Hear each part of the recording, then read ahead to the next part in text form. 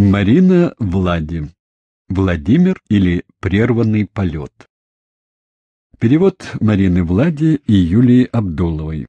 Москва. Издательство «Прогресс», 1989 год. Читает Валентин Аксентюк. А на нейтральной полосе цветы необычайной красоты. Владимир Высоцкий. У Володи было много друзей. Одни встречались с ним каждый день, другим лишь удавалось иногда попасть на его концерты. Третьи только слушали магнитофонные записи, но все они были друзьями. Для них этот перевод на русский. Марина Влади. Меня всегда занимал вопрос, что происходит в головах людей при виде актера или актрисы, которыми восхищались в кино. Однажды вечером мы выходим из театра после «Гамлета». Мороз. На улице ни души. Белый пар поднимается из решеток стока, и свет фонарей прорывает синеватую тьму. Откуда-то из подъезда появляются два человека в меховых шапках и, как вкопанные, застывают перед нами. Ты смотришь на меня с беспокойством. Может быть, ты даже испугался в какой-то момент. Но мягкий и вежливый тон того, что повыше, сразу же нас успокоил. Слегка наклонившись вперед и стараясь не глядеть в мою сторону, он обращается к тебе с сильным грузинским акцентом.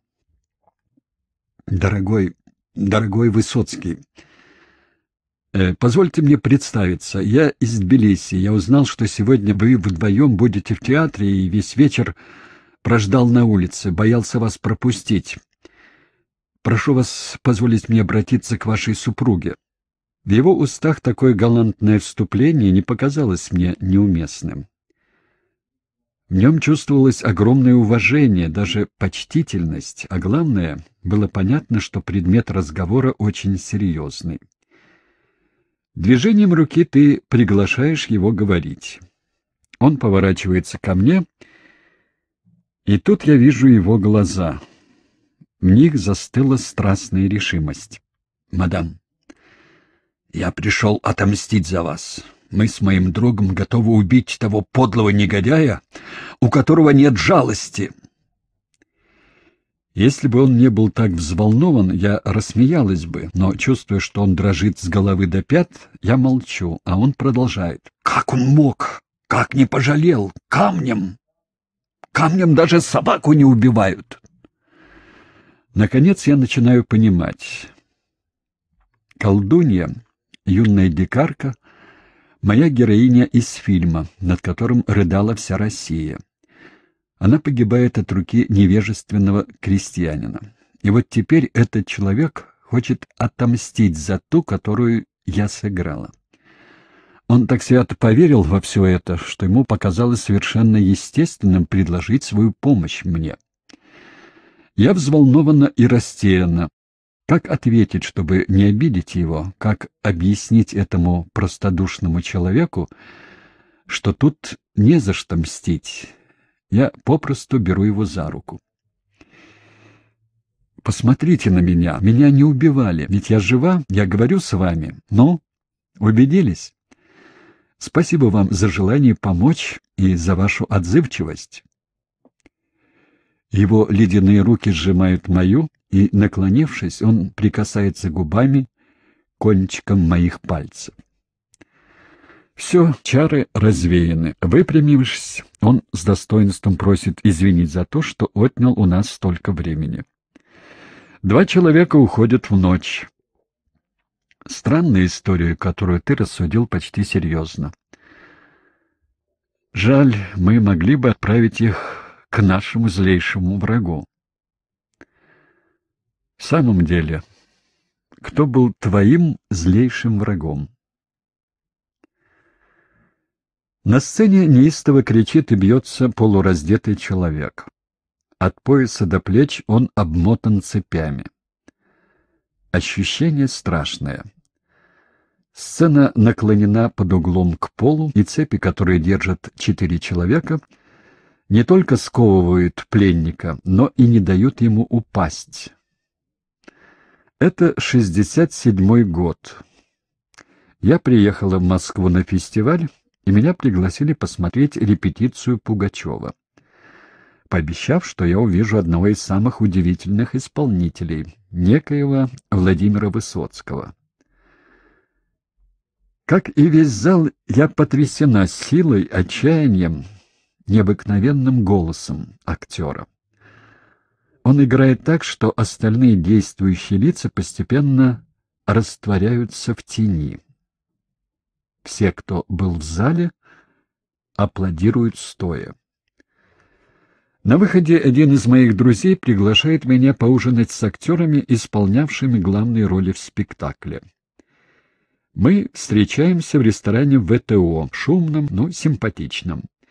Там хорошо кормят и закрывают гораздо позже, чем в других местах. Мы предъявляем пропуска, и наша небольшая компания устраивается за столиком. Наш приход вызывает оживленное любопытство присутствующих.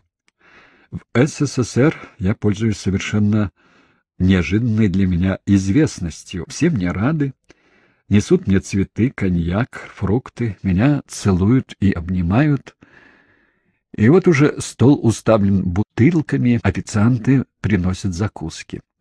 Мы принимаемся за еду. Я жду того замечательного артиста. Мне хочется его поздравить. Но говорят, что у него чудной характер, и поэтому он может и совсем не прийти. Я расстроена. Но у моих собеседников столько вопросов. Они знают, что я много снимаюсь, хотя видели всего два или три моих фильма. И по-русски, а я в последний раз говорила по-русски шестилетней девочкой, я пускаюсь в повествование о моей артистической карьере. Краешком глаза я замечаю, что к нам направляется невысокий, плохо одетый молодой человек. Я мельком смотрю на него, и только светло-серые глаза на миг привлекают мое внимание. Но возгласы в зале заставляют меня прервать рассказ, и я поворачиваюсь к нему. Он подходит, молча берет мою руку и долго не выпускает. Потом целует ее, садится напротив и уже больше не сводит с меня глаз. Его молчание не стесняет меня. Мы смотрим друг на друга — как будто всегда были знакомы. Я знаю, что это ты. Ты совершенно не похож на ревущего великана из спектакля, но в твоем взгляде чувствуется столько силы, что я заново переживаю все то, что испытала в театре. А вокруг уже возобновился разговор. Ты не ешь, не пьешь, ты смотришь на меня. Наконец-то я встретил вас. Эти первые произнесенные тобой слова смущают меня. Я отвечаю тебе дежурными комплиментами по поводу спектакля, но видно, что ты меня не слушаешь. Ты говоришь, что хотел бы уйти отсюда и петь для меня. Мы решаем провести остаток вечера у Макса Леона, корреспондента Юманите. Он живет недалеко от центра. В машине мы продолжаем молча смотреть друг на друга. На твоем лице то тень, то свет. Я вижу твои глаза, сияющие и нежные, коротко остриженный затылок, двухдневную щетину, валившиеся от усталости щеки. Ты некрасив, у тебя ничем не примечательная внешность, но взгляд у тебя необыкновенный. Как только мы приезжаем к Максу, ты берешь гитару. Меня поражает твой голос, твоя сила, твой крик. И еще то, что ты сидишь у моих ног и поешь для меня одной. Постепенно я начинаю постигать смысл, горький юмор и глубину твоих песен. Ты объясняешь мне, что театр — твое ремесло, а поэзия — твоя страсть. И тут же, безо всякого перехода, говоришь, что давно любишь меня. Как и любой актрисе, мне приходилось слышать подобные неуместные признания.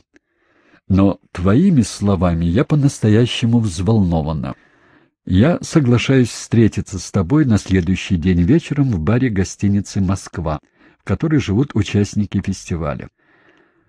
В баре полно народу, меня окружили со всех сторон, но как только ты появляешься, я бросаю своих знакомых, и мы идем танцевать. На каблуках я гораздо выше тебя. Ты встаешь на цыпочки и шепчешь мне на ухо безумные слова. Я смеюсь, а потом уже совсем серьезно говорю, что ты необыкновенный человек, и с тобой интересно общаться. Но я приехала всего на несколько дней, у меня очень сложная жизнь, трое детей, работа, требующая полной отдачи, и Москва далеко от Парижа. Ты отвечаешь, что у тебя у самого семья и дети, работа и слава. Но все это не помешает мне стать твоей женой, ошарашенная таким нахальством. Я соглашаюсь увидеться с тобой завтра. Я захожу за тобой в театр к концу репетиции. Утром мне позвонил Сергей Юткевич и предложил сыграть роль Лики Мизиновой, молодой женщины, в которой был влюблен Чехов. Меня одолевают сомнения. Все-таки съемки рассчитаны почти что на год. Ты же буквально прыгаешь от восторга. Ты кричишь и лихорадочно умоляешь меня соглашаться. Я твержу, что все это очень сложно, но ты упорствуешь. Надо соглашаться, у нас будет время видеться, и главное, ты сможешь уговорить меня выйти за тебя замуж тон почти шутливый. Но я чувствую столько нежности в этих словах, что твое воодушевление передается и мне.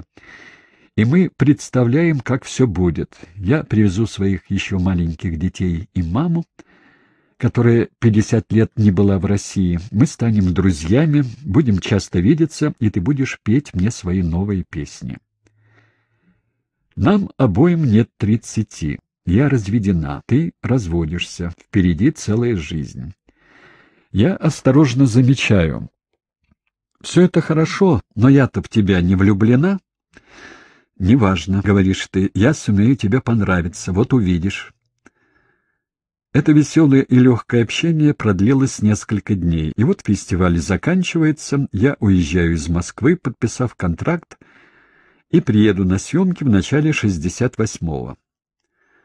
Проходит время. Сначала я получаю нежное письмо из Москвы. Потом, как раз, когда я размышляю над тем, что со мной происходит и почему мне так тоскливо, телефонный звонок обрывает мои невеселые раздумья. Это ты. Я слышу теплый тембр твоего голоса и русский язык, напоминающий мне об отце, которого я обожала. И от всего этого у меня ком в горле. После разговора я кладу трубку и реву. «Ты влюблена, моя девочка», — говорит мама.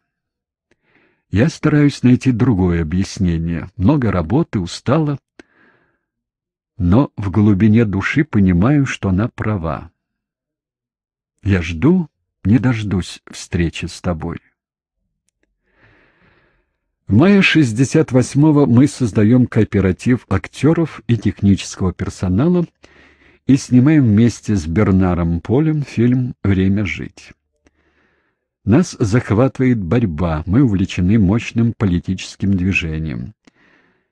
Мне вспоминается начало 50-х, когда я работала в Италии с режиссерами-коммунистами Висконти, ППД Сантисом, Уго Пиро, Тонино Гуэра, Карло Лицани — мы участвовали в антифашистских демонстрациях, и иногда дело доходило до драк на улицах.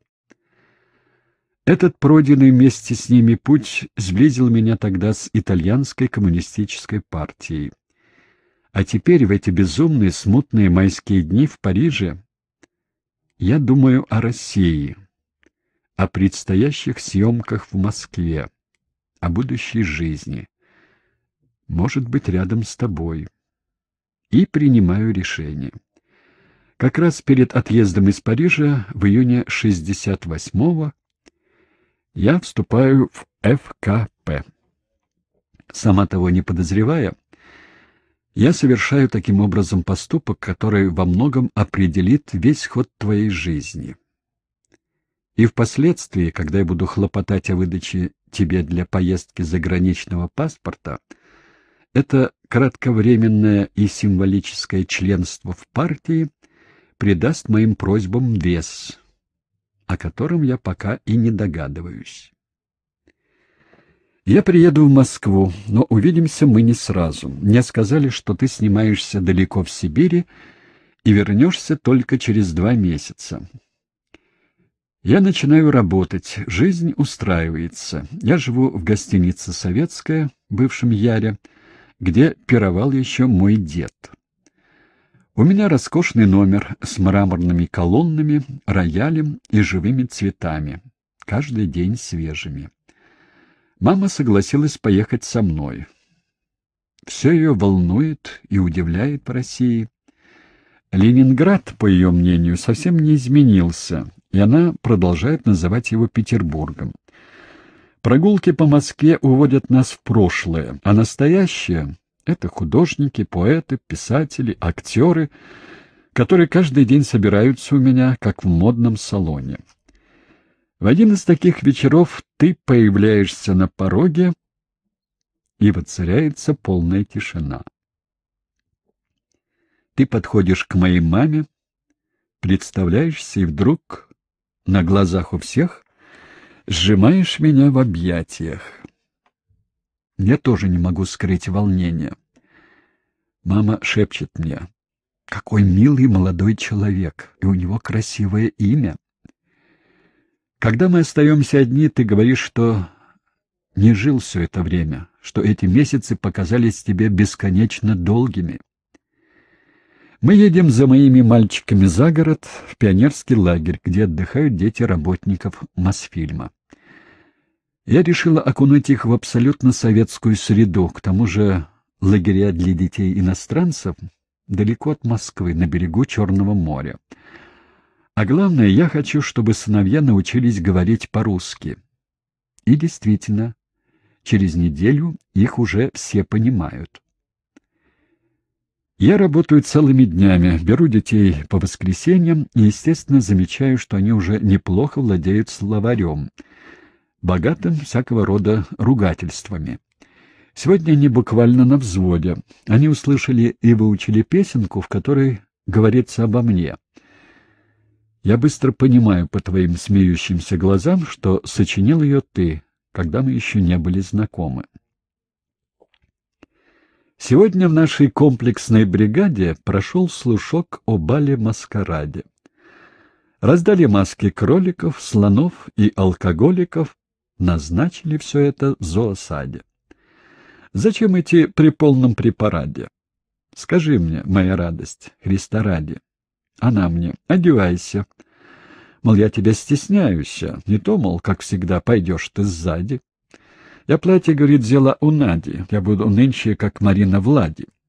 И проведу, хоть тресну я, часы свои воскресные, хоть с пьяной твоей мордой, но в наряде. Зачем же я себя утюжил, гладил? Меня поймали тут же в засаде. Ведь массовик наш Колька дал мне маску алкоголика, и на троих зазвали меня дяди. Я снова очутился в засаде. Глядь, две жены, ну, две Марины Влади, одетые животными, с двумя же бегемотами. Я тоже озверел и стал в засаде. Наутро дали премию в бригаде, сказав мне, что на бале-маскараде я будто бы не только сыграл им алкоголика, а был у бегемотов я в ограде. Нас сильно рассмешила эта песенка в исполнении моих сыновей. Ты объясняешь мне, что однажды посмотрел, как и все фильм «Колдунья», и что, когда в 1965-м я приехала на фестиваль в Москву, ты тщетно пытался встретиться со мной. По нескольку раз в день ты ходил в кино смотреть «Хронику», чтобы увидеть меня хоть бы на экране. Короче, ты влюблен уже много лет и никогда не мог представить себе, что однажды увидишь меня живьем и так близко. Из всего этого ты делаешь неизменный вывод. Во всяком случае, теперь-то я знаю, что ты станешь моей женой. Мы едем на пикник к озеру. Погода хорошая, вода прохладная, дети играют и плещутся, ты напеваешь в полголоса. Я тебя слушаю, мы счастливы. Проводив нас, ты убегаешь, заручившись моим обещанием провести выходные с тобой. Я ложусь спать, но не сплю. Мама приходит посидеть со мной. Она находит тебя необычным и трогательным. Я столько рассказывал ей о твоем таланте, что она заранее чувствует к тебе симпатию, и это уже навсегда. В назначенный день ты приезжаешь очень рано, и мы едем в тихое, уединенное место на берегу реки. Ты привез из Сибири песню о людях, попавших в лагерь при Сталине. Один человек возвращается, отсидев срок, и просит хозяйку протопить ему баньку по-белому, чтобы убить сомнения, очистить душу. Страшная песня, где впервые ты упоминаешь мое домашнее имя — Маринка. Еще ты мне читаешь первые строфы «Охоты на волков». Я понимаю, что ты приносишь мне в дар эти стихи, которые еще никогда никому не пел. Я пьянею от какой-то ребячливой гордости. Сам поэт поет мне свои строки, и я становлюсь хранительницей его творчества, его души. Мы возвращаемся обратно. Ты идешь играть спектакль, я отправляюсь к маме, которая должна скоро уехать в Париж. Все лето мы видимся почти каждый день. Круг друзей сужается.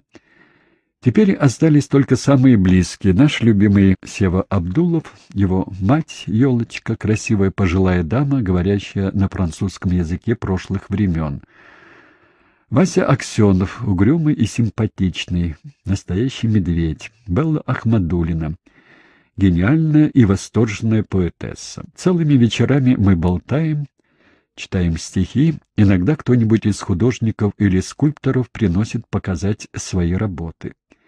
Днем я снимаюсь, вечером мы собираемся вместе. Теперь мы так близки с тобой, что просто дружбой это уже не назовешь. Я знаю о тебе все, по крайней мере, так мне кажется. Ты очень сдержан, но все настойчивее ухаживаешь за мной.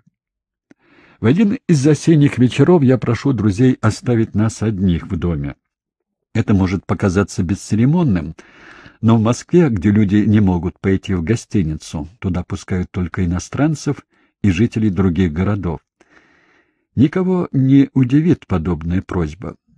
Хозяйка дома исчезает к соседке, друзья молча обнимают нас и уходят. Закрыв за ними дверь, я оборачиваюсь и смотрю на тебя.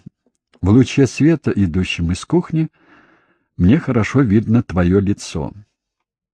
Ты дрожишь. Ты шепчешь слова, которых я не могу разобрать. Я протягиваю к тебе руки и слышу обрывки фраз. На всю жизнь уже так давно. Моя жена. Всей ночи нам не хватило, чтобы до конца понять глубину нашего чувства. Долгие месяцы заигрываний, лукавых взглядов и нежностей были как бы прелюдией к чему-то неизмеримо большему. Каждый нашел в другом недостающую половину. Мы тонем в бесконечном пространстве — где нет ничего, кроме любви. Наши дыхания стихают на мгновение, чтобы слиться затем воедино в долгой жалобе, вырвавшейся на волю любви. Нам по тридцать лет. У нас большой опыт жизни. Несколько жен и мужей, пятеро сыновей на двоих, профессиональные успехи и неудачи — Взлеты и падения, слава, а мы очарованы друг другом, как дети, впервые узнающие любовь. Ничто и никогда не сотрет из памяти те первые минуты бесконечной близости. На третий день на рассвете мы уходим из этого доброго дома. Мы вместе отныне и во веки веков. Несмотря на то, что мы совершенно не скрываем наших отношений, к моему огромному удивлению, мне дали понять, что тебе нельзя оставаться на ночь у меня в номере. Дежурная по этажу неизменно просит меня выпроводить гостя к одиннадцати часам вечера. И после нескольких скандалов в гостинице мы начинаем искать место, где нам можно было бы встречаться. Как и у всех влюбленных в Москве, в нашем распоряжении кушетка где-нибудь на кухне или диван в коридоре, или ночной поезд Москва-Ленинград, прелестное и романтическое купе начала века или каюты катеров, бороздящих искусственное озеро, которое можно взять на прокат на несколько часов. И каждый раз у нас остается смутное воспоминание о спешке и полная неудовлетворенность. Мы оба работаем с утра и до позднего вечера, но зато нам принадлежит ночь. После тщетных попыток снять квартиру ты предлагаешь мне жить у твоей матери, Нины Максимовны. У нее маленькая двухкомнатная квартира в новом районе. И что очень ценно, в этой современной квартире есть и кухня, и ванна, и туалет, поэтому не нужно долго ждать, чтобы умыться, приготовить поесть или воспользоваться уборной. Я с радостью соглашаюсь. Я страшно устала от переездов с места на место, от обязанности слушать целыми вечерами беседы друзей, пусть даже и захватывающе интересные. Мне необходимо быть с тобой. А главное, я замечаю, что в этих компаниях ты начал пить. Впрочем, как и все мы. В Москве не представляют себе вечеринку без водки. Холодный климат к этому располагает. Это национальная традиция. Я сама с удовольствием открываю для себя тепло, развязывающее язык, ощущение свободы, которое дает водка. Но я знаю, что для тебя это проблема. Ты мне сказал об этом однажды вечером, когда на ужине у артистов театра мы встретились с твоей бывшей подружкой, и она попыталась потихоньку налить тебе водки. Ты очень зло, — ответил ей. Я удивилась такой резкости. Ты объяснил. Она знает, мне нельзя пить. Это самый мерзкий способ попытаться вернуть меня. Друзья меня тоже предупредили. Один из любви к тебе, другие потому, что наша связь кажется им скандальной. Все говорят одно и то же. Не давай ему пить. Это алкоголик. Он не должен даже прикасаться к стакану. Вот увидишь. Сейчас-то он сдерживается, но как только начнет снова, ты себе локти будешь кусать. До сих пор я видела тебя слегка навеселе, скорее радостным, одним словом, милым. Я убеждена, что после переезда можно будет не беспокоиться на этот счет. Твоя мать встречает нас у порога. Она работает архивариусом, уходит из дома очень рано и приходит только вечером. Мы, наконец, одни. Я устраиваю нашу комнату наилучшим образом, чтобы здесь можно было жить и работать. В свободные дни я готовлю, навожу лоск, учусь бегать по магазинам, стоять на холоде в очередях за продуктами. Я хожу на рынок, где втридорого продают фрукты, овощи, мясо. Еще, конечно, я могу покупать на валюту в «Березке». Здесь можно найти все, что нет в магазинах. Американские сигареты, растворимый кофе, туалетную бумагу и даже яйца, картошку, салат, которых иногда нет неделями. У тебя много приятелей среди директоров продуктовых магазинов. Чтобы порадовать тебя, они оставляют нам дефицитные вещи. Парное мясо, копченую рыбу, свежие фрукты. Ты приносишь все эти сокровища домой для меня. Сам ты ешь мало, и тебе безразлично, что у тебя в тарелке. Ты работаешь день и ночь. Утром ты уезжаешь в театр на репетицию, днем ты снимаешься или у тебя концерт. Вечером ты играешь спектакль, ночью ты пишешь стихи. Ты спишь самые большие четыре часа, но, кажется, тебя не утомляет этот адский ритм. Жизнь так и кипит в тебе. Со сцены ты мне бросаешь знаменитые слова из спектакля Послушайте Маяковского. Нам тридцать лет, полюбим же друг друга. В жизни Галилея Брехта ты кажешься великаном в своем длинном халате. Ну вот заканчивается четырехчасовой спектакль. Я вижу тебя похудевшим, с лихорадочно блестящими глазами, но готовым сесть за маленький столик, зажатый между кроватью и окном, чтобы писать всю ночь, и, разбудив меня под утро, читать набросанные строки. Мы счастливы, власти пока что закрывают глаза на нашу идиллию. Вся Москва об этом говорит, но ведь моя работа почти закончена, и все думают, что я вернусь во Францию и быстро забуду то, что они принимают за каприз актрисы. Однажды вечером я жду тебя. Ужин остывает на кухонном столе. Я смотрела скучную программу по телевизору и уснула. Среди ночи я просыпаюсь. Мигает пустой экран телевизора. Тебя нет. Телефон настойчиво звонит. Я беру трубку и впервые слышу незнакомый голос, который временами заглушают стоны и крики. «Он здесь! Приезжайте! Его надо забрать! Приезжайте быстрее!» Я с трудом разбираю адрес. Я не все поняла, мне страшно. Я хватаю такси, бегом поднимаюсь по едва освещенной лестнице, где пахнет кошками. На последнем этаже дверь открыта, какая-то женщина ведет меня в комнату. Я вижу тебя. Ты лежишь на провалившемся диване и жалко морщишься. Пол уставлен бутылками и усеян окурками. На столе газета вместо скатерти. На ней ели соленую рыбу. Несколько человек валяются по углам, я их не знаю. Ты пытаешься подняться, ты протягиваешь ко мне руки, я дрожу с головы до ног. Я беру тебя в охапку и тащу домой. Это мое первое столкновение с тем, другим миром. Впервые в жизни я увидела, как засасывает людей омут мертвой пьянки.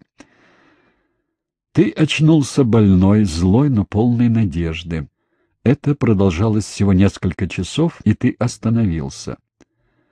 Тебе трудно в это поверить, хватило одного моего присутствия. А ведь никому до сих пор не удавалось остановить это безумие, в котором ты тонул. Отныне я порука твоей выдержки. Твоя мать полна благодарности и приписывает мне всяческие добродетели. Она никогда не видела, чтобы в полном бреду ее сын согласился бы вернуться домой. Я единственная и неповторимая, я твоя спасительница. Такая легкая победа воодушевила меня, я уверовала в собственное могущество и, не раздумывая, приняла посвящение в этот сомнительный сан. Мне пора уезжать, работа закончена. Я покидаю Москву, прожив здесь около года. За это время я пару раз съездила во Францию, чтобы выполнить обязательства по контрактам. Но теперь у меня нет больше официального повода, чтобы вернуться. Что ж, осталось собрать чемоданы, и актриса уезжает. Хотя, конечно, меня пригласили на июльский кинофестиваль в качестве гости. Мы оба просто убиты. У тебя нет никакой надежды приехать ко мне. Ты, как говорят здесь, не выездной. Просить визу и думать нечего. Считается, что ты одиозная личность, ни больше, ни меньше.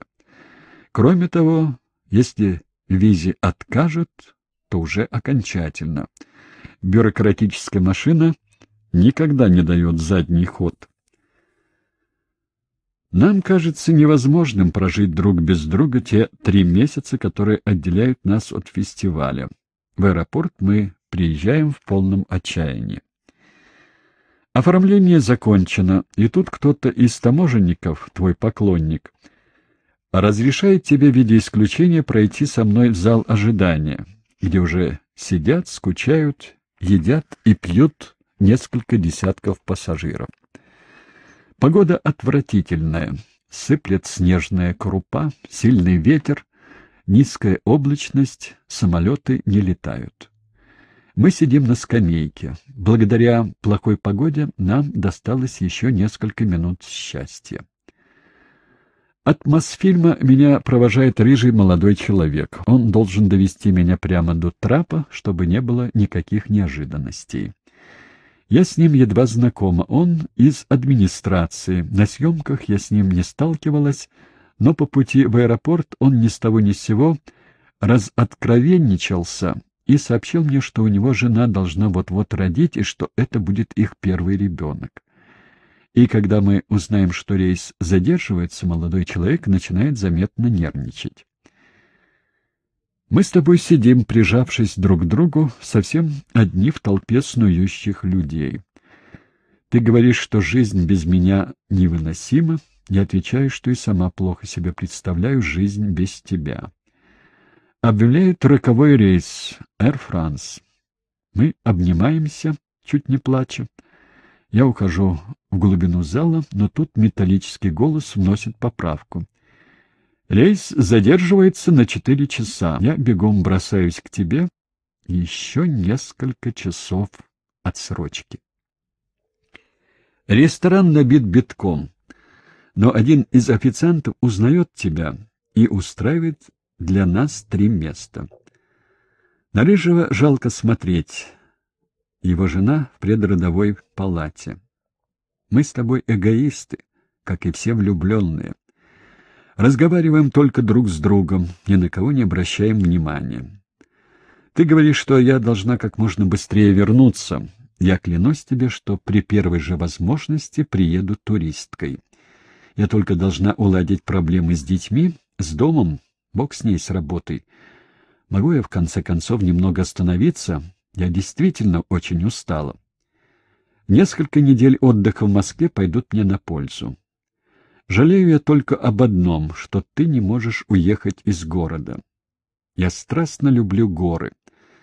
Ты написал про них одну из самых известных своих песен. Она стала теперь гимном альпинистов. Но тебя связывает театр, ты играешь каждый вечер. А значит, прощайте горы. Эти мечты как-то отвлекли нас, и когда пассажиров снова приглашают на посадку, мы расстаемся взволнованные, но уже без слез. Особенно доволен рыжий. Я иду к выходу, как вдруг меня останавливает громкоговоритель. У самолета обледенели крылья, и нужно ждать, когда их разморозят компрессором. Рейс задерживается на неопределенное время. Уже стемнело, снова поднимается буря. Благодаря поклоннице стюардессе мы все втроем устроились в каком-то закутке и курим сигарету за сигаретой. Рыжий то и дело бегает звонить и каждый раз возвращается в отчаяние все еще никак. И снова уходит. Мы как в бреду. Ты требуешь, чтобы я переехала жить в Москву, чтобы я стала твоей женой, чтобы привезла с собой детей. Я соглашаюсь, меня воодушевляет твоя решительность. Конечно, я могу все бросить, приехать жить с детьми к твоей матери. Конечно, я найду здесь работу. Конечно, мы будем счастливы все вместе. У нас обязательно все получится. Меня ничто не пугает, любовь сильнее всего остального. Рыжий возвращается уже немного на веселе. Теперь ему хочется поговорить о жене, о будущем ребенке. Все это так чудесно, так замечательно. Мы слушаем его, он действительно появился кстати. Мы только что неосторожно забрались на самую вершину будущего, не подумав, как страшно падать с такой высоты. На мне трое детей и мать, большой дом. Я много работаю и хорошо зарабатываю. Я люблю свою профессию, дело, которым занимаюсь с десяти лет. И в конечном счете неплохо живу. У тебя двое детей, бывшая жена, которой ты помогаешь, девятиметровая комната в квартире у матери, ты получаешь 150 рублей в месяц, на которые в лучшем случае можно купить две пары хороших ботинок. Ты работаешь как проклятый, ты обожаешь свою работу, ты не можешь ездить за границу. Если соединить наши жизни в одну, получится просто не жизнь. Рыжий возвращается вне себя от радости. У него родилась дочь. Все прошло хорошо. Можно выпить за здоровье матери. Мы чокаемся теплым шампанским. Мы с тобой устали, измучились. Мы почти чужие. И когда, наконец, пассажиров снова приглашают на посадку, мы расстаемся даже с каким-то облегчением. Буря пронеслась и в наших душах, разметав безумные надежды, несбыточные мечты. Как только я возвращаюсь к себе в Мезон Лафит, звонит телефон. Это ты. Ты провел эти несколько часов на почте и, ожидая, пока тебя соединят с Парижем, написал стихотворение. И читаешь его мне. Мне каждый вечер зажигает свечи, и образ твой окуривает дым. И не хочу я знать, что время лечит, что все проходит вместе с ним. Теперь я не избавлюсь от покоя, ведь все, что было на душе на год вперед, не ведая, она взяла с собою сначала в порт, а после в самолет. В душе моей пустынная пустыня — так что стоите над пустой моей душой? Обрывки песен там и паутина, а остальное все она взяла с собой. В моей душе все цели без дороги. Поройтесь в ней, и вы найдете лишь две полуфразы, полудиалоги, а остальное — Франция, Париж. И пусть мне вечер зажигает свечи, и образ твой окуривает дым — но не хочу я знать, что время лечит, что все проходит вместе с ним. Заказанные минуты разговора истекают, и ты только успеваешь прокричать мне вместо «до свидания» «Возвращайся скорее, без тебя я не знаю, каких глупостей натворю». Я немедленно начинаю искать повод для получения визы. Единственной уважительной причиной, мне кажется, работа. Наконец мне удается уговорить одного режиссера с Мосфильма пригласить меня на пробы. Но все это так непросто. Связь с Москвой капризна. Мое предполагаемое участие должно контролироваться Министерством культуры СССР, и на все нужно разрешение министра. Мы находим более простой выход. В рамках турпоездки за мой счет я попрошу продлить мне визу для чтения и обсуждения сценария будущего фильма. Эта небольшая уловка поможет мне раза два. Мне очень скоро станет ясно, что достаточно купить туристическую путевку, заплатить за гостиницу, в которой я не живу, и за еду, которую я не ем, чтобы иметь возможность приехать и провести несколько дней с тобой. Уже к тому времени я понимаю, что к моим постоянным разъездам относятся благосклонно, как, впрочем, и к нашей совместной жизни, и что я пользуюсь преимуществом по сравнению с другими благодаря вступлению в ФКП, нашей с тобой известности, а главное — восхищению, которое ты вызываешь во всех слоях советского общества. У одной моей подруги, француженки русского происхождения, не было таких привилегий. Она влюбилась в грузинского художника и хотела выйти за него замуж. Но, несмотря на то, что она устроилась работать во французское посольство, несмотря на многочисленные официальные просьбы, им очень долго не удавалось получить разрешение на брак. И к тому времени, когда, наконец, они получили это разрешение, она должна была уехать во Францию и потом ей стоило неимоверных усилий вновь получить визу, чтобы повидаться с мужем. ОВИР — всемогущая организация, которая выдает визу и вид на жительство иностранцам, живущим в Москве. Располагается в здании, которое впоследствии станет для меня по-домашнему знакомым. Здесь распоряжается высокопоставленный чиновник, встречи с которым не удается добиться в первый же приезд. На сегодняшний день ситуация проста. Я интуристка, у меня виза на две недели, и я могу ее продлить, если пожелаю. Но жить я должна только в гостинице. Если я хочу жить у друзей или у тебя, мне нужно иметь приглашение, а на него соответствующее разрешение, где должна быть проставлена дата въезда и выезда. Но у меня такая работа, что я никогда не могу заранее указать точную дату. Иногда я свободна всего 3-4 дня. И я хочу приезжать несколько раз в году. Такие случаи не часто встречаются. Я иду объясняться в кабинет главного. Я рассказываю ему о своей жизни, о детях, о матери, о моих чувствах к тебе. Я даже вспотела от смущения. Этому человеку я за час рассказала больше, чем моим самым близким друзьям за всю жизнь. Результат был неожиданным. «Почему вы не переедете жить сюда?» — спрашивает он с лукавым видом.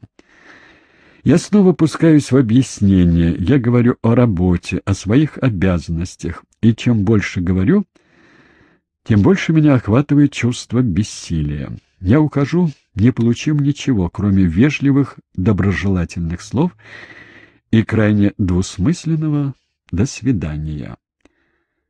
И правда, мы еще встретимся. Надо сказать, что я ни разу не получила категорического отказа и никогда не была вынуждена отложить поездку больше, чем на несколько дней. С годами наши отношения с шефом Овира стали почти сердечными. За эти годы я попадала во всевозможные категории. Туристка, гость по приглашению, временно проживающая, непроживающая супруга, супруга с незакрепленным местом жительства, потом закрепленным. Единственный статус, от которого я отказалась, это супруга с постоянной пропиской, ведь в этом случае мне самой пришлось бы ждать соизволения Овира, чтобы поехать во Францию, на что ни ты, ни я не могли согласиться.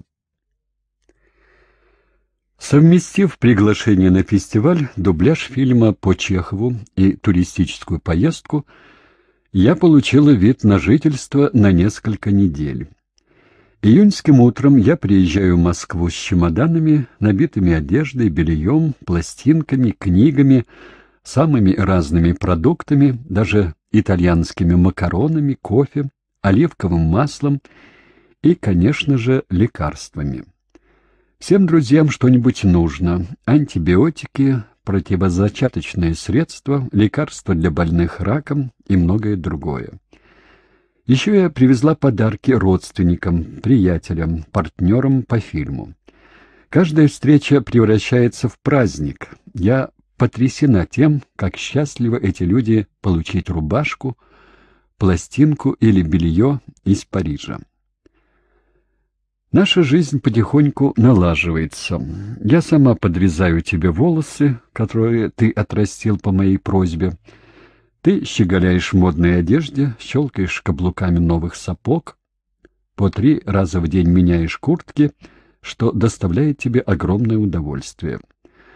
Каждому, кто заходит к нам в гости, ты даешь пощупать их мягкую, приятно пахнущую кожу. И главное, ты просто упиваешься музыкой.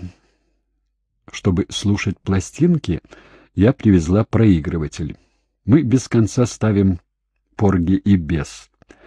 Армстронг и Элла Фиджеральд заставляют тебя рычать от удовольствия. Ты заново открываешь для себя произведения великих классиков. Конечно, в репертуарах московских театров все это есть, но на концерты ходить ты не привык, да и вечно не хватает времени. Я не работаю. Мы все время вместе. Я хожу на твои спектакли и концерты, организованные под видом встреч актера с публикой. где между рассказами о театре ты поешь свои новые песни. Публика в безумном восторге. Меня все больше интригует твой успех. Тебя не отпускают со сцены. К твоим ногам то и дело летят записки, в которых зрители просят спеть ту или другую песню. Каждый вечер мы приносим домой охапки цветов. Как-то раз мы гуляем по одной из центральных улиц. День выдался жаркий, все окна распахнуты настежь, и из каждого рвется твой голос. Мне трудно в это поверить, но никаких сомнений быть не может. Я узнаю твой хрипловатый тембр, твою неповторимую манеру исполнения. Ты идешь рядом со мной и все шире улыбаешься. Теперь я сама могу убедиться, как тебя здесь любят. Ты счастлив и горд. Однажды именно эта больно задетая гордость приведет к трагедии. Фестиваль начался. Все мои сестры недавно приехали в Москву. Вечером мы вместе идем к моей подруге Елочке. У нее, вдовы Осипа Абдулова, хорошая квартира в центре. Я заранее радуюсь этой встрече. Мои сестры мельком видели тебя сразу же по приезде, но сегодня вечером вы по-настоящему познакомитесь. Днем для гостей фестиваля устраивают большой прием. Все делегации собираются у гостиницы «Москва». И оттуда их везут на автобусах во дворец. Народу тьма. Но все прекрасно организовано, атмосфера веселая, мы все давно знаем друг друга, и такие встречи киношников всегда вызывают бурю эмоций. Ты держишь меня за руку, и мы подходим к гостинице. Здесь я знакомлю тебя с моими друзьями, французами, итальянцами и даже с одним японцем, с которым я несколько лет назад работала в Токио, и мы стараемся понять друг друга, многоязыком гуля. Когда подходит моя очередь, я поднимаюсь в автобус, ты за мной. Не успеваю я сесть, как слышу громкие возгласы. Какой-то тип, которому поручено проверять приглашение, грубо выпихивает тебя из автобуса. Я бросаюсь к нему, пытаюсь объяснить, но ты останавливаешь меня выразительным взглядом. Ты бледен. Унижение, так часто встречающееся в твоей жизни, вырастает сейчас до невыносимых размеров. Ты не хочешь ударить в грязь лицом перед этими восторженными иностранцами? Усталым движением руки ты даешь мне понять, что все бесполезно. Двери закрываются, автобус трогается. Я вижу тебя в окно. Ты стоишь на тротуаре, маленький, оскорбленный человек — и совсем как Чарли Чаплин со злостью пинаешь ногой кучу пригласительных билетов, валяющихся на асфальте. Мое положение иностранной актрисы обязывает меня досидеть до конца официальной части. Но при первой же возможности я исчезаю с приема. Когда я приезжаю к елочке, мои сестры уже там. Как это бывает в Москве, о скандале в автобусе уже известно. Все меня утешают и уговаривают не придавать большого значения этой истории. Ты все не приходишь, и я начинаю думать о самом худшем.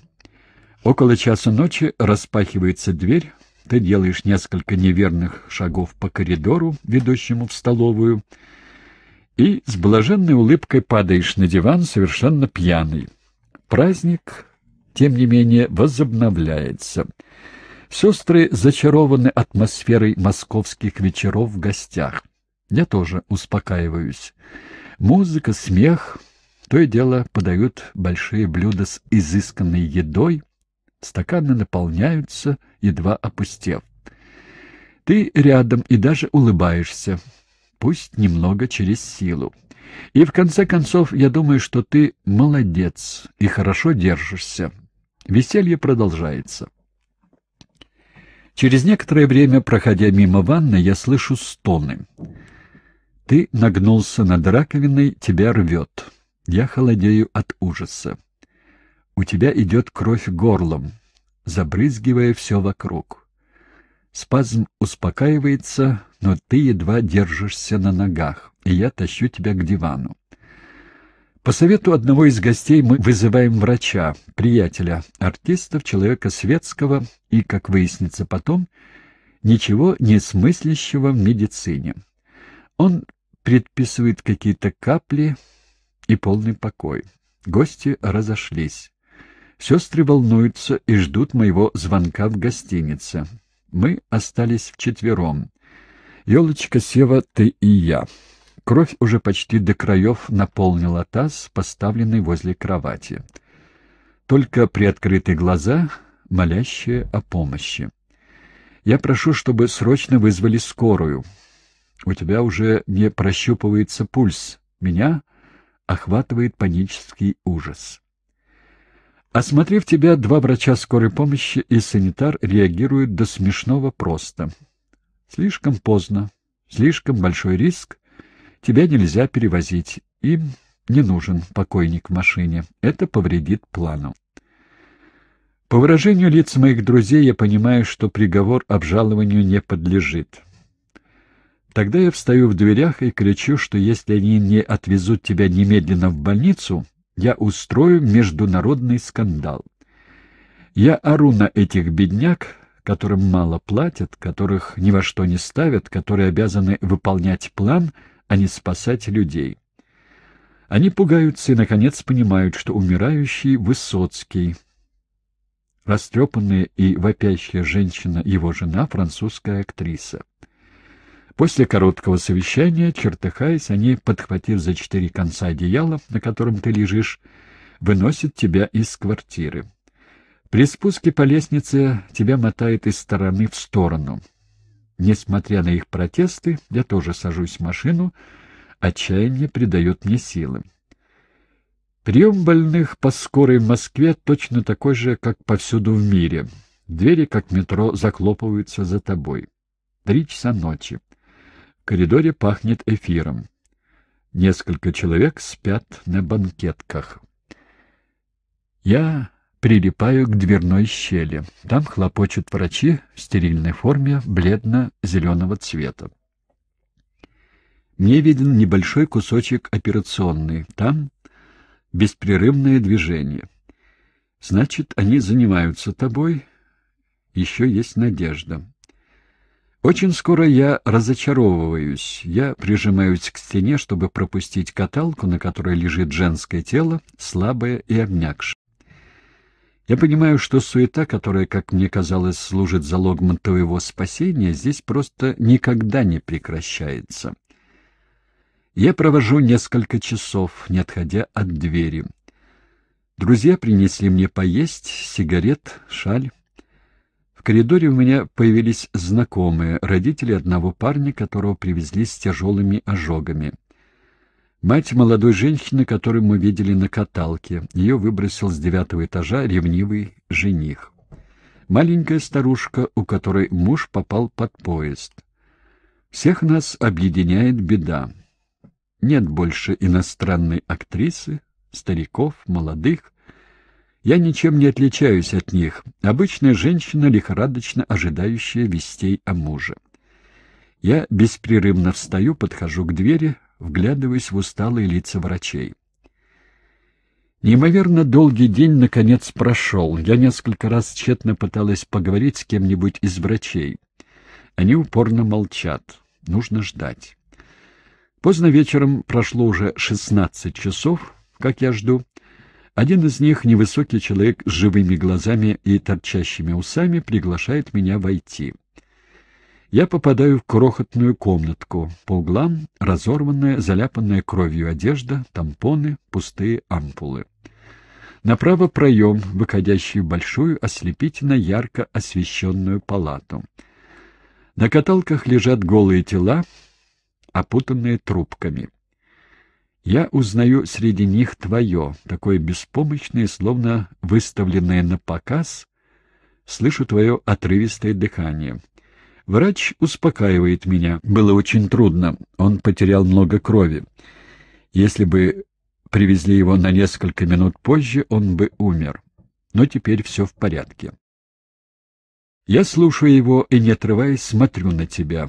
Мне объясняют, что у тебя в горле порвался сосуд, что тебе больше нельзя пить и нужен длительный отдых. Остальные врачи, четверо мужчин и женщина, говорят мне, как они счастливы, что спасли тебя, как они рады познакомиться со мной, несмотря на то, что обстоятельства не из веселых. Я сразу полюбила этих людей, буквально по кускам сшивая пациентов, которых, кажется, уже невозможно спасти. Они рассказывают анекдоты, смеются, курят и выпивают иногда по глотку спирта, занюхивая его кусочком черного хлеба, как это принято в России. Меня усаживают на табуретке в углу маленькой комнатки, и я могу тебя видеть. Мимо постоянно провозят вновь поступающих больных. И в мгновение ока раздевают их, сшивают, колют, моют, перевязывают, а я смотрю на тебя. Ты дышишь, ты жив. Игорек, Вера, Вадим, Толя и Леня хорошо поработали. Отныне они будут служить тебе верой и правдой, как в ту страшную ночь. Больница представляет собой великолепное строение XVIII века, выкрашенное в небесно-голубой и белый цвета. Я каждый день прихожу сюда, приношу тебе поесть, ты должен набираться сил. Я пичкаю тебя мясными бульонами, полусырыми бифштексами, свежими овощами и фруктами. У тебя начинают розоветь щеки. В общей палате, где ты лежишь, только больные, перенесшие травму горла, с ожогами или после удаления опухоли. Некоторые питаются через специальные воронки, напрямую соединенные с желудком. Но атмосфера при этом ничуть не мрачная. Пожилые нянечки ругают вас, как мальчишек, когда вы тайком курите, и вообще обходятся с вами по-свойски и ласково. Ты у них, естественно, любимчик. Ты еще слаб, но уже потребовал, чтобы я принесла тебе гитару, бумагу, ручек. Ко всеобщей радости ты поешь полголоса, сочиняешь забавные песенки о соседях по палате, санитарах и врачах, о тысяче разных мелочей из жизни старой больницы. Палата становится концертным залом, и нянечкам потом бывает нелегко восстановить порядок. В углу палаты мужчина сумрачного вида с замкнутым выражением лица. Он не участвует в общем веселье. Он сжег себе горло кислотой, приняв ее за водку. Ему сделали множество операций и пересадок. Он в больнице уже много лет и очень страдает. Глаза его проясняются только тогда, когда он видит маленькую узбекскую девочку лет шести с длинными и сине-черными косичками. Она так же мучается, как и он. Она тоже сожгла себе горло, глотнув какой-то едкой жидкости, и вот уже три года лежит в больнице. Это маленькое существо царапается и кусается, как дикий котенок. Ее единственный друг — человек с воронкой. Она приходит и часами сидит с ним. Они о чем-то шепчутся, тихо смеются. Она гладит его плохо выбритые щеки, он берет ее на руки и баюкает. Когда ты поешь, маленькая больная смотрит на тебя снизу вверх, и в ее черных блестящих глазах я чувствую любопытство и удивление. Ей это нравится. Может быть, ты тоже станешь ее другом. Однажды к сумрачному мужчине приходит старый приятель оттуда, где он раньше жил. Видно, что пьяница. Он тайком сует ему под подушку бутылку крепленного вина. В России это называется портвейн. Отвратительное пойло, отдаленно напоминающее дешевое порто. Отрада алкашей. Пользуясь отсутствием нянечки, человек приставляет бутылку к воронке и, сверкая глазами, облизываясь и урча от удовольствия, выливает содержимое прямо себе в желудок. Эффект моментальный. Он принимается хохотать, ему тут же становится жарко, он срывает с себя одежду, швыряет воронку в другой конец палаты и нагишом, весь исполосованный швами, начинает отплясывать адскую джигу. Его сгоревшие голосовые связки не производят ни звука. Хрип, который мы слышим, вырывается откуда-то изнутри. Сначала мы тоже смеемся, но очень скоро это перестает быть забавным. Человек отбивается, когда нянечки пытаются его остановить. На помощь зовут санитаров, но ничего не помогает. Алкоголь удесятерил его силы, он становится буйным сумасшедшим. Вдруг открывается дверь, и появляется маленькая узбечка. Она подходит к своему другу, берет его за руку, подбирает с пола пижаму и помогает ему одеться. Шепчет успокаивающие слова таким же, как у него, странным голосом. Девочка опускается на колени перед кроватью и кладет голову на подушку рядом с ним. Через пять минут он засыпает. Девчушка по-матерински подтыкает ему одеяло, потом смотрит на всех нас по очереди обвиняющим взглядом и с огромным достоинством удаляется, скорчив нам напоследок ужасающую гримасу. Твое выздоровление продолжается в Белоруссии. Один из друзей, режиссер Витя Туров, у которого ты снимался в фильме о партизанах, привозит нас в деревню, уцелевшую в войне, где мы останавливаемся у милой бабки. Изба крошечная, зато есть хороший огород, а коза дает достаточно молока, чтобы каждое утро ты выпивал его, еще теплого, большую кружку. Мы проводим дни в прогулках по окрестностям. Витя показывает нам места, где четверть века назад шли жестокие сражения. А между тем природа так прекрасна. Идеально круглые озера окружены холмами. Начало осени. Поля и лес в золоте. Еще тепло. Мы обнаруживаем бывшие партизанские стоянки, поросшие травой. Настоящие подземные поселки. Мы проходим через обугленные развалины деревень. Их не стали восстанавливать после войны, а оставили как памятники. Белоруссии сотни арадуров, деревень, в которых не выжил никто. Контраст между такой мягкой природой и зверством преступлений нас потрясает. Вечером мы сидим за столом в теплом свете керосиновой лампы. Старуха вспоминает.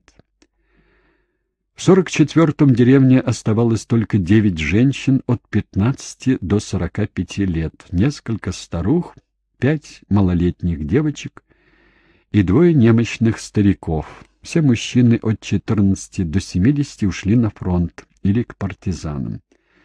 Немцы отступают, это разгром. Деревня чудом уцелела. Но страшное предчувствие подтверждается. Все мужчины убиты. С фронта пришли похоронки. Погиб за родину. От партизан страшное сообщение. Никого в живых из деревни такой-то. Когда женщины видят небольшую группу советских солдат с 25-летним капитаном во главе, решение их уже принято. Накормив и напоив мужчин, они топят баню. Каждая приносит чистое белье на свежих постелях, россыпи вышитых подушек. Измученные солдаты засыпают, обретая после долгих месяцев войны это забытое счастье. В одной избе все не гаснет свет. Самая отважная из женщин говорит с молодым капитаном. То, о чем я попрошу сейчас, наверное, вас покоробит. Но постарайтесь понять. Война отняла у нас мужчин. Для того, чтобы жизнь продолжалась, нам нужны дети. Подарите нам жизнь. На несколько минут старуха умолкает и, справившись со смущением, заканчивает свой рассказ. В соседней избе живет тракторист, он азиат, как и его отец. Почтальонша похожа на своих армянских предков. Колхозная повариха — настоящая сибирячка. Я тихонько плачу. Рассказанная старухой история лучше любой официальной пропаганды дает мне ощутить всю глубину трагедии, через которую прошла эта страна. Мы идем спать на сеновал. Душистое сено — место постели. За перегородкой хрюкает свинья и протестуют потревоженные куры. Всю ночь ты вслух сочиняешь стихи. Строфы рождаются одна за другой возникают образы. Как и в самом начале в школе, когда у тебя еще не было гитары, ты отбиваешь ритм рукой. В эту долгую ночь родились темы большинства твоих песен военного цикла. Ты не любишь рассказов о войне, но, как у каждого советского человека, они составляют часть твоей культуры. Этот народ, который ты глубоко любишь, находит в твоих песнях отголоски трагедии, не пощадившей ни одной семьи. Двадцать миллионов погибших, миллионы инвалидов и сирот, тысячи разрушенных городов и деревень, стертых с лица земли. На твоих концертах увешанные медалями ветераны плачут. Молодые, задумчивые и серьезные. Твои песни делают для мира и памяти погибших больше, чем все фильмы, документы, памятники и официальные речи вместе взятые. Родившись в 1938 году, ты в войне не участвовал. Ты совершил тогда свой маленький подвиг, прокричав в картонный рупор уже сильным, несмотря на пятилетний возраст, голосом, предупреждая, что зажигательная бомба упала на крышу одного из домов и надо вызвать пожарных. Другое твое детское воспоминание более забавно. Когда немцы подошли к Москве, вас с матерью отправили в тыл. Вы жили в большом поселке, где из свеклы гнали спирт на горючее для танков и самолетов. Свекольным жмыхом кормили скот, и однажды работница повернула не ту ручку и не заметила, как спирт вылился в корм для животных. Те поели и опьянели, и учинили на улицах поселка настоящую вакханалию. Коровы гонялись друг за другом и бодались, лошади ржали и перепрыгивали через изгороди в сады, свиньи катались по земле, а куры, утки и гуси пытались взлететь. Женщины и дети бегали по всему поселку, тщетно стараясь успокоить расходившуюся скотину. А потом животные стали засыпать и вскоре весь поселок превратился в сонное царство. Там и сям фыркали во сне коровы и лошади, да тихонько покудахтывали куры. На увеличенной фотографии красивый светловолосый сероглазый ребенок вопросительно смотрит в объектив. Возле него большая овчарка. Это в Германии, в маленьком городке, где стоит гарнизон советских оккупационных войск. Тебе семь лет, мать, прожив с тобой всю войну, решила на время поручить тебя отцу, военному в невысоком чине, жизнь которого приобрела неожиданную значительность в этом замкнутом мирке. Его новая жена Женя, женщина мягкой восточной красоты, сразу же полюбила тебя. У нее никогда не будет детей. Ты останешься единственным. Несмотря на тоску ребенка, оторванного от матери, ты быстро понимаешь преимущество твоего положения. Ты одет как принц, мачеха кормит тебя разными вкусностями. Правда, если все дети у тебя на родине учатся в это время жизни по правилам сталинской эпохи, то ты воспитываешься прямо-таки на суррогате этих догм. В своем замкнутом кругу десяток офицерских семей живет под перекрестным наблюдением. От них несет лицемерием пополам с водкой. Твой отец играет в провинциальном драм-кружке, что позволит ему через много лет говорить, что он был артистом, а заодно и объяснить твою одаренность, как естественное продолжение своей. Все, что разрешалось бы русскому мальчику в твоей стране, тебе совсем или почти совсем запрещено. Ты не можешь сам себе выбирать товарищей для игр, только приятелей из твоей касты, равных тебе по привилегиям. Никаких прогулок в одиночку, контролируется каждый твой шаг. Тебя ежеминутно проверяют, опасаясь покушения или детских шалостей, которые всегда плохо кончаются. И правда, однажды вы с ребятами находите склад оружия и взрываете запалы гранат. Трое мальчиков на всю жизнь остаются слепыми и изуродованными. По чистой случайности ты единственный остаешься невредим. Ты перестаешь выходить на улицу и все преимущества, которые мать усматривала в твоем пребывании в Германии, обернулись на деле серьезными потерями. Ты острее, чем другие ребята твоего поколения, чувствуешь на себе сталинские наставления, клевету, чванство и произвол.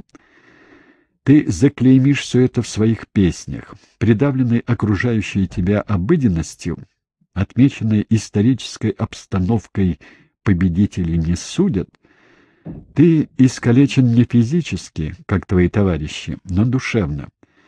Твои поэтические чисто юношеские фантазии, уже тогда сложные и противоречивые, похоронены под слоем хороших поступков, торжественных выходов в свет, на людей посмотреть и себя показать. А после сытного ужина никто даже не подумает поговорить с обеспокоенным ребенком, который ложится спать и мечтает. К счастью, есть нежная любящая мачеха. Она смягчает для тебя этот период терпеливой заботы и тем, что осталось с ней от древней культуры Армении, ее родной земли. Только ради нее я заставляла тебя видеться с отцом. Все это время я тянула тебя за рукав, я назначала эти встречи, я водила тебя на скучные ужины, тебе не о чем было с ним говорить, и говорила я. Гораздо позже я поняла, из-за всего этого отца, матери, обстановки и уже тогда изгнания ты начал с тринадцати лет напиваться. Все начинается обычно с рассказов или анекдотов. Ты с удовольствием возвращаешься к смешным деталям. И бог его знает, смешно ли это, но все смеются. Таково твое искусство актера. Любая рассказанная тобой история становится комическим номером. Сначала я тоже смеюсь, прошу рассказать снова. Я люблю, когда ты рассказываешь, искоса поглядывая на меня, изображаешь разных людей, с которыми где только ты не знакомился. Я люблю, когда ты словно светишься от радости. Теперь наступает следующий этап. Ты заказываешь мне пантагрюэльские ужины, ты зовешь кучу приятелей, тебе хочется, чтобы в доме всегда было много народу. Весь вечер ты суетишься возле гостей и буквально спаиваешь их. У тебя блестят глаза, ты смотришь, как кто-нибудь пьет с почти болезненной сосредоточенностью. На третий или четвертый день почти непрерывного застолья Наливая гостям водки, ты начинаешь нюхать ее с видом гурмана. И вот ты уже пригубил стакан, ты говоришь, только попробовать. Мы оба знаем, что пролог окончен. Начинается трагедия. После одного-двух дней легкого опьянения, когда ты стараешься во что бы то ни стало меня убедить, что можешь пить, как все, что стаканчик другой не повредит, что ведь ты же не болен. Дом пустеет. Нет больше ни гостей, ни праздников. Очень скоро исчезаешь и ты. В начале нашей с тобой жизни я часто попадалась на эту удочку. И всегда возникал один и тот же вопрос. Я же вижу, да ты и сам чувствуешь, что начинается очередной приступ. Почему не разбить эту проклятую бутылку, когда еще не поздно? Ответ будет ясно сформулирован годами позже. Потому что я уже пьян до того, как выпью, потому что меня заносит, потому что на самом деле я болен. Это обычно случается, когда ты уезжаешь из Москвы, Марина, особенно когда ты уезжаешь надолго.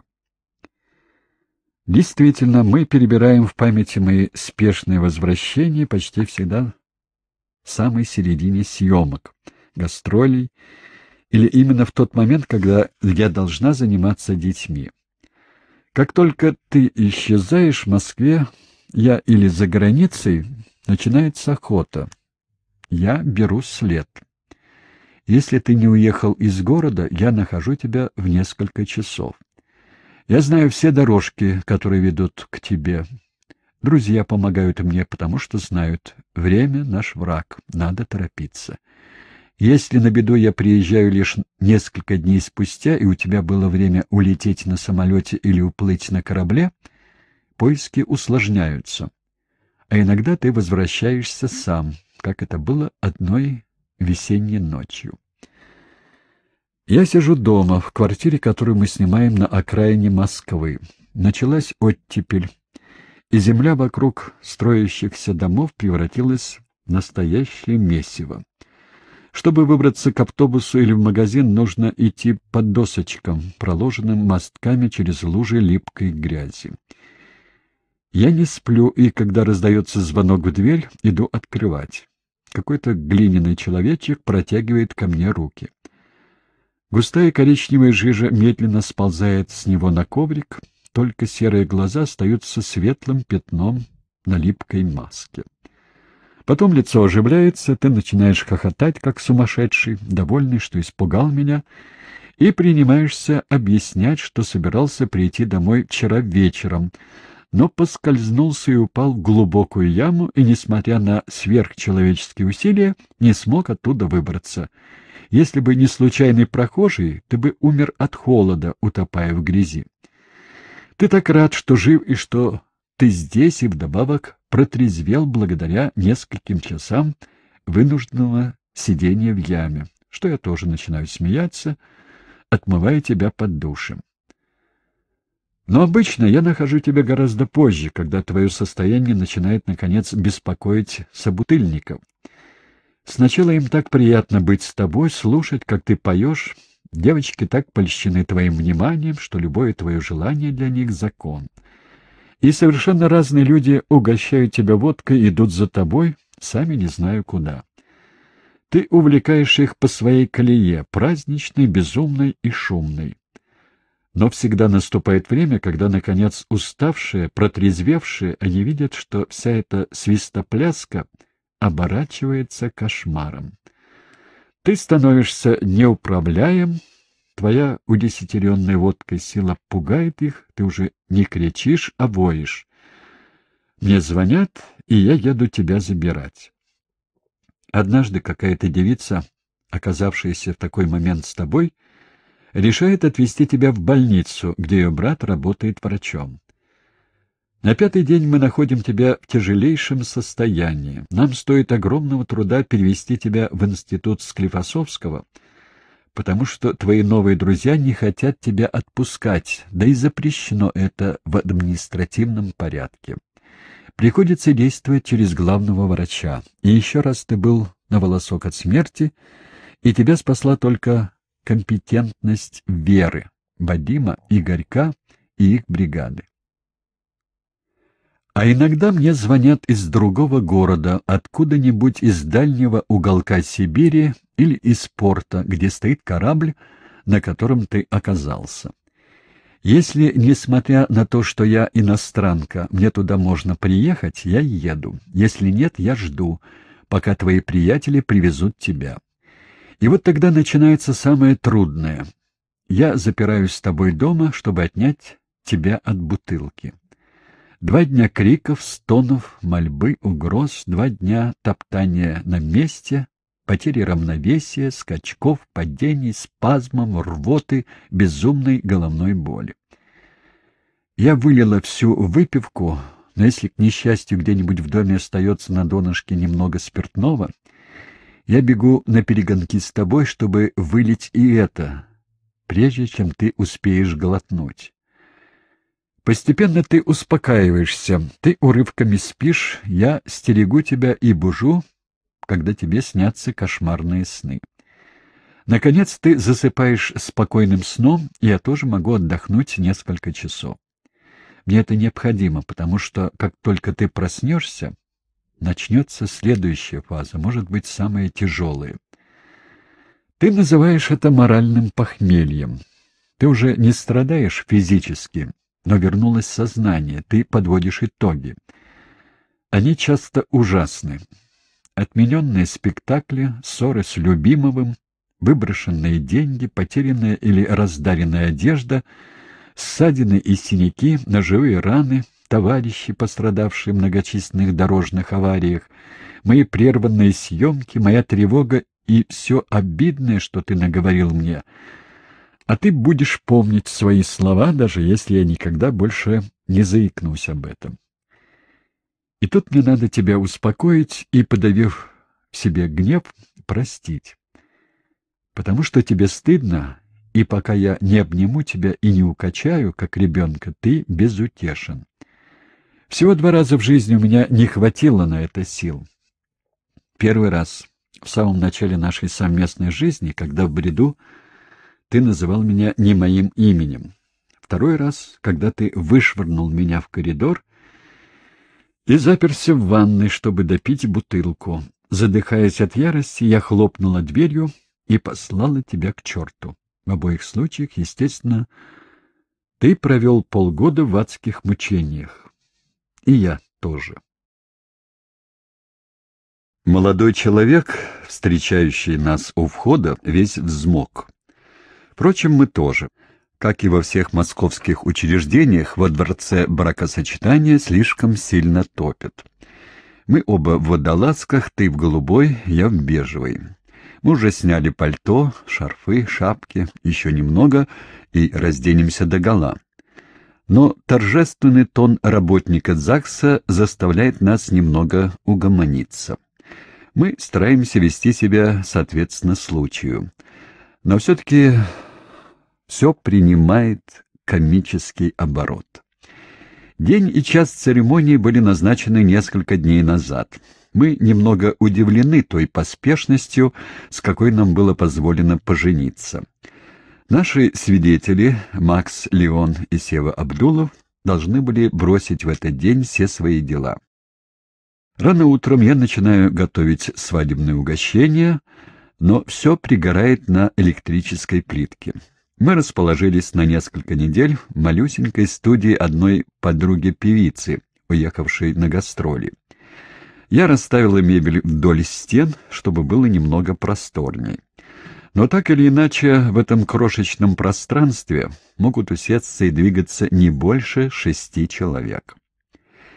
Тебе удается упросить полную даму, которая должна нас расписать, сделать это не в большом зале с цветами, музыкой и фотографом, а в ее кабинете.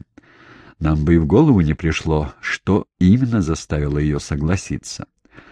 Она это сделала вовсе не из-за нашей известности, не потому, что я иностранка, не потому, что мы хотели пожениться в узком кругу друзей. Нет. Что возобладало, так это неприличие ситуации. У нас обоих это третий брак, у нас пятеро детей на двоих. Пресвятой пуританизм, ты спасаешь нас от свадебного марша. А если не будет церемонии, можно и не наряжаться. В конце концов, мы так и остаемся в надетых с утра водолазках. Ты уехал рано. Тебе во что бы то ни стало хотелось устроить мне какой-то сюрприз. Для этого тебе пришлось убедить любимого отменить несколько спектаклей в театре. Ты возвращаешься с довольным видом и, хлопая себя по карману, шепчешь «Порядок». Шофер такси, который везет нас во дворец, желает нам всего, что только можно пожелать. Он без конца оборачивается к нам, чтобы еще раз сказать, как он счастлив, что это лучший день его в жизни, а также, конечно, и в нашей. При этом он едва не сталкивается со встречной машиной, и я чувствую, что этот день может стать и последним днем нашей жизни. Я кричу, резкий поворот руля нас спасает, мы стукаемся головами о крышу машины — и вот уже в полубезумном состоянии мы пускаемся по коридорам вслед за молодым человеком, который ждал нас у входа. Для него это тоже счастливейший день в его жизни. Он заикается, вытирает лоб сиреневым платочком, в десятый раз повторяет Вы не можете себе представить. Он, кстати, так и не сказал, что именно мы не можем себе представить. После прогулки по подвалам, полным труб и странных запахов, мы подходим, наконец, к двери кабинета. Там нас ждут Макс и Сева, тоже несколько растерянные. Мы обнимаемся. Каждый раз, когда протокол не соблюдается буквально, все смещается и доходит до абсурда. Мы стоим перед закрытой дверью, вдалеке беспрерывным потоком льются приглушенные звуки свадебного марша, до нас доносится смех, аплодисменты, затем сакраментальная улыбочку, и мы насчитываем таким образом уже шесть свадеб. Один из служащих, бледный и накрахмаленный, отворяет перед нами дверь. Для него это не самый прекрасный день в его жизни, обычный день, похожий на все другие. Он нисколько не удивлен, что ему приходится вести по этому торжественному зданию, покрытому позолотой и красными коврами, четверых хохочущих людей. Он не узнает ни тебя, ни меня, никого. Он лишь выполняет определенную операцию на конвейере бракосочетаний. Наконец мы вчетвером рассаживаемся в двух креслах напротив вспотевшей дамы, на фотографии, которую сделал Макс, мы с тобой похожи на старательных студентов, слушающих серьезную лекцию, только ты сидишь на ручке кресла, и у нас слишком лицемерный вид. На нашу свадьбу получено добро, от которого, как известно, добра не ищут, и после поздравительной речи мы чуть было сами не уходим по добру, по здорову. Шесть браков, пятеро детей, к тому же мальчиков. Очевидно, по мнению этой дамы, с девочками дело обстояло бы проще. Уверены ли вы в своем чувстве? Отдаете ли вы себе отчет в серьезности такого шага? Я надеюсь, что на этот раз вы все хорошенько обдумали. Мне и смешно, и плакать хочется, но я вижу, что ты вот-вот сорвешься, и потому держусь. Мы быстро расписываемся против галочки, и уже через несколько минут все кончено. Ты держишь свидетельство о браке, как только что купленный билет в театр, вытянув руку над толпой. Мы выходим, обнявшись среди невест в белом тюле под звуки неутомимого марша. Мы женаты. Ты, наконец, спокоен. Празднование отменяется, нет времени. Мы едем в Одессу. Через несколько часов мы будем на борту теплохода «Грузия». Это и есть сюрприз. Настоящее свадебное путешествие на настоящем корабле. Без свадебного марша. Уже от того, что я спускаюсь по знаменитой лестнице, у меня перехватывает дыхание. Под ногами у нас расстилается Одесский порт. Мы вдыхаем особый запах. Это смесь мазута, свежей рыбы и краски. Шумы тоже достигают наших ушей, и даже с закрытыми глазами знаешь, что внизу большой порт. У нас колотятся сердца. Мы скоро отправимся в наше первое путешествие, и пусть даже мы не выходим за пределы Черного моря, для тебя это большой глоток свободы. И потом ты любишь моряков, и они отвечают тебе тем же. Где бы ты ни был, они с радостью принимают тебя, отводят тебе лучшую каюту, приглашают тебя в гости на берегу, устраивают целый праздник. Так всегда бывает, когда мы встречаемся с нашими друзьями, капитанами дальнего плавания Феликсом Дашковым и Сашей Назаренко. Многие думают, что ты сам был моряком. Так хорошо ты рассказал об их радостях и бедах.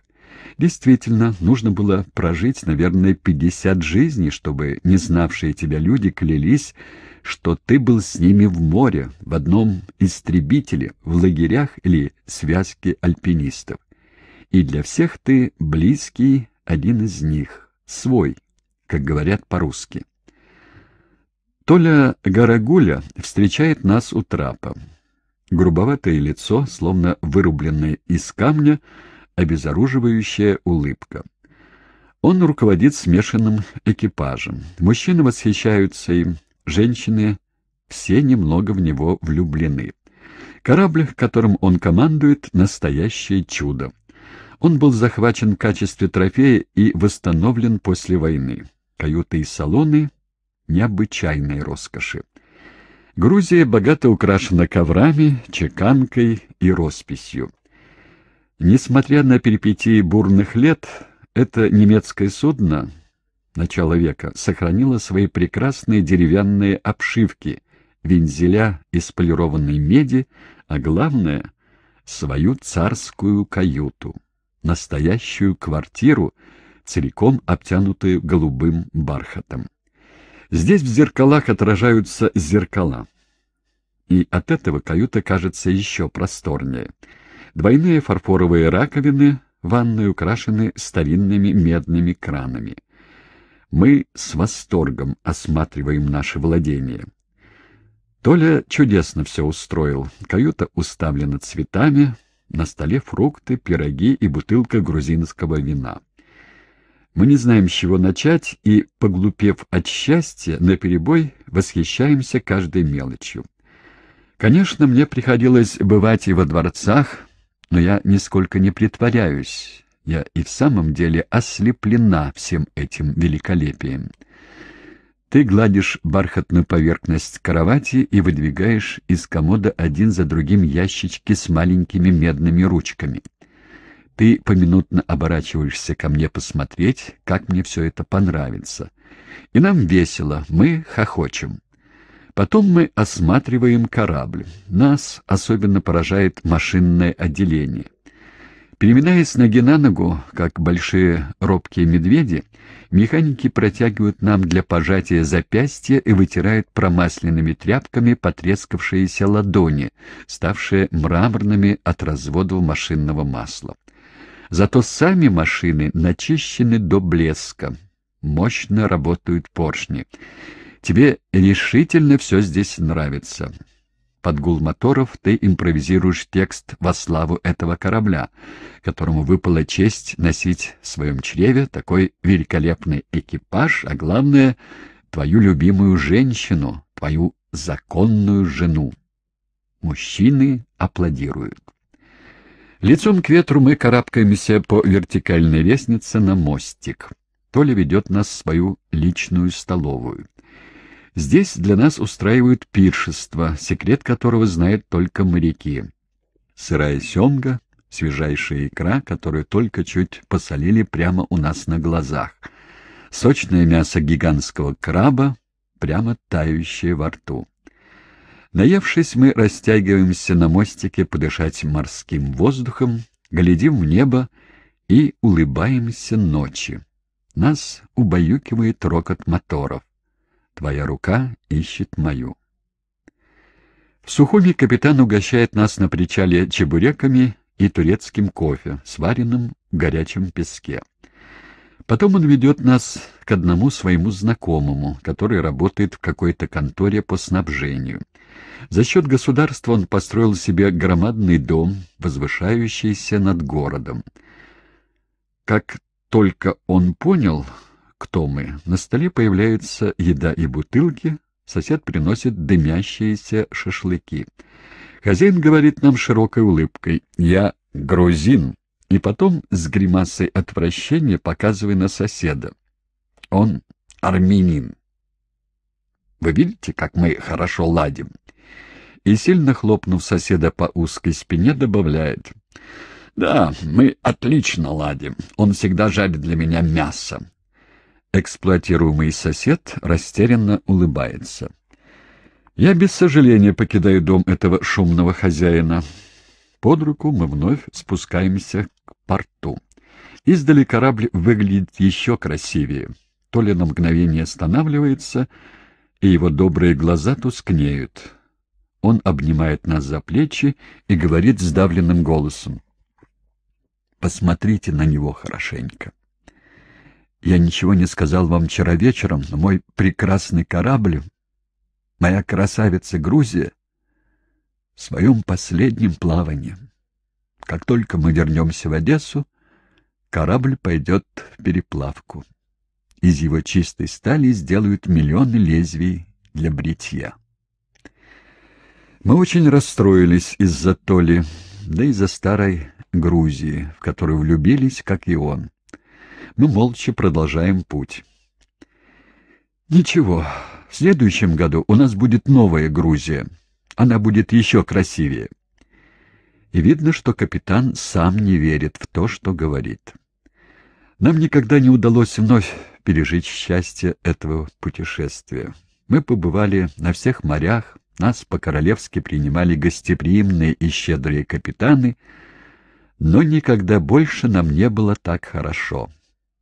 Наверное, потому что это первое плавание было нашим свадебным путешествием. В старом Тбилиси мы празднуем наше бракосочетание, состоявшееся в Москве всего за полчаса. Здесь нам устраивают настоящую старинную свадьбу. Женщины в черном суетятся в большом зале. Все тончайшие блюда грузинской кухни стоят на столах в серебряных подносах.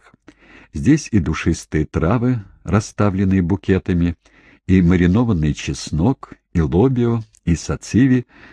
Во дворе жарят шашлыки, все благоухает. Мы сидим в торце стола, оба в белом, и держимся за руки. Компания исключительно мужская. Женщины накрывают, подают и становятся поодаль, сложив руки на животе. Их красивые смуглые лица смягчаются улыбкой. Тамада поднимает первый тост. «Пусть сколотят ваш гроб из досок, сделанных из того дуба, который мы сажаем сегодня, в день вашей свадьбы». Каждому наливают вина в коровий рог. Стаканы из старинного хрусталя здесь только для воды. Рог вмещает четверть литра вина. Поскольку его нельзя поставить, надо пить до дна. Я подчиняюсь. Ты же подносишь рог к губам и движением, которое будет повторяться в течение нескольких часов застолья, передаешь его рослому парню, стоящему позади тебя. Он выпивает вино и кладет рог на поднос, который Ему протягивает пожилая женщина, обносящая гостей. Второй тост следует за первым. Пусть ваши праправнуки не найдут ни одного билета, даже на черном рынке, чтобы попасть в театр на ваши спектакли. Приносят роги побольше. Я стараюсь выпить все, но не могу. И, в свою очередь, передаю вино молодому человеку, стоящему за мной. Гости же пьют по традиции до дна, и никто не уходит из-за стола. Угощение роскошно, тосты бесконечны. Ты видишь, как много могут выпить люди и при этом не потерять достоинство. Мы подсчитали потом, что каждый из гостей выпил за вечер литров по десять вина. Наши ангелы-хранители стоят сзади, допивают за нами вино и не едят, вызывая к тебе удивление и восхищение. Когда к концу вечера ты неловким движением задеваешь стол, падает его выдвижная часть и разбивается дорогая посуда. Мы просто не знаем, куда деваться от стыда. В ответ на наши смущенные извинения хозяин дома широким жестом смахивает на пол всю стоявшую перед ним посуду. Потом по-королевски дает распоряжение снова накрыть стол. Из кухни приносят мясо, дичь, пироги.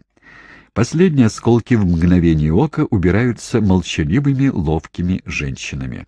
Тамада говорит. «Тем лучше. Начнем сначала». Пир продолжается. В зале шумно и весело. Вдруг один из гостей громко спрашивает — Забудем ли мы выпить за нашего великого Сталина? За столом воцаряется нехорошая тишина.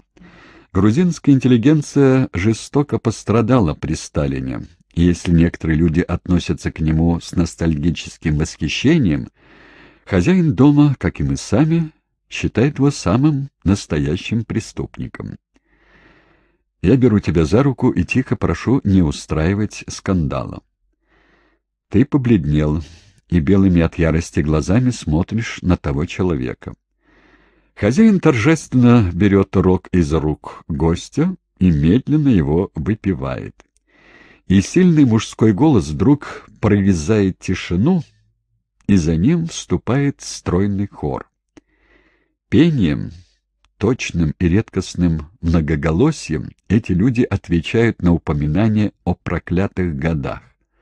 Голоса сливаются в звучную страстную музыку, утверждая презрение к тирану. Гармония мелодии отражает гармонию мыслей. Благодаря врожденному такту этих людей случайному гостю не удалось испортить нам праздник. И мы все еще сидим за столом, когда во дворе начинает петь петух. Самый удивительный подарок мы получаем, открыв дверь нашей комнаты. Пол услан разноцветными фруктами. Записка в два слова приколота к роскошной старинной шале, брошенной на постель. Сергей Параджанов. Сережа, которого мы оба нежно любим, придумал для нас эту сюрреалистическую постановку. Стараясь не слишком давить фруктовый ковер, мы падаем обессиленные, я тут же засыпаю, завернувшись в шелковистую ткань шали. Однажды утром мы гуляем под Тбилиси, и один из наших друзей показывает нам дом с высокими окнами. Здесь живет художник Ладо Гудяшвили, друг Модильяни, Матисса, Делонне. Двадцатые годы он жил в Париже. Я говорю тебе, что мой отец, прозванный Владимиром Щедрым, наверняка был знаком с этим человеком. Принадлежа к тому же артистическому кругу, работая у бурделя, он не мог его не знать. Ты предлагаешь позвонить в дверь, что мы и делаем. Нам открывает очень пожилая дама и спрашивает, что мы хотели. Я объясняю, она просит нас подождать, через несколько минут возвращается и говорит, чтобы мы приходили вечером после семи. Маэстро вас примет. В назначенное время пожилая дама вводит нас в зал с высоким потолком и картинами на стенах. В центре длинный стол со всякой едой, вином и цветами, приготовленный, кажется, для большого банкета. В глубине зала открывается дверь, и появляется человек с очень красивым лицом, седыми волосами, блестящими живыми глазами. Он идет к нам навстречу, раскрыв объятия. Я не мог умереть, так и не обняв дочь Владимира. Благодарение Богу, вы пришли. Он прижимает меня к груди с юношеской силой. Потом приглашает нас сесть рядом с ним и велит принести еще влажные фотографии, которые он только что отпечатал специально для меня. Дрожащими пальцами он показывает мне на первом плане двух молодых людей. Они обнялись за плечи и улыбаются в объектив. Я узнаю отца и Ладо в окружении самых знаменитых художников. Лада Гудяшвили начинает рассказывать. Ты, как зачарованный, слушаешь его. Костюмированные балы, кутежи по мастерским, нищие друзья, модельяне, сутин, множество иностранцев, которые все живут недалеко от бульвара Монпарнас и каждый вечер допоздна засиживаются в знаменитом ресторане «Куполь». По грузинскому обычаю застолье продолжается до поздней ночи. Старая служанка стоит позади нас и наполняет стаканы и тарелки. В большом зале теперь темно, приносят керосиновые лампы, и их свет отражается в глазах.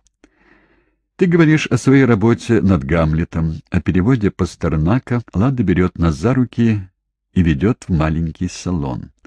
На пианино большая фотография поэта в массивной серебряной раме. На столе письма, написанные его рукой, его книги, стихи, и в буфете за стеклом стаканчик с коньяком, накрытый блюдцем. Это Последний стакан, который выпил Пастернак. Мы храним его и наполняем в память о нем со дня его смерти. Художник провожает нас, снова долго обнимает меня на прощание. Мне грустно. Я знаю, что никогда больше не увижу его. Я ухожу, прижимая к груди фотографию, где мой отец и он, молодые и красивые, улыбаются жизни. Эспираль. Это слово я произношу впервые однажды утром, когда, сидя у тебя в изголовье, стараюсь объяснить тебе, что во Франции бросить работу лишь по той причине, что пьет муж, невозможно. Я снова улетела со съемок и буду платить неустойку, которая превысит мой гонорар за этот фильм. И не могу больше позволить себе этого. Кажется, ты не понимаешь меня. В Советском Союзе терпимость к пьяницам всеобщая, поскольку каждый может в один прекрасный день свалиться на улице в бессознательном состоянии, в замерзшую грязь, пьяному все помогают. Его прислоняют к стене в теплом подъезде, не замечают его отсутствие в бюро или на заводе, ему дают мелочь на пиво, поправить здоровье. Иногда его приносят домой как мешок — это своеобразное братство по пьянке. Как заставить тебя понять разницу? Удовольствие немного выпить за хорошим ужином с друзьями, небольшие ежедневные излишества светского алкоголика — все это далеко от пропасти, в которую ты падаешь, от гибели, которой ты сам ищешь, от той маленькой смерти, после которой ты совершенно разбит и слаб. Шесть бутылок водки в день вычеркивают тебя из жизни. Здесь, в Москве, знают, как это бывает. В Париже нет. Однажды мне случается сниматься с одним иностранным актером. Он, видя, как я взбудоражена, и поняв с полуслова мою тревогу, рассказывает, что сам сталкивался с этой ужасной проблемой, он больше не пьет вот уже много лет, после того, как ему вшили специальную крошечную капсулку. Естественно, ты должен решить все сам. Это что-то вроде преграды. Химическая смирительная рубашка, которая не дает взять бутылку. Страшный договор со смертью. Если все-таки человек выпивает, его убивает шок. У меня в сумочке маленькая стерильная пробирка с капсулками. Каждая содержит необходимую дозу лекарства. Я терпеливо объясняю все это тебе. В твоем отекшем лице мне знакомы только глаза. Ты не веришь. Ничто, по-твоему, не в состоянии остановить разрушение, начавшегося в тебе еще в юности. Со всей силой моей любви к тебе я пытаюсь возражать. Все возможно, стоит только захотеть, и чем умирать, лучше уж попробовать заключить это тяжелое пари. Ты однажды уже возвращался с того света. Мое отчаяние испугало врачей скорой помощи, тебя вернули к жизни. Ты выздоровел. Прошло несколько месяцев, и вот ты здесь, в критическом положении, но еще живой. Я умоляю тебя попробовать, и ты соглашаешься.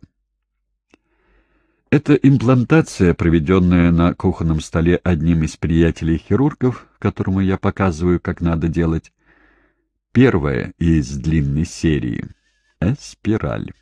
В этом слове есть иллюзия надежды. Запрет не в состоянии решить элементарных главных проблем. Это не более чем подпорка но благодаря ей тебе на шесть с лишним лет удается отодвинуть роковую дату, предначертанную судьбой. Ты отвоевываешь эти годы у нависшего над тобой проклятия. Иногда ты не выдерживаешь и, не раздумывая, выковыриваешь капсулку ножом. Потом просишь, чтобы ее зашили куда-нибудь в менее доступное место, например, ягодицу. Но уже через несколько дней ты уговариваешь знакомого хирурга снова вынуть ее. Тебе ничто не мешает просто отказаться от этого принуждения, но после очередного срыва ты каждый раз возвращаешься к принятому решению. Периоды затишья длятся до полутора лет. В первый раз до нескольких недель после последнего вшивания. Ты больше в это не веришь. Хуже того, ты начал сам себя обманывать. Через несколько дней после имплантации ты пробуешь немного пить. Реакция слабая, ты увеличиваешь дозу. И, видя твое состояние, врач решает удалить препарат. Дальше свободное падение вплоть до срочной госпитализации. Реанимация, домашняя процедура отнятия от бутылки, тревога и отчаяние. Дьявольский круг завертелся, все прибавляя обороты. Десять лет у нас был ангел-хранитель, Люся, нежный голосок, обладательницу которого я увидел лишь много лет спустя. Все началось с нашей первой ссоры. Я застегнула чемоданы и уехала из Москвы после долгого и тяжелого периода твоего этилового безумия. В то время терпения у меня было не так много, и, смертельно устав, не зная еще никакого средства, чтобы заставить тебя прекратить весь этот кошмар, я сбежала, оставив записку «Не ищи меня». Это, конечно, было наивно. Я к тому времени недавно стала твоей законной женой, и свидетельство о браке, по твоему мнению, обязывало меня безропотно терпеть все твои выходки. Я ушла в работу. Это единственное известное мне отвлекающее средство. Уже несколько недель я в Риме. Однажды утром меня зовут к телефону прямо в парикмахерской. Звонят из-за границы. Я пугаюсь, думаю о детях. Очевидно, случилось что-нибудь серьезное. Вызывает Москва. Вас спрашивает Высоцкий. Я успеваю только сказать «Алло» и слышу твой голос. Наконец, наконец я нашел тебя. Мы нашли тебя. Спасибо, мои дорогие телефонисточки. Благодаря вам я нашел мою жену. Теперь все хорошо. Я объясню тебе, я все объясню тебе. Необходимо, чтобы ты вернулась. Ты одна можешь мне помочь. Правда, дорогие мои, я правильно говорю? Скажите ей, что она нужна мне, скажите ей это. Я слышу чьи-то смущенные смешки, накладывающиеся на твой голос. Ну, расскажите ей, что вы сделали, чтобы ее найти. И, не дожидаясь ответа телефонистки, ты сам начинаешь рассказывать.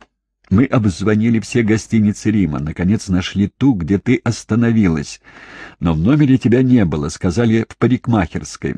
Оставалось узнать, в какой. За этим дело не стало. Мы позвонили в несколько парикмахерских, и вот нашли тебя. По твоему возбужденному тону я чувствую, что ты не совсем в порядке. И прямо говорю тебе о моих подозрениях. Но прежде чем ты успеваешь возразить, вмешивается все тот же звонкий голосок.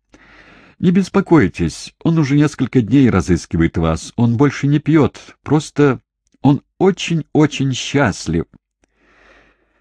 Мы многим обязаны ей, потому что, живя в разлуке несколько месяцев в году, мы должны были бы, если бы не она, ждать писем, которые так долго идут, что получается диалог глухих. Или нам пришлось бы часами ждать маловероятного телефонного разговора. Этой женщине удавалось соединить нас не только проводом, но часто прямым вмешательством. Сколько раз, слыша, как я рычу от бешенства, она говорила мне, «Успокойтесь, подумайте, это не так серьезно. Я вас вызову через час». Сколько раз, выполняя свою функцию контролера международных переговоров, она прерывала твой нечленораздельный монолог, сказав только «Я разъединяю. Мы позвоним завтра, когда будем лучше себя чувствовать». Сколько раз, когда я в отчаянии искала тебя в другом конце страны, мне, наконец, удавалось связаться с нашей доброй знакомой. Она успокаивала меня, и через несколько минут я знала, где ты находишься, как тебя найти и привести домой. Но главное, мы обязаны ей тем, что в течение всей нашей с тобой жизни мы имели возможность каждый день разговаривать сколько хотим, где бы я ни была. Я знала, что могу связаться с тобой из глубины Полинезии, из Нью-Йорка, из Афин, откуда угодно. Она была той тонкой нитью, которая связывала нас с тобой и в горе, и в радости до самого последнего разговора. Ее лицо, опухшее от слез, я увидела только потом, когда ее участие уже не могло помочь нам отыскать друг друга. Песня 07 — это песня о Люсе. Для меня эта ночь вне закона. Я пишу по ночам больше тем. Я хватаюсь за диск телефона, набираю вечное 07. Девушка, здравствуйте.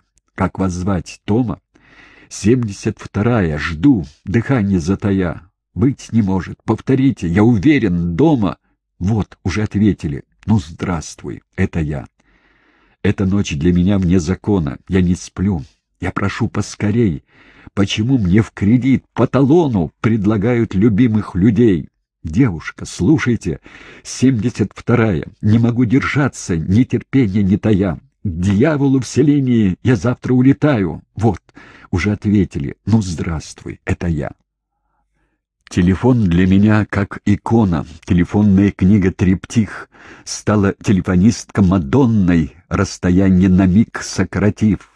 Девушка, милая, я прошу, продлите. Вы теперь как ангел, не сходите ж с алтаря. Самое главное впереди, поймите. Вот, уже ответили. Ну, здравствуй, это я.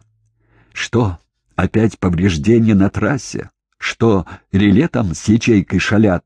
Ничего, буду ждать, я согласен начинать каждый вечер с нуля. Ноль семь, здравствуйте, снова я. Что вам? Нет, уже не нужно. Нужен город Магадан. Я даю вам слово, что звонить не буду снова. Просто друг один, узнать, как он, бедняга, там. Эта ночь для меня вне закона. Ночи все у меня не для сна. А усну, мне приснится Мадонна. На кого-то похожа она. Девушка, милая, снова я, Тома. Не могу дождаться, и часы мои стоят. Да, меня, конечно, я. Да я, конечно, дома. Вызываю, отвечайте. Здравствуй, это я.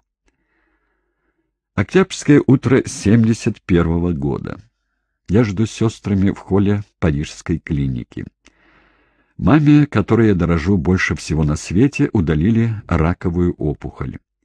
Она не хотела нас беспокоить, и за несколько лет болезнь прочно обосновалась в ней. Мы знаем, что у нашей сестры Адиль тот же диагноз. Мы подавлены.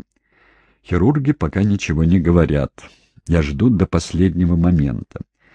Я вижу, как после операции маму провозят на каталке. В такси я стараюсь успокоить свое перегруженное сердце. Я причесываюсь, пудрюсь. Я еду навстречу активистов, Общество дружбы Франции СССР с Леонидом Брежневым. Актерская дисциплина снова выручает меня. Я приезжаю в посольство СССР, как ни в чем не бывало, готовая к рандеву, важность которого я предчувствую. Мы ждем в салоне, все немного скованы, потом нас впускают в зал, где стулья стоят напротив письменного стола. Входит Брежнев, нам делают знак «садиться». Нас пятнадцать человек, мужчин и женщин всех политических взглядов. Галлисты, коммунисты, профсоюзные деятели, дипломаты, военные, писатели. Все люди доброй воли, которым дорога идея взаимопонимания между нашими странами. Мы слушаем традиционную речь. Брежнев держится свободно, шутит, роется в портсигаре, но ничего оттуда не достает. Сообщает нам, что ему нельзя больше курить, и долго рассказывает об истории дружбы между нашими народами. Ролан Леруа мне шепчет. Смотри, как он поворачивается к тебе, как только речь заходит о причинах этой дружбы. Действительно, я замечаю понимающие взгляды Брежнева. Я знаю, что ему известно все о нашей с тобой женитьбе. Когда немного позже мы пьем шампанское, он подходит ко мне и объясняет, что водка — это другое дело, что ее нужно пить сначала 50 граммов, потом 100 и потом, если выдерживаешь, 150. Тогда Хорошо себя чувствуешь?» Я отвечаю, что мне это кажется много. «Тогда нужно пить чай», — заключает он, и я получаю в память об этой встрече электрический самовар, к которому все-таки приложены две бутылки старки. Прежде чем уйти, мы фотографируемся. Группа французов вокруг советского главы. Этот снимок сделал гораздо больше, чем все наши хлопоты, знакомства и мои компромиссы вместе взятые. Чтобы понять настоящую цену этой фотографии, мне было достаточно увидеть по возвращении в Москву неуемную гордость, внезапно охватившую твоих родителей, которые демонстрировали вырезку из газеты «Кому только возможно». Вечером я в отчаянии возвращаюсь домой. Мама — моя подруга, мой единственный стержень в этой жизни. При смерти. Я понимаю, как неуместна вся эта комедия, сыгранная во имя некоторого туманного будущего по сравнению с неизбежностью предстоящей утраты.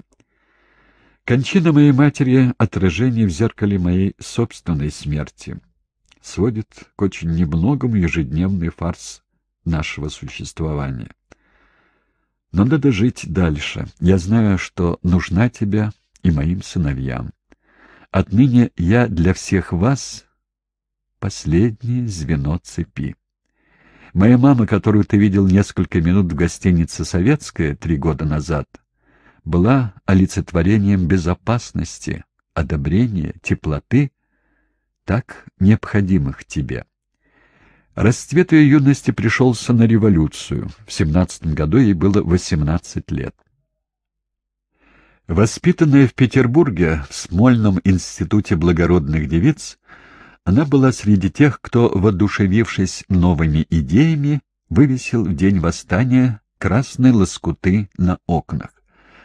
Потом она видела, как грабили евреев-суконщиков, и на всю жизнь запомнила, как отливающие разными цветами огромные куски ткани валялись, размотавшись по всей улице. Потом убили ее любимую классную даму, и она, как и многие другие девушки, в страхе бежала за границу. Так она, пережив множество трагических эпизодов, оказалась в Париже. Она любила тебя, она впервые приняла в твоем лице мужчину моей жизни. Надо, правда, сказать, что другие посягали на ее территорию, на наш дом. Поскольку ты не мог уехать из своей страны, ты был не обременителен, но даже не в этом дело. Твои стихи, твой голос, твоя музыка — вот что ее подкупило. Она иногда спотыкалась на современных выражениях и жаргонных словечках, но понимала все, даже то, чего просто не могли понять женщины ее поколения. Она каждый день читала мне твои письма, потому что я еще не умела тогда бегло читать по-русски. Когда я сообщаю тебе по телефону, что мы должны решиться отключить аппарат, который искусственно поддерживает ее жизнь, ты отвечаешь то, чего я жду. Если жизнь больше невозможна, зачем поддерживать ее видимость? Мы согласны. Одна из сестер и я. После долгих споров две другие мои сестры тоже соглашаются, и мы прощаемся с мамой. Рыдая у телефона, ты все-таки стараешься поддержать меня. В тот февраль 72 -го года были рассмотрены все возможные решения. Даже чтобы мне остаться в Москве с детьми. Но очень быстро мы наткнулись на непреодолимые трудности, отсутствие денег и моя работа, которую я хочу и должна продолжать. К тому же моих сестер и друзей приводит в ужас одна только мысль о возможности моего переезда в Москву. А главное то, что мои дети, с удовольствием проводящие здесь летние каникулы, не хотели бы все-таки окончательно поселиться вдали от Франции. И только после переезда из моего большого дома, ставшего мне в тягость, поместив детей в пансион, закончив фильм, съемки которого продолжались все эти недели, я лечу в Москву. Смерть моей матери резко изменила ход жизни всей нашей большой семьи. Это может показаться странным, но именно в Париже я сделала решающую заявку на получение виз для поездок в Москву. Господин Абрасимов, посол СССР в Париже, принимает меня. Я говорю ему о наших трудностях прямо. Туристические поездки стоят дорого, я не могу быть приглашенной несколько раз в году, и моя работа не позволяет мне строить долгосрочных проектов. К тому же я считаю бессмысленным платить за гостиницу и питание, потому что на совершенно законном основании проживаю в Москве у мужа. Движением руки посол прерывает мою речь. «Вас очень любят в СССР. Мы знаем, что вы наш друг. К тому же мы делаем все возможное, чтобы помочь объединению семей. Я лично давний почитатель вашего таланта, вашей смелой деятельности в пользу мира и дружбы между нашими странами. Скажите, а что вы думаете о фильме «Признание»? Меня удивляет такой странный переход, я не сразу нахожу, что ответить, но, наконец, осторожно говорю, что книга, по которой сделан фильм, мне кажется необходимой и верной, и что нужно разоблачать преступления сталинизма. Молчание. Видно, что посол ждал другого. И надо признаться, что вот тут-то я оставляю при себе все свои глубокие убеждения и выбираю тебя. В конце концов, моя борьба за права человека — это борьба за твои права, и я говорю именно то, чего он ждет от меня. Сам же фильм может возбудить экстремистские настроения уже одним тем, что кино предлагает образы, картины и в противоположность книге не позволяет подумать. За вас думают другие. Да, фильм может дать нежелательный эффект. Посол улыбается. Я сделаю все необходимое, чтобы у вас не было трудностей с получением виз. Я густо краснею, особенно от того, что мое отречение не публично. От меня на самом деле требовалось только одно — признать мое расхождение с Монтаном, Синьоре и Коста Гавросом, а это мои друзья. Только чтобы доставить удовольствие господину Абрасимову, который страшно на них зол за их взгляды. Я до сих пор не знаю, что возобладало — восхищение актрисой, уважение к правоверной активистке или, может быть, свойское обращение со мной Брежнева в прошлом году в Париже. Факт в том, что, начиная с этого дня, я могла пользоваться и злоупотреблять данной мне привилегией. Мне было выдано более 70 виз. Часто, когда в этом возникала необходимость, день подачи заявления. Что касается твоей выездной визы, это было далеко не так просто. Мы ждали шесть лет, прежде чем набрали смелости подать роковое прошение. Мне кажется, я представил достаточно доказательств лояльности. Многие мои советские друзья приезжали в течение этих лет Мезон Лафит по моему приглашению, и никто не воспользовался этим, чтобы остаться на Западе или устроить скандал в прессе. Все вернулись вовремя, довольные путешествием, которое почти для всех было первым выездом за границу. Наша совместная жизнь привела тебя в равновесие. Ты стал спокойнее, и твои загулы не выходят за общепринятые в России рамки. Ты подолгу совершенно не пьешь, много работаешь, и твое официальное реноме актера театра обогащается новой гранью. Ты снимаешься в кино. Публика обожает твои персонажи, само собой разумеется, отрицательные. Ты не имеешь права быть положительным героем. Ты играешь злодеев, но так здорово. А мне хочется показать тебе Париж. Я хочу, чтобы ты знал, как я живу, моих друзей. Я хочу, чтобы у тебя было право выезжать, чтобы ты увидел мир, чтобы почувствовал себя свободным. Мы говорили об этом долгие ночи напролет. Мы воображали все, что ты мог бы сделать. Ты никогда не думал остаться жить во Франции. Для тебя жизненно необходимо сохранить корни, язык, принадлежность к своей стране, которую ты страстно любишь. Ты строишь безумные планы. Ты мечтаешь о свободных от цензуры концертах и пластинках, о путешествиях на край земли. Как это часто бывает с тобой, невероятные мечты становятся откровениями. Все это сбудется, но позже. А пока что тебе, человеку женатому на француженке, нужно получить обычную визу во Францию, чтобы провести там месяц отпуска. Так и написано в заявлении, которое мы, наконец, относим Авир. Следующая за этим неделя становится для нас беспрерывной пыткой. Мы разыграли самую рискованную карту. Если мы проиграем, это будет означать для тебя пожизненную невозможность воплотить мечты. Игра осторожна. Мы знаем, что решение будет приниматься долго и на очень высоком уровне. Дни идут, мы подсчитываем шансы. Иногда ты приходишь в отчаяние, уверенный, что ничего не выйдет.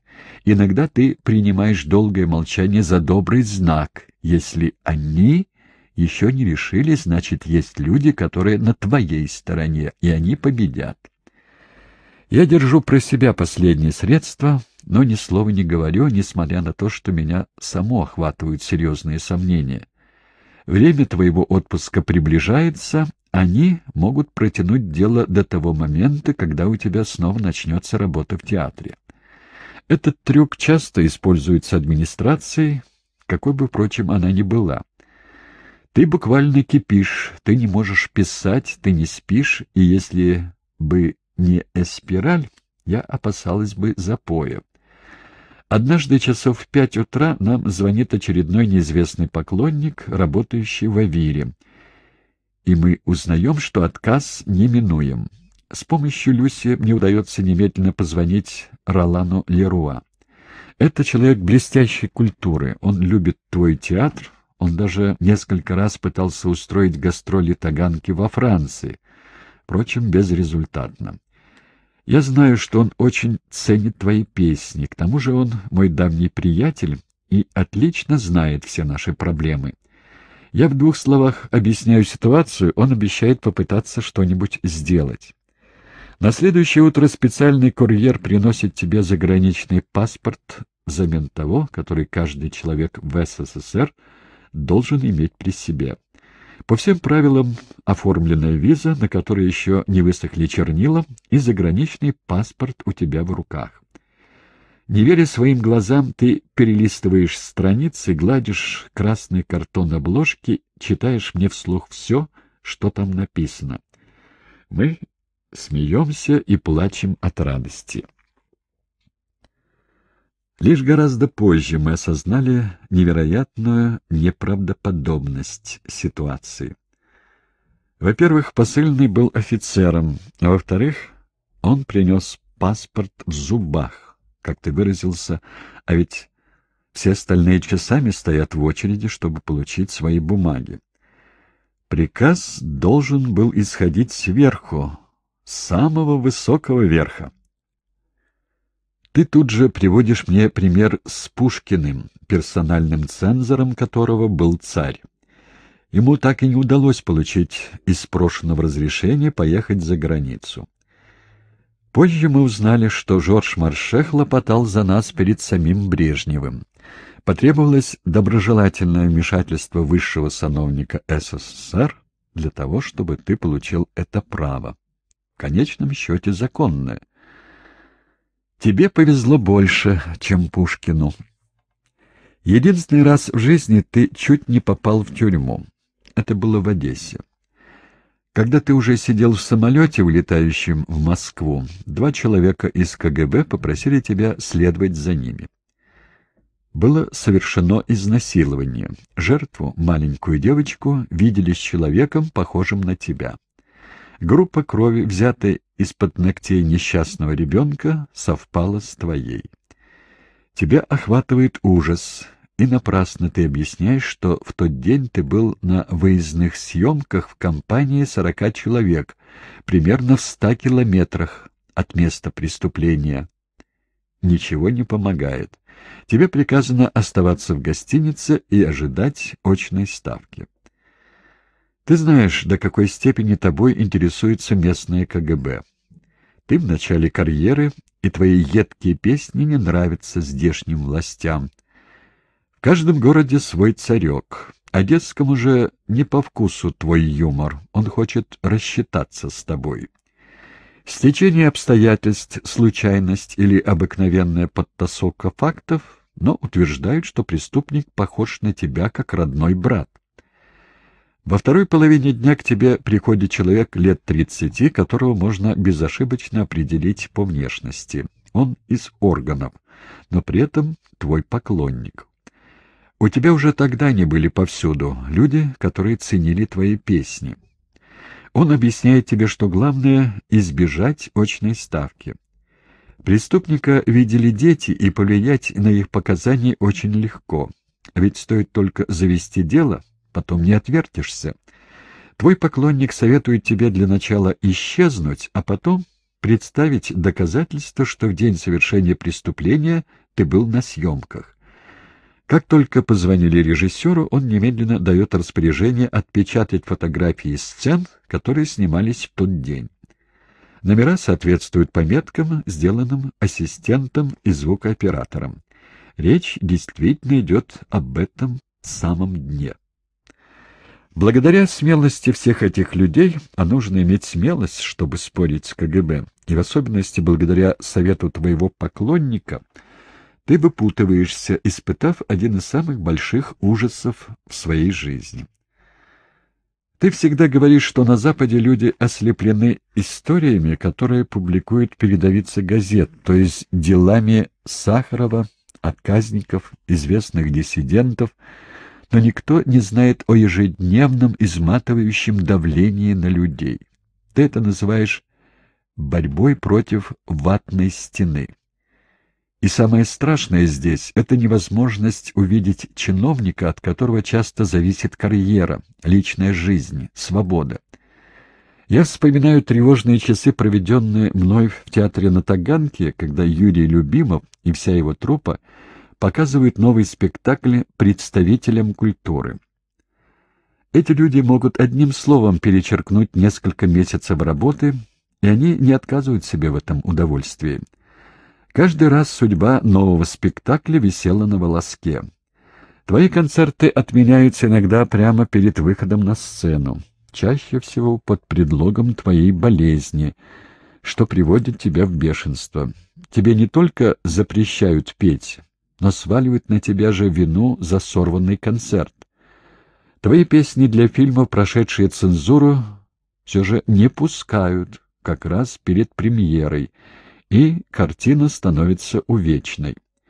Тексты, неустанно посылаемые в главлит, неизменно отсылаются обратно с преувеличенно вежливыми сожалениями.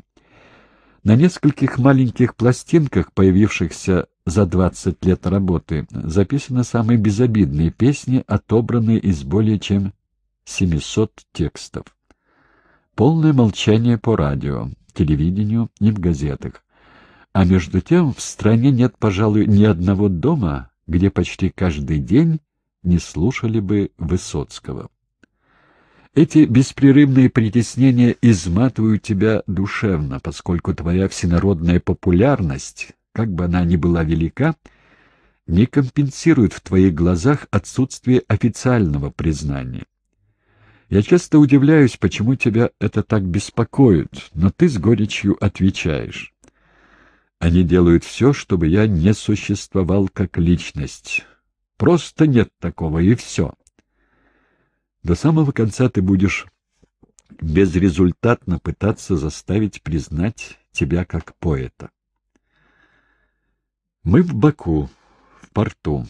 Пообещав красивый прыжок в воду моим сыновьям, ты замираешь на несколько секунд, вытянув руки и глядя прямо перед собой, и в коротком прыжке пытаешься сделать двойное сальто вперед. Ты чуть не задеваешь лбом парапет набережной. Мы страшно испуганы.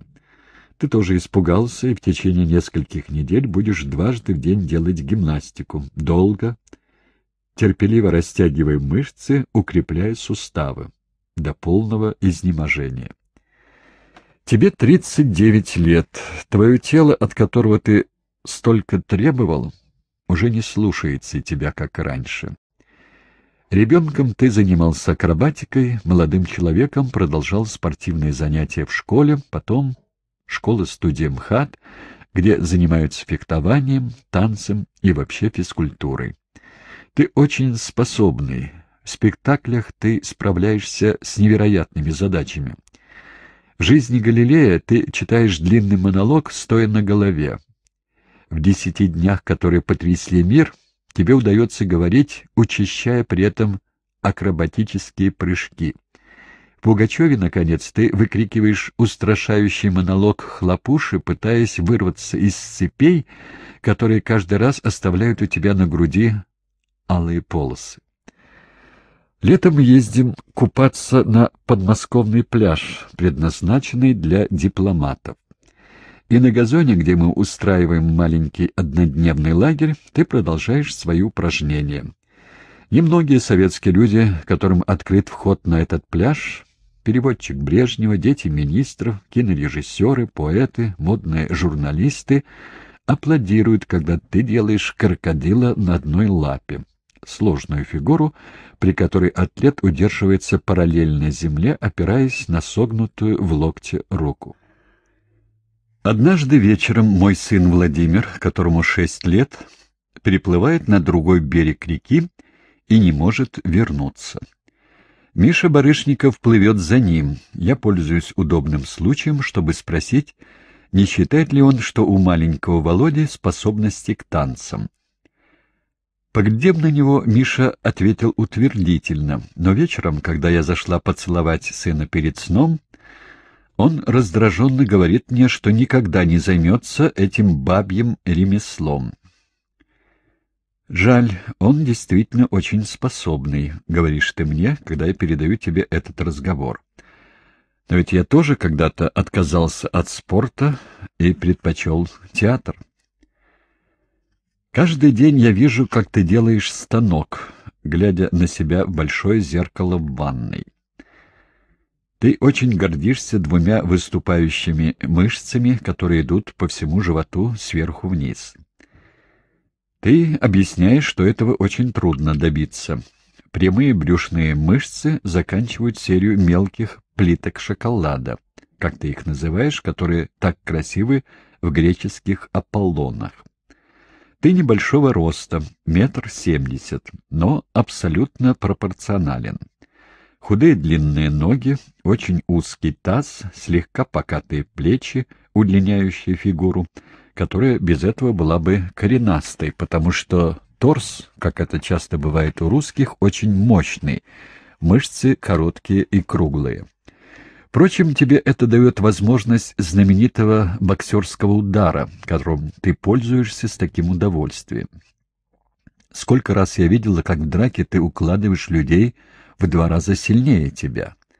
Самый красивый из этих ударов ты нанес одному очень крупному мужчине немного под шофе, как говорят русские, который в тот момент, когда я надевала пальто, чтобы выйти из грузинского ресторана «Арагви», взял меня за плечо и развернул к себе со словами «Ну-ка, покажись, Марина». Он не успел закончить фразу, как длинным свингом слева ты заставил его пролететь в горизонтальном положении через вход из белого мрамора и приземлиться в кустах.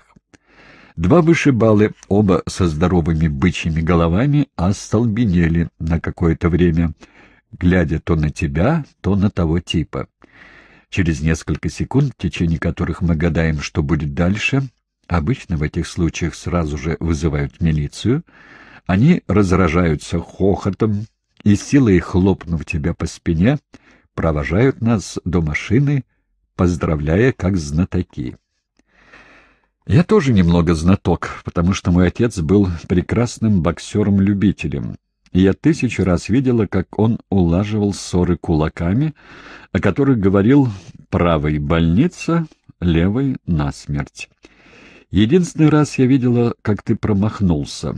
Это тоже произошло в ресторане, когда один сильно пьяный человек хотел во что бы то ни стало заставить тебя выпить стакан водки. Наконец, исчерпав все аргументы, ты попробовал апперкот, но ты сидел, и удар получился не сильный. Пьяный качнулся назад, ты лишь слегка задел его по подбородку и вывихнул себе большой палец.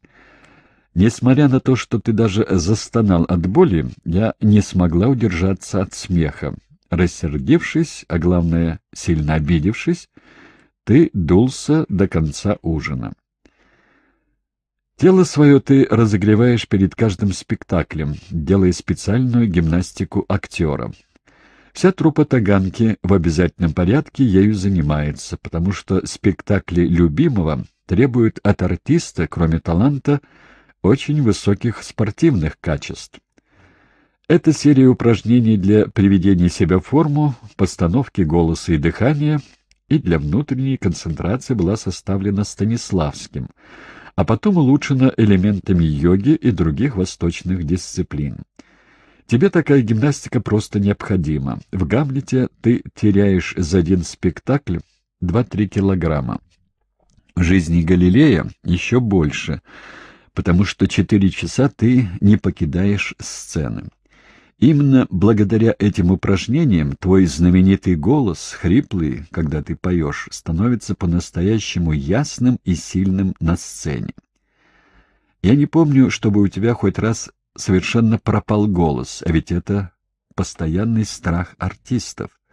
Даже после самого тяжелого спектакля в твоем распоряжении всегда остается несколько нот для забавного пур-люр-лю, которая поется сверху вниз, чтобы проверить диапазон голоса. Меня приводит в отчаяние то, что тело, над которым ты столько трудишься, голос, за которым ты так следишь, вдруг до неузнаваемости меняются, разрушаются, портятся. После двух дней пьянки твое тело начинает походить на тряпичную куклу. Голоса почти нет, одно хрипение. Одежда превращается в лохмотья. Твое ужасное второе «я» берет вверх. Мы едим в кухне. Я накрываю на стол, но по неопределенному выражению глаз и равнодушной жадности, с какой ты глотаешь все, что есть на тарелке, по твоим расплывчатым ответам на мои вопросы я понимаю, что мысли твои далеко. Строфы крутятся у тебя в голове. Действительно, как раз посреди ужина ты бросаешься к рабочему столу. Мне остается лишь убрать тарелки, ты больше не будешь есть. Я завариваю очень крепкий чай, тихонько ставлю перед тобой чашку и закрываю дверь. Ты уже исписал целый листок своим тонким старательным почерком. Несколько часов ты остаешься сидеть, уставившись в белую стену. Ты не терпишь ни рисунка, ни картины, ни даже тени на стене перед собой. В каждой из наших квартир рабочий стол ставится к стене, и ты сидишь спиной к окну, предпочтительно в маленьком углу, отгороженном с помощью шкафа, поставленного поперек, или этажерки, которая служит ширмой. И всегда гладкое, белое и пустое пространство перед глазами. Из двадцати четырех часов, слишком коротких для тебя суток, три-четыре часа ты проводишь за рабочим столом. Особенно ночью. Когда в нашем распоряжении только одна комната, я пристраиваюсь сбоку на кровати. Позже, в нашей большой квартире, я жду на диване твоего кабинета, чтобы ты прочел мне написанные только что стихи, и иногда засыпаю. И вот в тишине ночи ты ласково гладишь меня по щеке, чтобы разбудить. У тебя покраснели глаза, и от выкуренных сигарет немного сел голос. Ты читаешь мне стихи, и это одна из самых полных минут нашей жизни — сопричастность, глубокое единение. Это твой высший дар мне. Когда я спрашиваю, откуда это, что вызывает в тебе настоятельную потребность написать на бумаге слова в точно определенном порядке иногда без единого исправления, ты не можешь ответить. Видно, тебе и самому это не особенно понятно. Так выходит, вот и все, и добавляешь. Иногда это трудно, знаешь.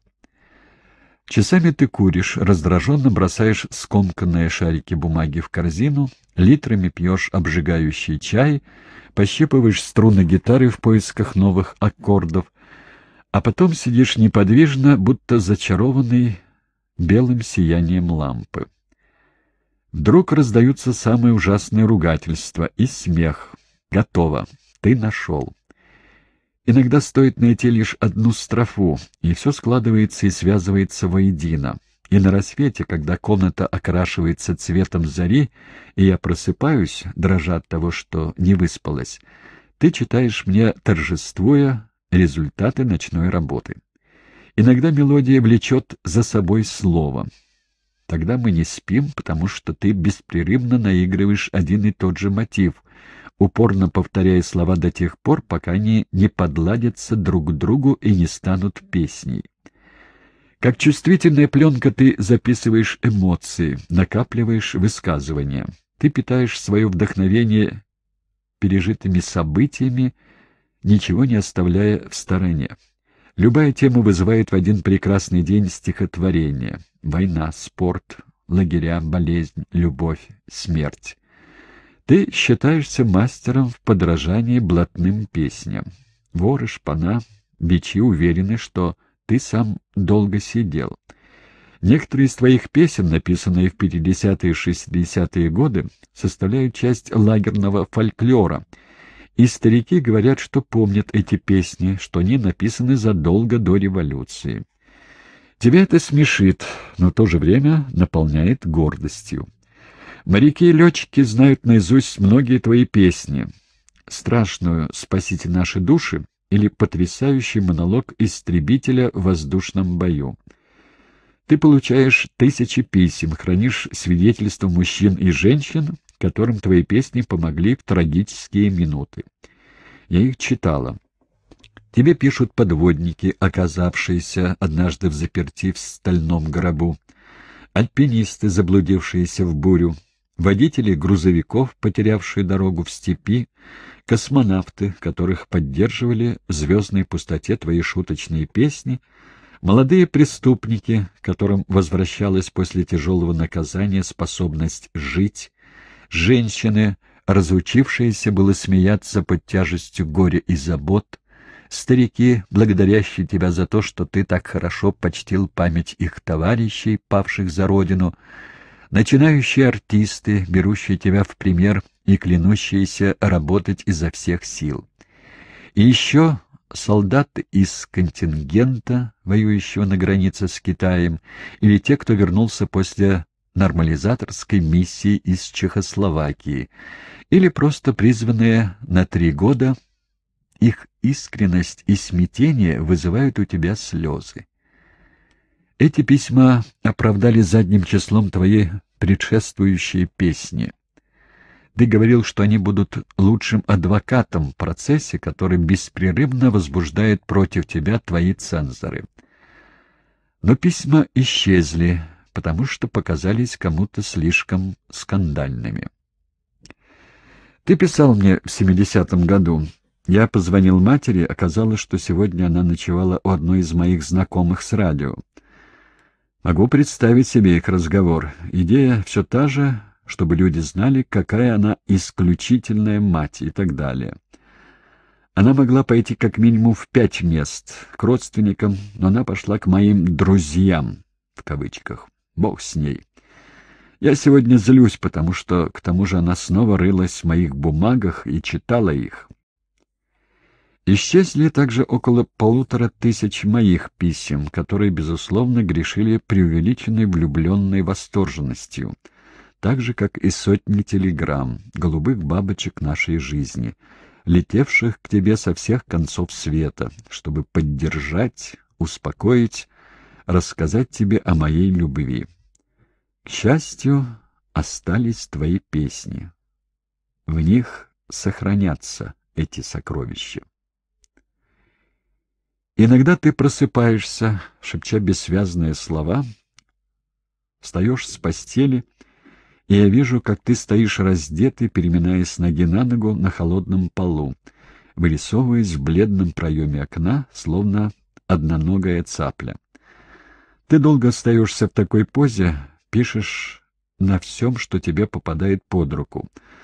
Потом холодный, как льдышка, ныряешь под одеяло, а утром мы вместе разбираем скачущие строчки. А бывает, что ты, кажется, задремал, но потому как ты ворочаешься сбоку на бок, я понимаю, что сейчас ты начнешь говорить. Ты лежишь с закрытыми глазами и едва успеваешь скороговоркой описывать все, что мелькает в твоем воображении. Цветные картины с шумами, запахами и множеством персонажей, характер и внешность которых тебе удается передать в нескольких словах. Мы называем это с нами наяву. Обычно они предшествуют большому стихотворению, в котором почти всегда речь идет о России. Кони привередливые, купола, дом, как по Волге матушке, были написаны под впечатлением таких видений. При Сталине за такие песни тебя бы, наверное, просто расстреляли. Но тебе повезло. Ты не только жив, родившись в 38 году, но еще и можешь пользоваться магнитофоном, о чем не могли мечтать поэты, жившие до тебя. Без этого чудесного изобретения твои произведения остались бы неизвестными широкой публике. Благодаря магнитофону текст, прочитанный рано утром, спетый вечером в театре, а потом у друзей через несколько дней подхватывают в глубине Сибири, на борту кораблей, которые плавают по всему миру, в русских и советских общинах во всех уголках планеты.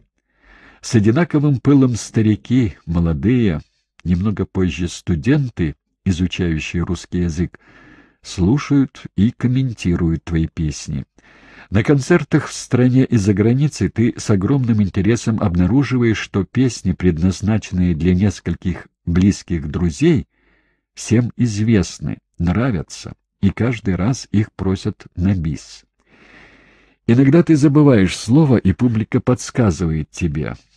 В Париже, Лос-Анджелесе, Нью-Йорке, Венгрии, Болгарии и Советском Союзе – Перед непрерывно растущей аудиторией ты всякий раз получаешь полное подтверждение успеха твоей работы. А ведь ты поешь один, не имея никакой другой техники, кроме обычного концертного микрофона.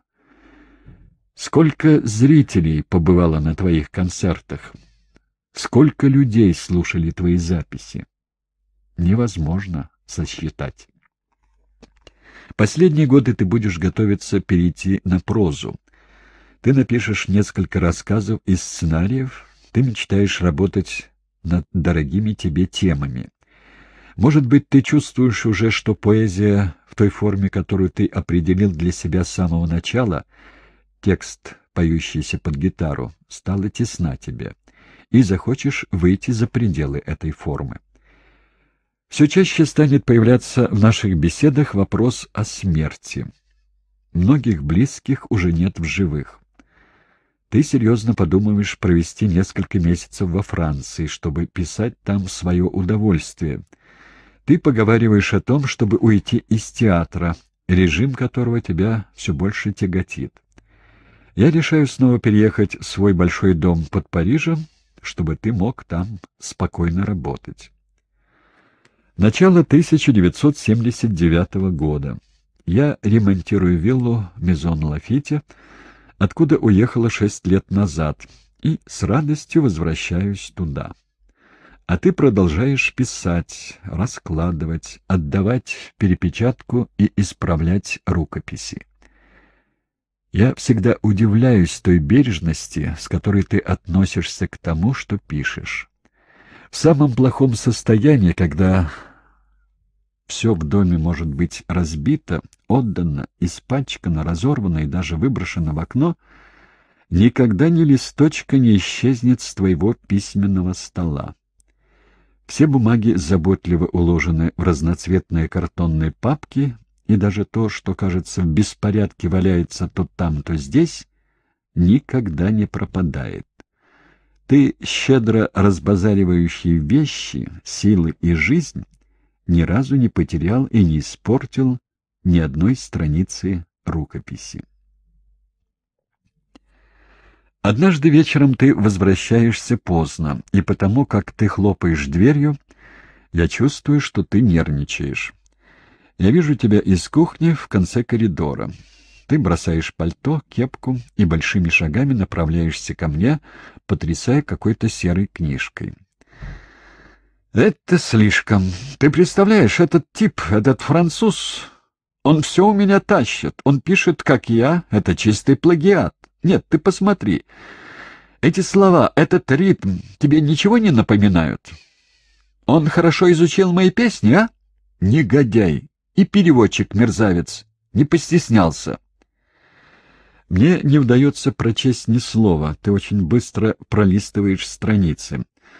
Потом начинаешь ходить взад-вперед по квартире ударом ладони, подчеркивая рифмы, ты цитируешь мне куски, которые тебя больше всего возмущают.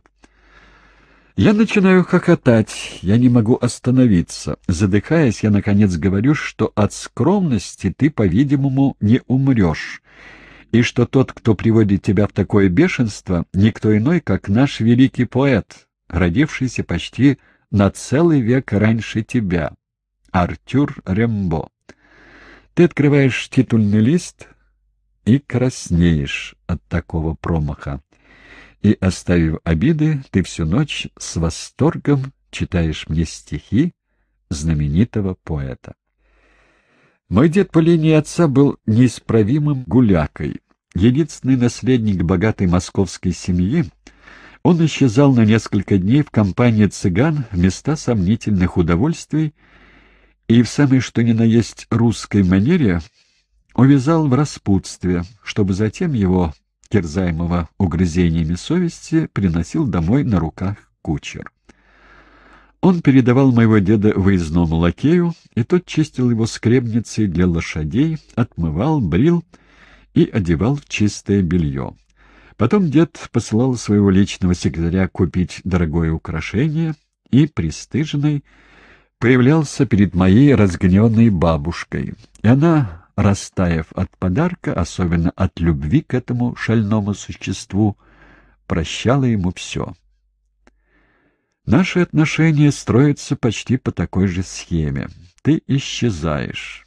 Я об этом узнаю. Если я за границей, я вылетаю первым же самолетом. Если нет, веду расследование и потом не посылаю за тобой кучера, а сажусь за руль и еду. Сначала нужно оторвать тебя от случайных друзей, развязных и прилипчивых. Потом заставить тебя сесть в машину и привезти домой.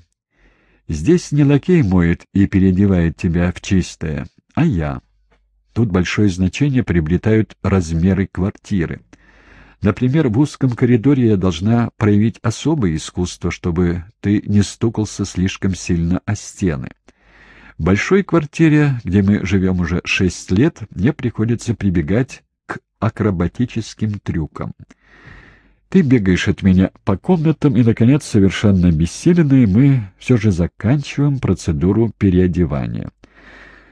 Просто невозможно вообразить себя, до какой степени человек может перепачкаться за несколько часов пьянки. Потом, поскольку у тебя нет личного секретаря, чтобы купить мне подарок, ты объясняешься со мной с пустыми руками. И, наверное, я люблю тебя не меньше, чем моя бабушка любила своего сбалночного супруга, потому что ярость моя быстро спадает, и я легко прощаю. Ты чувствуешь, что виноват, и обещаешь, что такого никогда больше не повторится. И, напустив на себя побольше серьезности, я выговариваю тебя за то, что ты не подарил мне как минимум по хорошей жемчужине за каждое свое художество. Это было бы, наверное, очень красиво. Жемчужная нитка до пупа. Ты едешь на машине в Армению с Давидом, приятелем, который там родился. Ни у одного из вас нет водительских прав, и едете вы, естественно, с запасом коньяка в багажнике. Армения — это суровая красота горных пейзажей и чистота фресок, украшающих древние монастыри. При выезде из Москвы все трагично. Мы только что в энный раз расстались, ты ушел из театра после страшного скандала с Любимовым. К тому же, плохо вписавшись в поворот, вы несколько раз переворачиваетесь через крышу и остаетесь невредимыми лишь потому, что, как ты говоришь, Бог пьяных любит. Немного собравшись силами и заменив бутылки, разбитые во время невольного каскада, вы снова трогаетесь в путь. Мишель, жена Давида, которой, кстати, принадлежит машина, уже не знает, каким святым молиться.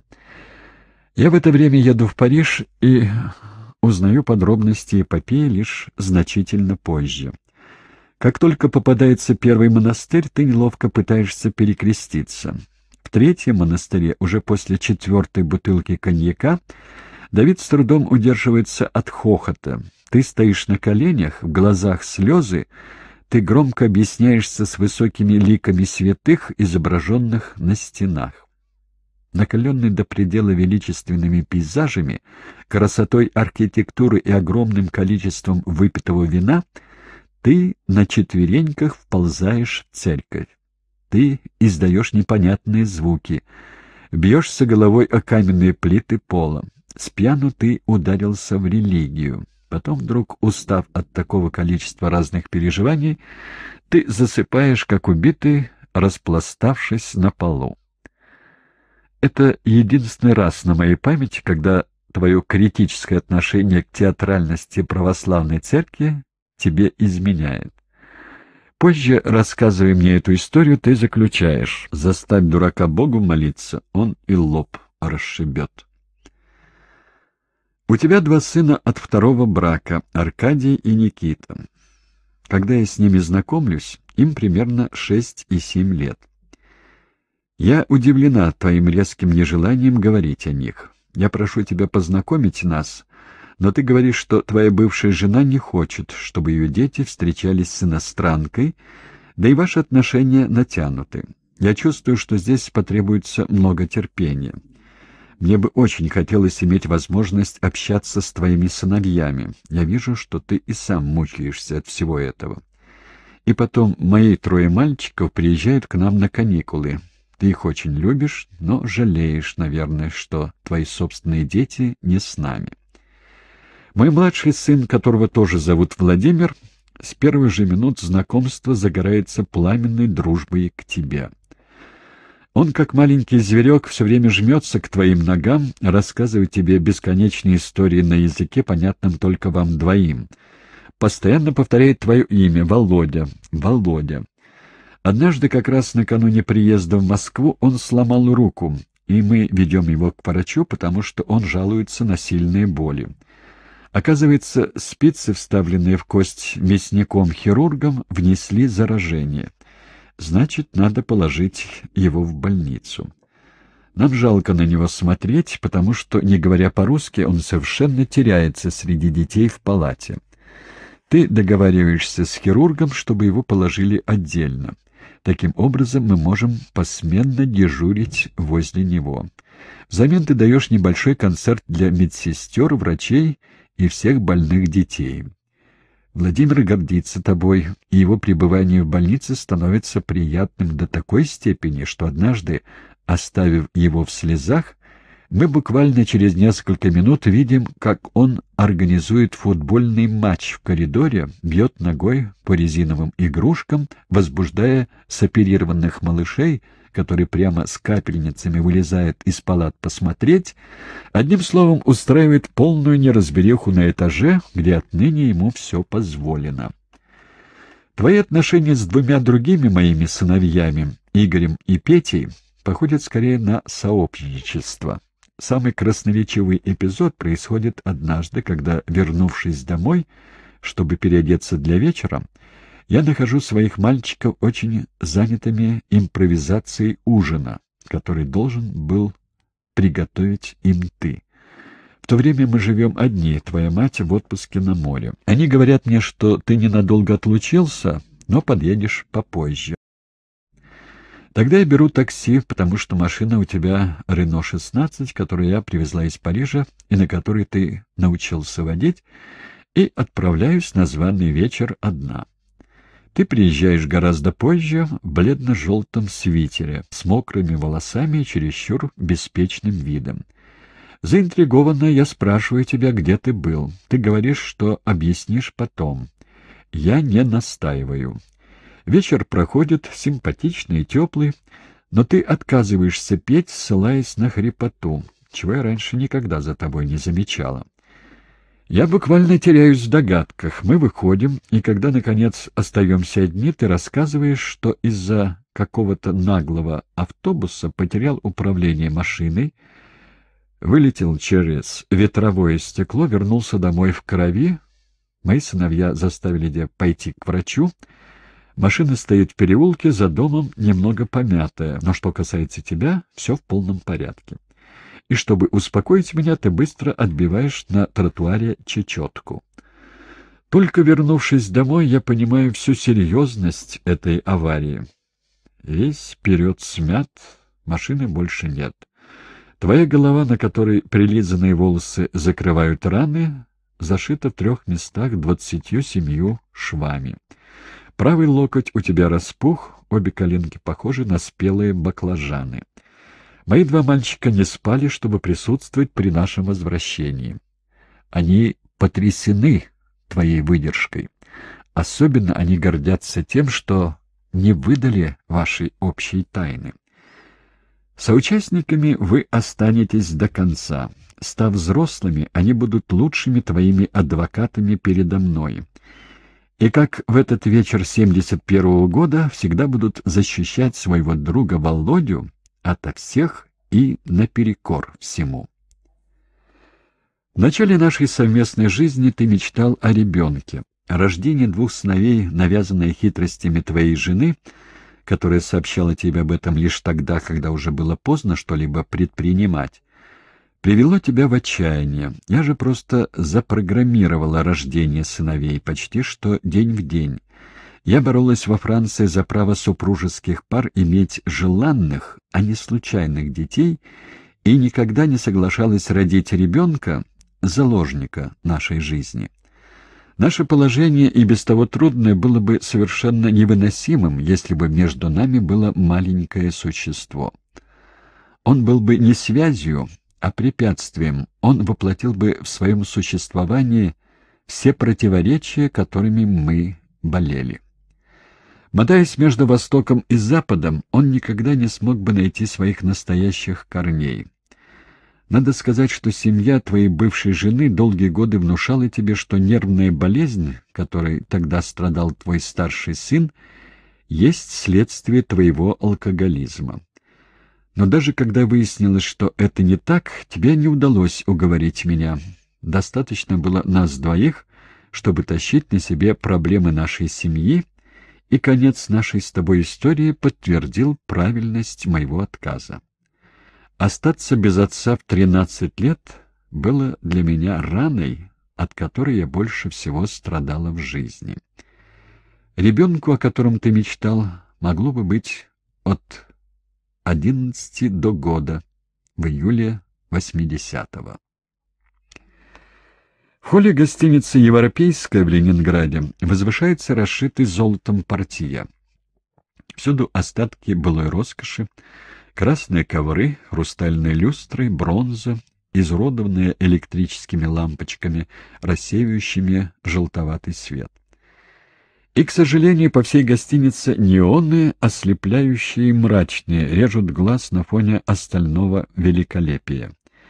В довершение картины то здесь, то там попадается чуть ли не кухонная мебель с пластиковым покрытием. Зато вдруг увидишь иногда какое-нибудь очень красивое трюмо, обычно в стиле ампир, дающее представление о том, чем была эта гостиница в свое время. Мы с удовольствием останавливаемся здесь.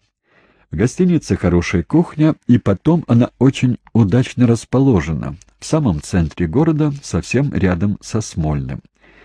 Здесь у нас много друзей, писателей, композиторов, художников. Мы проводим нескончаемые белые ночи в прогулках по проспектам, огибающим роскошные дворцы.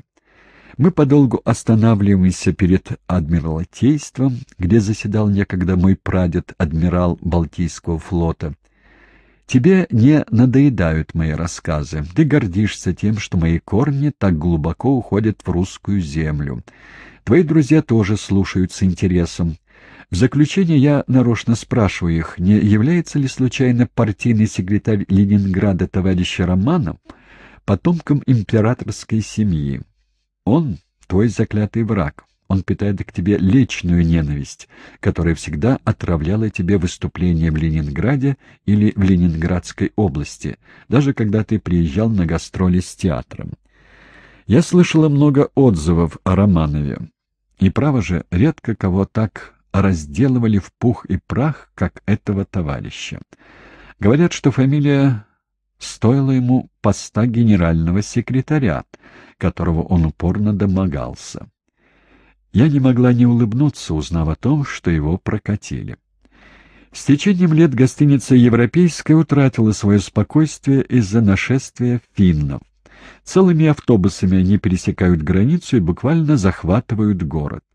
В пятницу вечером в ресторане невозможно найти свободного места. В гостиничном баре яблоку негде упасть. Мужчины и женщины сначала опираются на стойку, а потом уже цепляются за нее. И все методично накачиваются водкой. Как только один падает, следующий занимает его место. Находя зрелище отвратительным и не особенно педагогичным для тебя, я направляюсь к выходу. Здесь портье на пару с каким-то дюжим малым уже загружают бесчувственные тела в автобус, состояние которого после поездки противно себе представить. Раза два или три ты оборачиваешься, и я замечаю в твоих глазах огонек зависти. Ты перехватываешь мой взгляд — и не можешь удержаться от смеха. Я беру тебя под руку, и мы весело отправляемся гулять.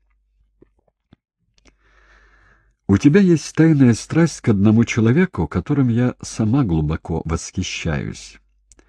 Однажды, весь сияя от радости, ты сообщаешь мне, что Святослав Рихтер ждет нас к чаю. И редко видела, чтобы у тебя так светились глаза. Ты чрезвычайно старательно выбираешь, что надеть, и все время спрашиваешь меня, который час. Нам и вправду оказана великая честь. С Рихтером мало кто встречался у него в доме. Он очень замкнутый человек и привык к одиночеству, к тому же он почти все время на гастролях. Ты польщен тем, что твои песни, твоя работа в театре нравятся ему. Это приглашение своего рода признание. Ты, уличный мальчишка с мещанки, композитор, не умеющий записать ноты, приглашен самым великим пианистом своей страны. Какое счастье! Я познакомилась с Рихтером в Париже у моей сестры Адиль Версуа, его давней и страстной поклонницы и близкой подруги. Я тоже робею, поскольку, за исключением этой короткой встречи, я видел его лишь как восторженная зрительница на концертах. Как дети мы переглядываемся, прежде чем войти в подъезд красивого дома в центре Москвы, где он живет. Мы поднимаемся по лестнице и звоним. Ты не успеваешь опустить руку, старающихся пригладить непослушные волосы, как дверь открывается. Ты так и остаешься стоять, руки вверх. Седовласый великан с мягкими голубыми глазами протягивает тебе ручище, и невозможно себе представить, что эти огромные пальцы умеют скользить по клавишам, заставляя их так удивительно звучать. Мы входим в очень большой светлый зал. Здесь стоят два черных рояля, несколько банкеток вдоль стены. На полу разбросано конфетти, разноцветный серпантин цепляется за ноги.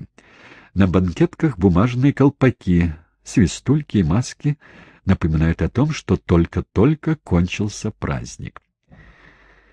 Сегодня ночью я принимал моих сокурсников по консерватории, всех, кто остался в живых, ведь столько лет прошло. Мы веселились всю ночь, играли в шарады. Разве теперь умеют так веселиться? Идемте. Моя жена ждет вас. После большого зала по-восточному убранная комната, где накрыт чай, кажется особенно уютной. Красивая женщина, одетая в темный шелк, здоровается с нами глубоким голосом оперной певицы. «Я замечаю, что ты слегка покраснел. Сжимаешь и разжимаешь пальцы, твой голос, еще более хриплый, чем обычно, выдает волнение. Мы пьем янтарный чай из старинных фарфоровых чашек и едим тающее во рту домашнее печенье. В разговорах о том о сём мы дивно проводим время и, волоча за собой несколько ленточек серпантина, приставших к обуви, мы спускаемся по лестнице, все еще находясь во власти волшебства. В 84 году я буду присутствовать в Париже на репетиции Рихтера. Когда маэстро поднимется, я подойду к нему, и мы посмотрим друг на друга долгим взглядом. Своими сильными руками он возьмет меня за плечи, печально улыбнется и тихо скажет. Нужно всегда быть готовым умереть. Это самое важное. Единственный поэт, портрет которого стоит у тебя на столе, — это Пушкин. Единственные книги, которые ты хранишь и время от времени перечитываешь, — это книги Пушкина. Единственный человек, которого ты цитируешь наизусть, — это Пушкин. Единственный музей, в котором ты бываешь, — это музей Пушкина. Единственный памятник, которому ты приносишь цветы, — это памятник Пушкину. Единственная посмертная маска, которую ты держишь у себя на столе, — это маска Пушкина. Твоя последняя роль — Дон Гуан в «Каменном госте». Ты говоришь, что Пушкин один вмещает в себе все русское возрождение. Он мученик, как и ты. Тебе известна каждая подробность его жизни. Ты любишь людей, которые его любили. Ты ненавидишь тех, кто делал ему зло. Ты оплакиваешь его смерть, как будто он погиб совсем недавно. Если воспользоваться словами Булгакова, ты носишь его в себе. Он твой кумир, в нем соединились все духовные и поэтические качества, которыми ты хотел бы обладать. На свете счастья нет, но есть покой и воля. Давно завидная мечтается мне доля. Давно усталый раб замыслил я побег в обитель дальную трудов и чистых нек. Когда небо розовеет, Позолоченные купола церквей вырисовываются на, на нем китайскими тенями, и легкий туман поднимается над рекой. Ты любишь побродить по городу. Тепло одевшись, мы собираемся пройтись по бульварам, поклониться Пушкину. Мы гуляем по аллеям, обрамленным по обе стороны небольшими старинными особняками пастельных тонов и восхитительными коваными решетками. Здесь растут последние большие деревья в Москве. Гуляя, мы всегда оказываемся в одних и тех же местах. Впрочем, это почти все, что осталось от старого города. Садовое кольцо, бульвары, Арбат. Эти улицы и переулки полны очарования. На Арбате мы пытались когда-то найти квартиру, но тщетно. Как-то раз мы гуляем по Садовому кольцу, и я, наконец, нахожу дом моих родственников по отцовской линии. По описаниям одного старого московского приятеля, моего отца, нам удается вычислить то место, где раньше стоял дом. Это там, где находится памятник Маяковскому, несколько новых домов и современник. Как же мы были удивлены, узнав, что театр был построен прямо на месте особняка, где родился мой отец. Теперь сломали и театр. Мы часто ходим на центральный рынок, тоже по бульварам. Нам очень нравится здешняя атмосфера, шумы и резкие запахи. Здесь можно купить у краснощеких баб разноцветные грибы, свежий творог, яйца, даже иногда домашнее масло, мед и разные крашеные деревянные игрушки. Зимой яблоки сморщенные, как и старухи, которые их продают, но такие вкусные, если их запечь в духовке с куском свинины или уткой. В этой части города есть еще хорошие рестораны — Армения, Узбекистан, Арагве, Пекин, где мы устраиваем целое пиршество, а потом возвращаемся домой пешком, объевшиеся и довольные. Иногда мы идем на Красную площадь, особенно в разгар зимы, когда на фоне снега выступает собор Василия Блаженного, у которого купола похожи на большие разноцветные леденцы. Здесь в 1889 году крестили моего отца. Мы любим ходить в зоопарк. Мне он кажется самым красивым в мире, потому что я его хорошо знаю. Мы живем неподалеку. Когда у нас есть немного времени и открыта площадка молодняка, мы не можем оторваться от этих зверушек, невинно играющих друг с другом. Здесь и волчата, и ягнята, и тигрята, и медвежата. Глядя на них, можно представить себе, каким был бы рай, если бы он существовал. Немного дальше мы находим наших любимец, двух пум, серо-голубыми глазами — спокойная величавость которых вдруг нарушается стремительностью прыжка. С необыкновенной легкостью не достигают высоких веток мертвых деревьев, где они спят целыми днями, свесив вниз хвосты. Мы никогда не забываем заглянуть к волкам, таким несчастным в клетках, где они беспрерывно ходят по кругу, скорее для того, чтобы бросить им братский взгляд, чем чтобы восхищаться ими. Другой маршрут ведет нас на Новодевичье кладбище. Здесь похоронены многие великие люди России. Как и все православные кладбища, это чудесный сад. Нет ничего печального или холодного в этом пространстве, где мы бродим, перебирая имена, обрывки стихов или музыки. Мы всегда подолгу стоим у могилы Чехова. Для меня — одного из самых великих. Ему я особенно благодарна за то, что он мне дал самое сильное счастье в моей театральной жизни, когда я играла в «Трех сестрах» с моими сестрами Адель Версуа и Лен Валье. И ведь, снимаясь в фильме о Чехове, сюжет для небольшого рассказа, я встретила тебя, полюбила и вышла за тебя замуж. Но самый любимый, не меняющийся с годами маршрут проходит через несколько домов за городом. Мы идем поприветствовать старого физика, покровителя искусств, академика Капицу. У него дома стоит вертушка, и он может напрямую разговаривать с великими мира сего. Вещь невозможная для обычного смертного. Благодаря ему много раз удавалось в самой крайней ситуации спасти спектакль. Его взгляд остается в моей памяти удивительно нежный и сияющий.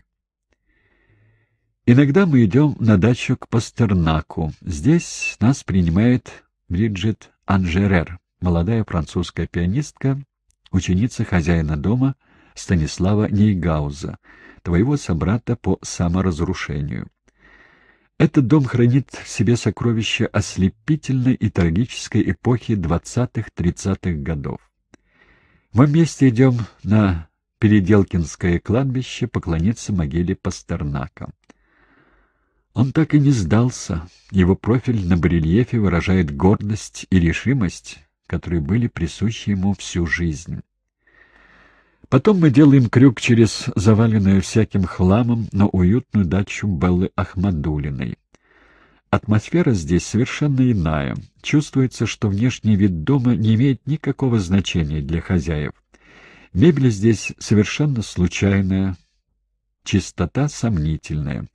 Кошки и собаки играют прямо на кроватях с детьми поэтессы. На стене прикноплена немного скрючившаяся фотография. Это двое очень близких друзей. Булат Акуджава в черном костюме и его жена с начесом и в короткой юбке. Как говорит Булат, это когда мы были старыми в шестидесятом. Булатик, как бы между собой его называем, твой первый в связке. Он первым нарвался на неприятности автора, композитора и исполнителя. Профессия, которая не являлась таковой в СССР. Он был одним из немногих, кто всегда тебя поддерживал и защищал. Когда мы не находим Беллу, старая бабка, которая сидит с детьми, импровизирует обед из того немногого, что у нее есть. Мы едим все вместе, дети и взрослые, кошки и собаки. Получается очень вкусно. Если Белла дома, все затихает и лишь только слушает. Звучит ее неподражаемый голос — Бледное трагическое лицо поднято к небу, шея напряжена, вены как будто готовы лопнуть. Это и боль, и гнев, и любовь.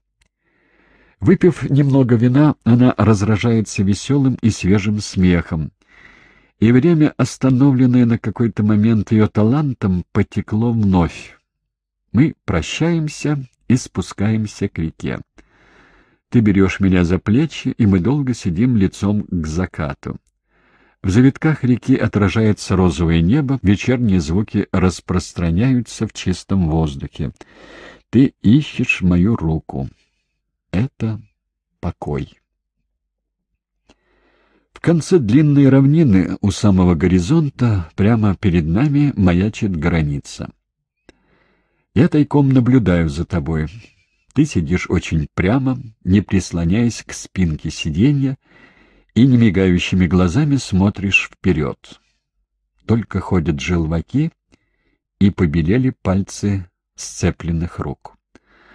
От самой Москвы мы ехали очень быстро, разговор становился все более увлеченным, и по мере нашего продвижения на запад переходил в монолог. А теперь и ты замолчал.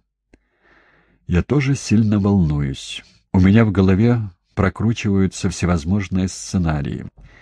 Тебя не выпускают, задерживают или даже запирают на замок прямо на границе. И я уже воображаю себе мои действия. Я возвращаюсь в Москву, нет, во Францию.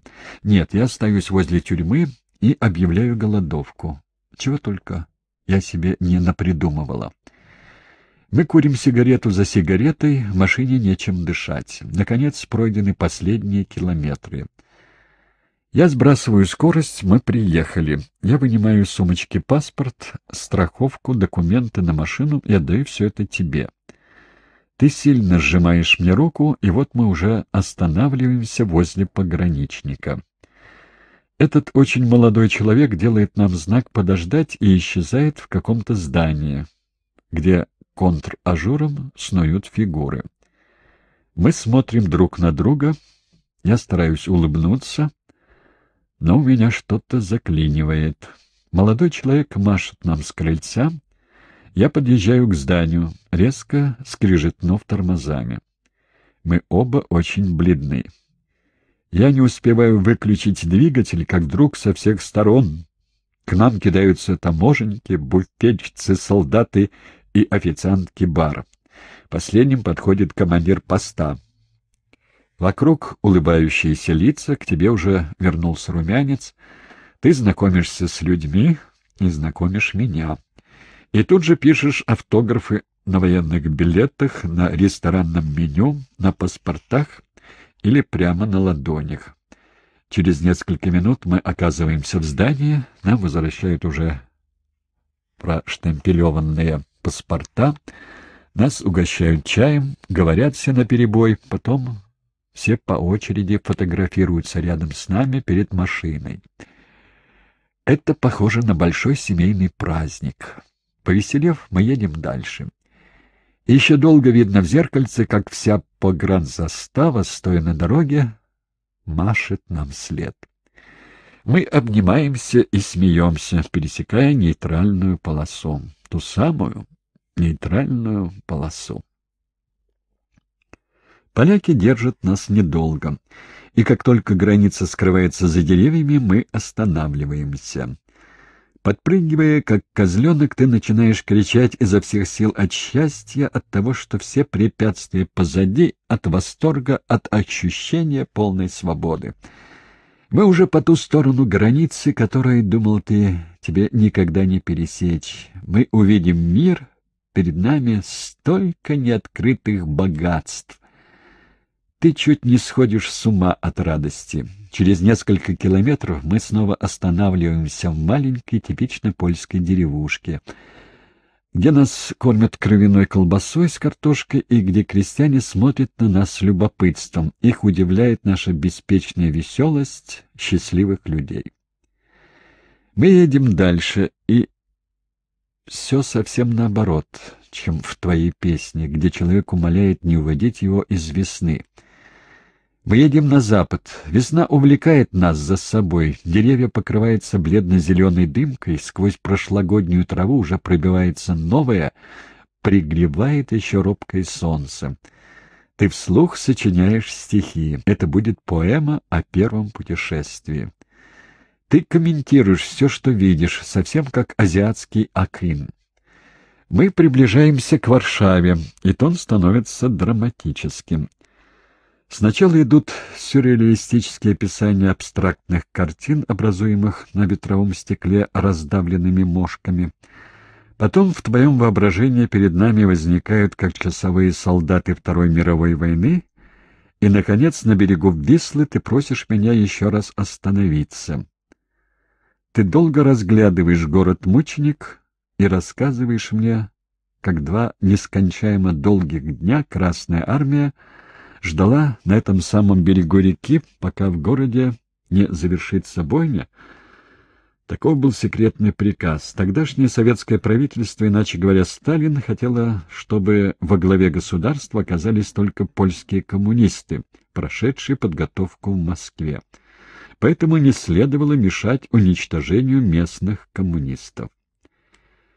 Известный польский актер Даниэль Альбрехский однажды вечером пробрался в театр на Таганке через форточку, чтобы посмотреть на тебя в Гамлете. Билета у него, конечно, не было, а спектакль уже начался, и двери закрылись.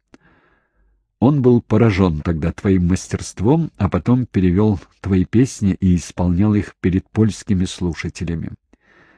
Даниэль — неутомимый борец и всегда оказывается в самой гуще всех государственных дел. Сегодня мы должны ему позвонить, как только станем подъезжать к Варшаве, чтобы он нас встретил и отвез к себе. Мы заходим в первую попавшуюся гостиницу, говорим по телефону с Моникой, его женой.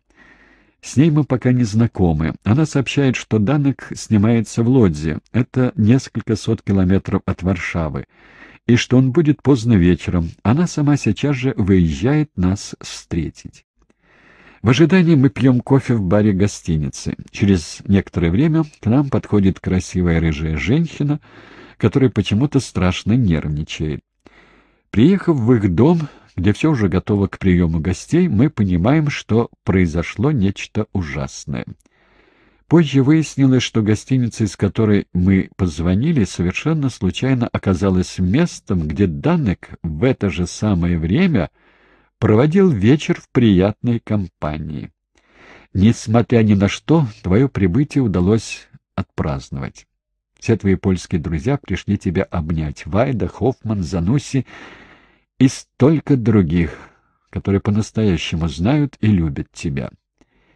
Вечеринка кончается очень поздно. На следующий день мы в стремительном темпе пробегаем по центру Варшавы. Ты бросаешь в кружку для пожертвований на реконструкцию старого города горсть монет, а я — одно из моих колец, как это делают поляки. Затем Данек садится в машину и едет впереди нас со скоростью 180 км в час по дороге на запад. Я кое-как поспеваю за ним. Нескольких километрах от границы с Восточной Германией мы обнимаемся на прощание. Еще несколько раз мы будем в Варшаве, и каждый приезд будет удивительным, как и все эти люди, стремящиеся вновь обрести достоинство. После бесконечных объяснений Дануку удастся получить визу и приехать в ночь с 27 на 28 июля 1980 года Москву. Мы снова соберемся в нашей квартире, где все по-прежнему, только нет тебя. Мы будем долго говорить, и я пообещаю исполнить их просьбу, прядь твоих волос и горсть земли с твоей могилы, ныне захоронены на родине людей, которые любили тебя и которым ты отвечал тем же. Из-за твоего несгибаемого патриотизма все, что хоть сколько-нибудь могло задеть образ России, причиняло тебе боль. Что касается событий в Польше, как раньше в Венгрии и Чехословакии, то здесь были и споры, и горькая критика, и осуждение, но вот события в Афганистане вызвали в тебе отвращение. И такую боль, словно ты осознал, наконец, предел переносимого ужаса. Надо сказать, что документальные кадры, которые ты видел за границей по телевизору, действительно были ужасны. Афганская девочка, сожженная напалмом, как маленькая вьетнамка, и лица солдат. На этот раз это были не те смущенные и растерянные лица танкистов, оккупировавших Будапешт или Прагу. Мы узнали потом, что в Афганистане экипажи танков сменялись каждые 24 часа. Столько было случаев депрессии и помешательства.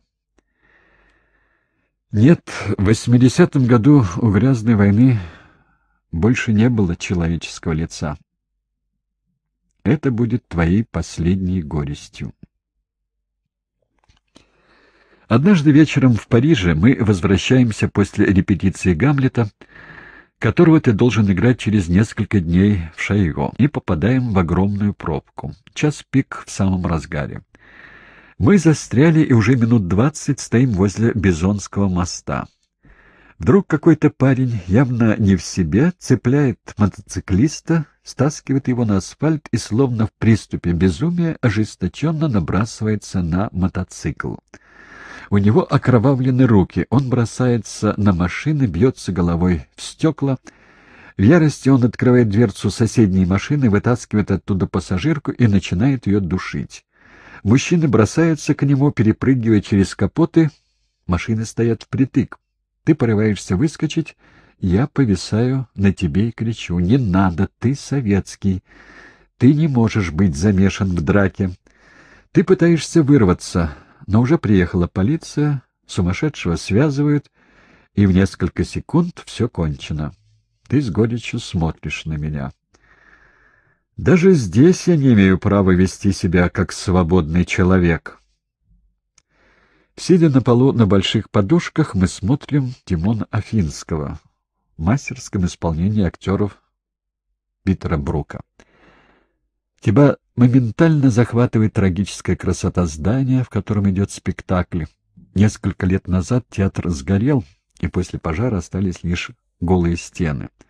Здание не стали восстанавливать, только заново настелили пол — и все пространство превратилось в огромную сцену, где актеры как бы смешиваются с публикой, и от этого зрители напоминают детей, усевшихся в круг, чтобы послушать сказку. Такая обстановка как нельзя лучше подходит для представления шекспировских пьес. А в этой, которая обычно кажется слишком длинной, вдруг возникают одна за другой сцены такого богатства и совершенства — что публика просит повторить их на бис. Между тем мы сидим вот так, прижавшись друг к другу, уже больше трех часов. Ты в восторге, ты кричишь «Браво!» И когда зал пустеет, и невысокий человек с синими глазами и с клокоченными седыми волосами направляется через сцену к нам, ты бросаешься его обнимать. Питер Брук — настоящий англичанин, несмотря на русское происхождение, и твой порыв его не на шутку пугает. Он и так весь красный, а уж тут становится прямо-таки ярко-фиолетовым. Оправившись от изумления, он представляет актеров, которых ты тоже долго поздравляешь. Потом Питер просит тебя спеть. Теперь приходит твоя очередь краснеть от удовольствия. Ты бежишь к машине за гитарой, все актеры располагаются на скамейках вдоль стен и на полу. В опустевшем театре, где витает золотистый дым капели, громче звучит твой голос, заполняя пространство глухими раскатами русских слов. Я вглядываюсь в изможденные усталостью лица, на которых после спектакля остались, кажется, одни глаза. Актеры все как один застыли в напряженных позах, подались вперед, стараясь не упустить ни слова, ни ноты из песни. Но кто меня буквально потрясает, это сам Питер. В течение всего импровизированного концерта он, не отрываясь, смотрит на тебя полными слез глазами и восторженно улыбается. И когда час спустя мы выходим из театра, ты говоришь мне, «Я впервые пел на Западе. Вот видишь, это вполне возможно. Меня хорошо слушали». В глубине двора в здании, напоминающем старинную конюшню, ты уже несколько дней записываешь свою первую заграничную пластинку. Договорились в два счета. Ты отдал им авторские права на 25 песен, а фирма «Шан Дюмонт» берет на себя всю техническую организацию дела. И, надо сказать, это было достаточно смело с ее стороны, потому что она выпускает пластинки советских артистов — и за подобный шаг на нее, конечно же, могли посыпаться упреки. Фирма берет на себя абсолютно все, от записи песен до продажи пластинки. Мы не спим ночей, и оба в состоянии крайнего возбуждения.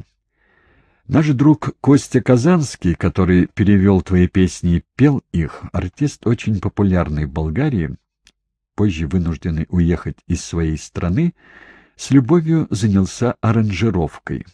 Приглашены лучшие — Клод Пави, гитара и Пьер Марион, бас. Вы записываете 22 песни. Звукоператор Робер Придон работает точно и талантливо. Впервые твой голос не заглушается оркестром, а даже наоборот, гитары подчеркивают твой особый речитатив, и проигрыши удивительно подходят к словам. Эти музыканты, не зная ни единого слова по-русски, аккомпанируют так, как если бы они сами пережили все, о чем ты поешь. Они все поняли. Мы проводим несколько дней, не выходя из студии. Это настоящее счастье. Редко твое воодушевление до такой степени передавалось всем остальным. Вероника, Костина жена певица с волнующим глубоким голосом, тоже здесь. Мы по очереди выполняем обычную работу поклонниц. Подаем кофе, бегаем за сандвичами и сигаретами и всегда оказываемся под рукой, чтобы аплодировать удачно записанной песне. Работа у вас тяжелая, но такая приятная, что эти несколько дней пролетают галопом, и долгожданная пластинка, наконец, готова. Фотографии на внутренней стороне обложки были сделаны во время записи. Ты и Костя, оба бородатые, похожи на потерпевших кораблекрушение. Глаза у вас покраснели от усталости, но вы блаженно улыбаетесь. Тексты перевела наша подруга Мишель Кан. Она десять лет жила в СССР и знает все твои песни. Мы воспользуемся этими переводами, чтобы через некоторое время устроить твой сольный концерт — в Элизе Монмартр. К нашему крайнему удивлению, этот зал, представлявшийся нам слишком большим, потому что мы никак не рассчитывали, что народ повалит толпами, оказался вдруг тесным. Здесь собралась вся советская колония Парижа с женами и детьми и довольно много студентов, изучающих русский. Но что самое удивительное, сюда пришли и обычные зрители, быть может, привлеченные русским именем на афише. Мы так никогда и не узнаем, кто они, но, судя по аплодисментам, концерт им понравился. Я поднимаюсь на сцену вместе с тобой и попадаю в пятно света, пока читаю французский перевод твоих песен. Потом мое световое пятно исчезает, и видно только тебя. Меня все трясет. Я страшно волнуюсь за тебя и чувствую, что мы так близки с тобой сейчас. Впервые мы вместе на сцене. Ты играешь, не жалея сил, и когда после многочисленных исполнений на бис ты скрываешься за кулисами, у тебя в кровь сбиты пальцы. Потом ты поешь несколько песен в большом концерте в Сен-Дени. В другой раз ты участвуешь в спектакле на Большом помосте на празднике газеты «Юманите». Здесь творится что-то невообразимое. Двести тысяч человек расположились на газоне. Все ждут рок-группу, и когда ты появляешься один с гитарой, толпа свистит — но ты начинаешь с охоты на волков, и твой голос гремит через усилители. По толпе проносится короткий шепот, и через несколько минут наступает внимательная тишина. Лишь в отдалении шумит ярмарка. Закончив выступление, ты кланяешься под гром аплодисментов и идешь в глубину сцены, ко мне. У тебя за спиной волнуется человеческое море. Ты доволен и с гордостью говоришь мне. Я мог бы петь сколько угодно. Им было интересно слушать меня. Максим Лепорестье, наш друг, который познакомился с тобой во время поездки в СССР и написал предисловие к твоей первой пластинке, приглашает нас победать к себе домой. С лукавым видом, взяв гитару, он поет нам твои песни по-французски. Он перевел тексты, чтобы устроить нам сюрприз. Ты тут же начинаешь работать и, многократно повторяя слова, наконец вполне сносно произносишь французский текст. С твоим слухом и чувством ритма ты быстро выучиваешь французский настолько, чтобы объясняться без переводчика — Работа Максима Лефорестье не пропадает даром, и твоя третья пластинка, записанная в Париже при помощи моего старого приятеля Жака Уревича, будет начинаться с каждой стороны с песни на французском. Твои концерты в США будут еще более удивительными. Ты даже произнес несколько фраз на ломаном английском к великой радости американских зрителей. В Москве ты часто вынимаешь свои пластинки из укромного места, где они спрятаны, потому что их у нас тащили десятками. Раскладываешь их на ковре, долго рассматриваешь, ставишь какой-нибудь на проигрыватель, и глаза у тебя подергиваются грустью. Как это здорово сделано! Почему нельзя так же хорошо записывать здесь, чтобы публика могла слушать меня с этим качеством звука? Почему я не могу выбирать песни без цензоров, ничего не опасаясь? Почему? Когда слушаешь сотни написанных тобой баллад, маршей, лирических тем, приходишь в негодование при мысли, что ты так никогда и не был признан как композитор. Официальные лица не считают тебя таковым. Вот и все. И то же самое со стихами. Не окончив консерваторию, ты не можешь быть композитором. Не окончив литературный институт, ты не можешь считаться поэтом. Не имея печатных работ, ты не можешь вступить в союз писателей и так далее. Порочный круг замыкается с безжалостной логикой. Человек, самый известный в СССР, ты сидишь на полу и грустно разглядываешь три конверта с пластинками, разложенные на ковре в большой комнате. На улице, где находится театр Эберто, стоит небольшое светлое здание. Здесь за фасадом прячутся ночной ресторан и небольшая гостиница. На втором этаже уже много лет живет человек, который относится ко мне как к дочери. Русский цыганский барон в Париже Алеша Дмитриевич. Этот титул он, возможно, присвоил себе сам – но величавость и царственная манера держаться у него соответствующие. И потом он, как никто, умеет заставить рыдать свою гитару. Голос его, кажется, прорывается из самой глубины человеческого страдания и неизменно очаровывает ночных красавиц.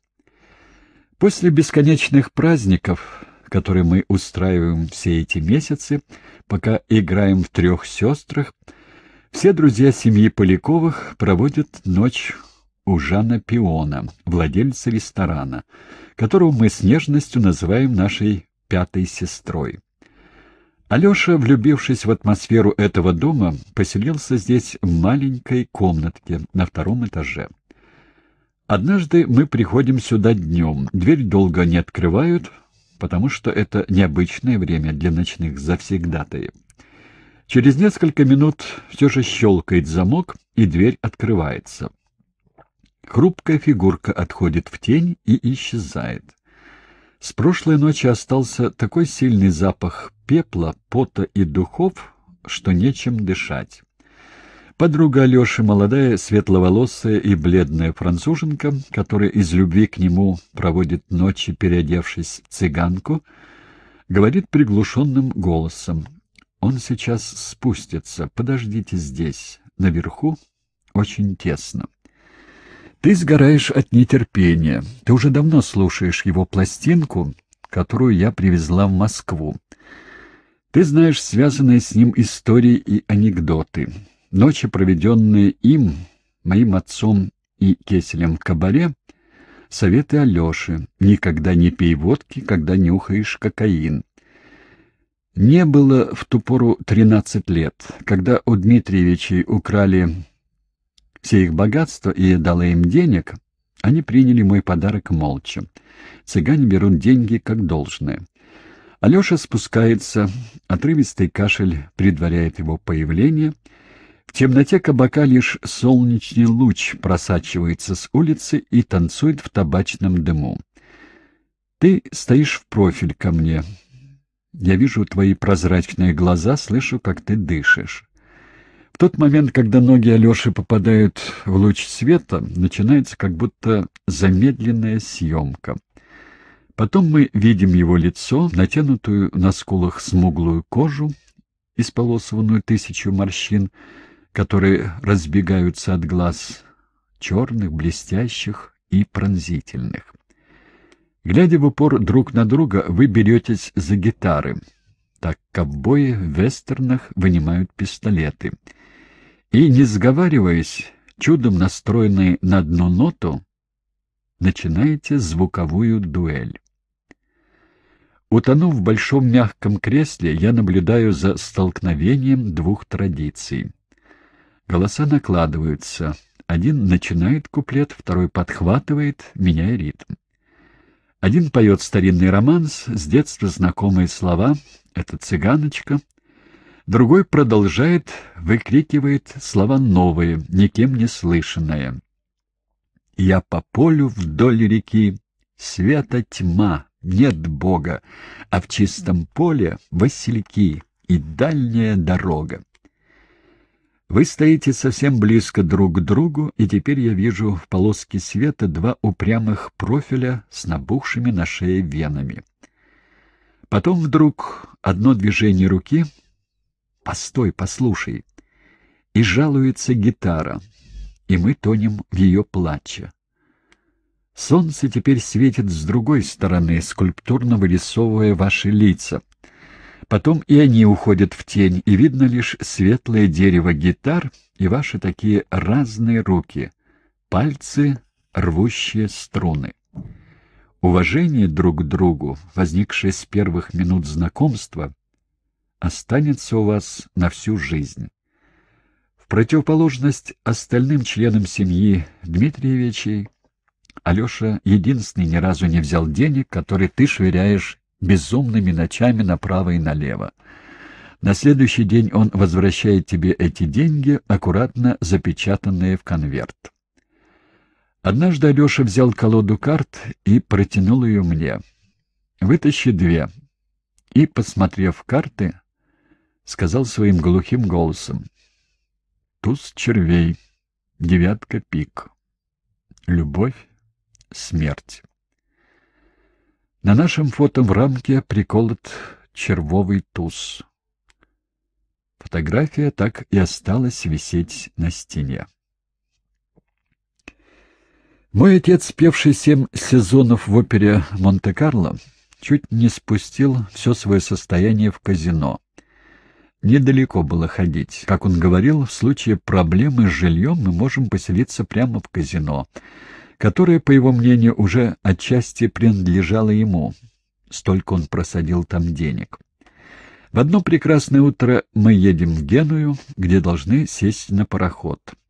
Монте-Карло, я хочу показать тебе это казино. Я робко спрашиваю, можно ли войти посмотреть. Улыбающийся привратник отвечает, что можно даже сыграть. Это не входило в мою программу, но, перехватив твой умоляющий взгляд, я говорю. «Ладно, пошли, но ты ведь знаешь, у нас мало наличных денег, и поэтому мы будем играть символически». Зал выглядит днем немного печально. Никого нет, кроме нескольких старичков, которые пришли попытать счастье. Я с нежностью думаю о моем отце, который, как и всякий уважающий себя русский человек, оставался игроком до последнего дня. Мы берем жетоны и, не зная правил, ты потому, что в СССР нет казино, я потому, что всю жизнь избегала таких заведений из-за наследственной склонности к игре. Начинаем смотреть, как играют за разными столами. На своем непонятном французском языке ты обращаешься к рупье, ставьте три, и бросаешь все свои жетоны на поле. Крупье ставит их на 33, ты хочешь его поправить, повторяя на три. Я тебя удерживаю, он понял. На тридцать три.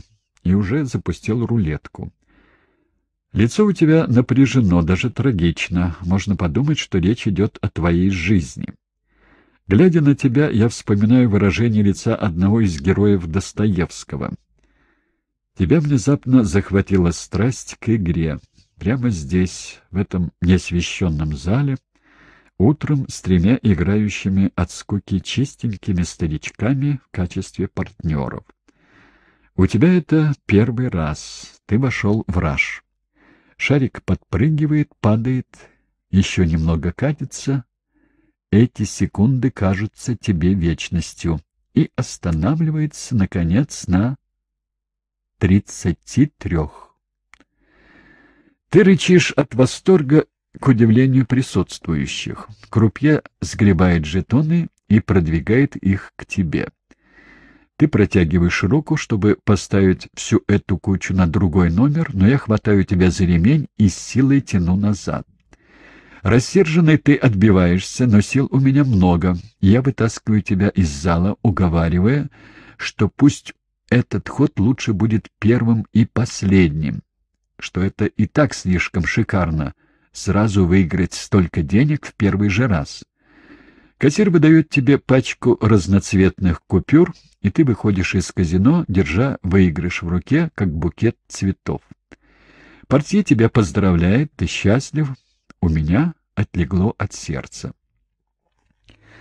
В другой раз попытка заканчивается не так славно. Мы садимся в самолет цыплячьего цвета и летим в Лас-Вегас.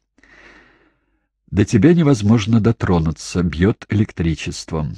Путешествие и так удивительно, но Лас-Вегас — это шоу, рекламы, пустыня, игра, и ты грезишь о нем с самого приезда в Соединенные Штаты. В аэропорту мы встречаем людей несвежего вида, помятых, небритых, в конец проигравшихся, и только женщина в клетчатых шортах рассказывает всем вокруг, как она выиграла состояние. Может быть, ей просто платят за рекламу. 45 градусов тени. После утомительного туристского дня мы стоим перед игровыми автоматами. Здесь их можно видеть повсюду, даже в туалетах. Мы решаем поставить каждый по 100 долларов, и чтобы не портить тебе удовольствие, я ухожу, другой конец зала играть в лотерею. Я выигрываю и издали смотрю на тебя. Ты стоишь возле блэкджека. Тасует карты очаровательная банкирша. Ты зачарованно смотришь, как они мелькают у нее в руках. Успокоившись, я отхожу и останавливаюсь возле одного из автоматов.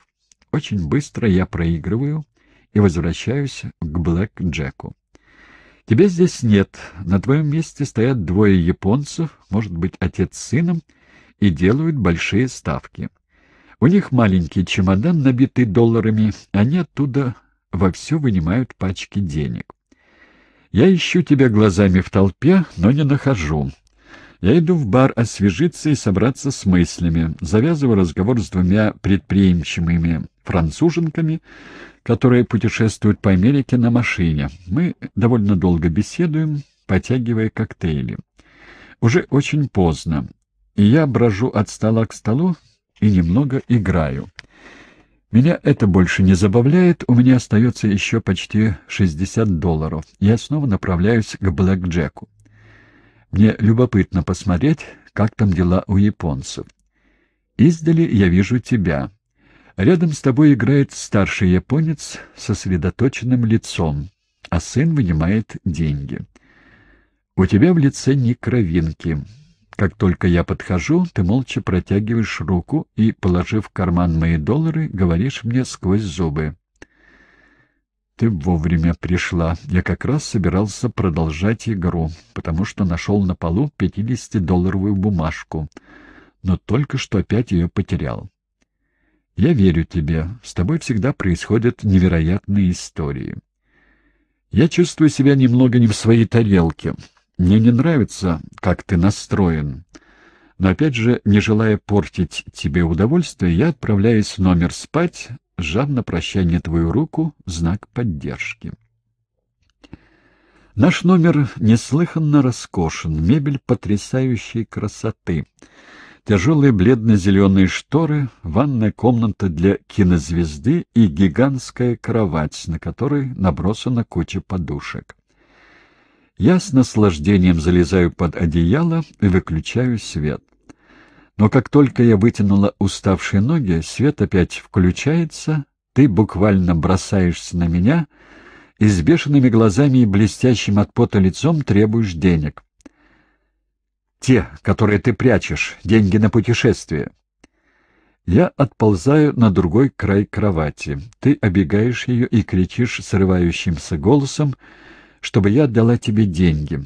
Ты хватаешь меня за плечи, ты, который ни разу не поднял на меня руку даже в худшие моменты пьяного бреда, и принимаешься меня трясти. Ты вытаскиваешь меня из постели и подталкиваешь к шкафу, где я прячу сумочку. На насилие я реагирую соответственно. Вынув сумочку, я швыряю тебе в лицо все ее содержимое. Ты подбираешь пачку долларов и исчезаешь, хлопнув дверью. Я остаюсь в обалдении. Я ведь знаю, что ты не пьешь, и все-таки твоя ярость меня пугает. Когда я видела у тебя это выражение лица? Я натягиваю рубашку, джинсы, бросаюсь к лифту. Я вспомнила. Монте-Карло, рулетка, номер 33, букет купюр. Но уже поздно. Ты сидишь убитый с опущенными руками. Рядом с тобой невозмутимые японцы укладывают зеленые пачки денег. Ты все проиграл. Все деньги на путешествие. В несколько минут тебя утопило настоящее сумасшествие азарта. Рано утром в аэропорту мы и сами сидим проигравшиеся, помятые, мрачные, держа в руках наше единственное богатство — два билета обратно в Лос-Анджелес. Нас приглашают на посадку, цыплячьего цвета самолет взлетает. Недалеко от нас дремлют, расслабившись, японцы. В эту ночь им повезло. Мы приезжаем в Монреаль в самый разгар Олимпийских игр. Моя подруга Диана Дюфрен размещает нас у себя, кормит и таскает нас ко всем своим друзьям, музыкантам, поэтам-песенникам, певцам. Канадцы такие веселые, такие гостеприимные люди, что чувствуешь себя у них как дома. Жиль Тальбо предлагает тебе записать пластинку, и ты тут же начинаешь думать о макете обложки, аранжировке, музыкантах, которые могут тебе аккомпанировать. Единственная грустная нотка за время, проведенное в Канаде, это футбольный матч, в котором принимает участие сборная СССР. Тебя пригласили футболисты. Мы сидим на трибуне, а сзади канадские украинцы в течение всего матча громко скандируют антисоветские лозунги. Тебе больно, ты страдаешь от этой ненависти, с которой вы сталкиваетесь повсюду в мире. Ты считаешь несправедливым, что спортсмены или артисты вынуждены расплачиваться за границей за политику с позиции силы, которую проводит правительство. Расстроившись, мы уходим со стадиона, не дожидаясь конца матча. К счастью, на следующий день мы прекрасно проводим время у Люка Пламандона, поэта-песенника. У него небольшой деревянный дом на берегу озера, бобры строят плотину, и мы наблюдаем, сидя в байдарках, как они суетятся и снуют туда-сюда. После плотного ужина по-канадски ты поешь, и вечер заканчивается тем, что мы в первый и последний раз в жизни пробуем марихуану. Наши хозяева протягивают нам сигарету, мы сомневаемся, но друзья уверяют нас, что это совсем не противно, и что особенно приятно после нескольких затяжек слушать музыку. Мы курим по очереди, ты вздыхаешь от удовольствия, мы слушаем музыку, я различаю каждый инструмент. Впечатление такое, что весь оркестр играет у меня в голове. Очень скоро я не могу больше бороться с усталостью и засыпаю. Последнее, что я вижу, — это твое удовлетворенное лицо. Однажды вечером мы будем чувствовать примерно то же самое во время одного рок-концерта. Семьдесят тысяч человек скучившиеся вокруг нас на трибунах и на газоне стадиона, курят траву. У нас кружится голова, и от усилителей, работающих на полную мощность, дрожит все внутри. Голубоватый столб дыма поднимается к небу, у каждого в руке горит зажигалка в знак братства. Эмерсон, Лейк и Пальмер в раз исполняют на бис песни, и ты вдруг принимаешься петь во все горло. Наши обалдевшие соседи привстают посмотреть, откуда исходит этот громыхающий голос, подхватывающий темы рока. И, заразившись твоим энтузиазмом, все начинают орать. На стадионе мы почти оглохли, и еще долго потом болела голова, зато отвели душу.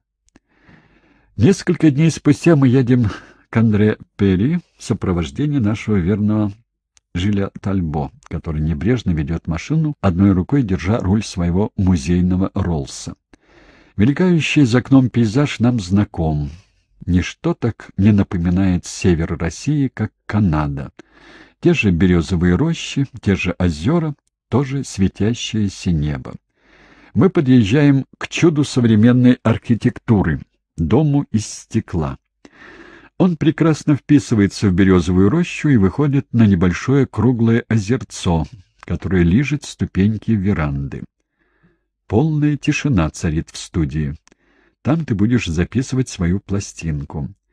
Андре Перри — волшебник звука, лучшее ухо американского континента. У него самое сложное оборудование, какое только есть, и мы просто потрясены звукооператорским пультом — Восемнадцать дорожек. Это семьдесят шестой год. Лучше не бывает. В зале полно инструментов, расставлены широкие диваны, но особенно поражает вид сквозь стены.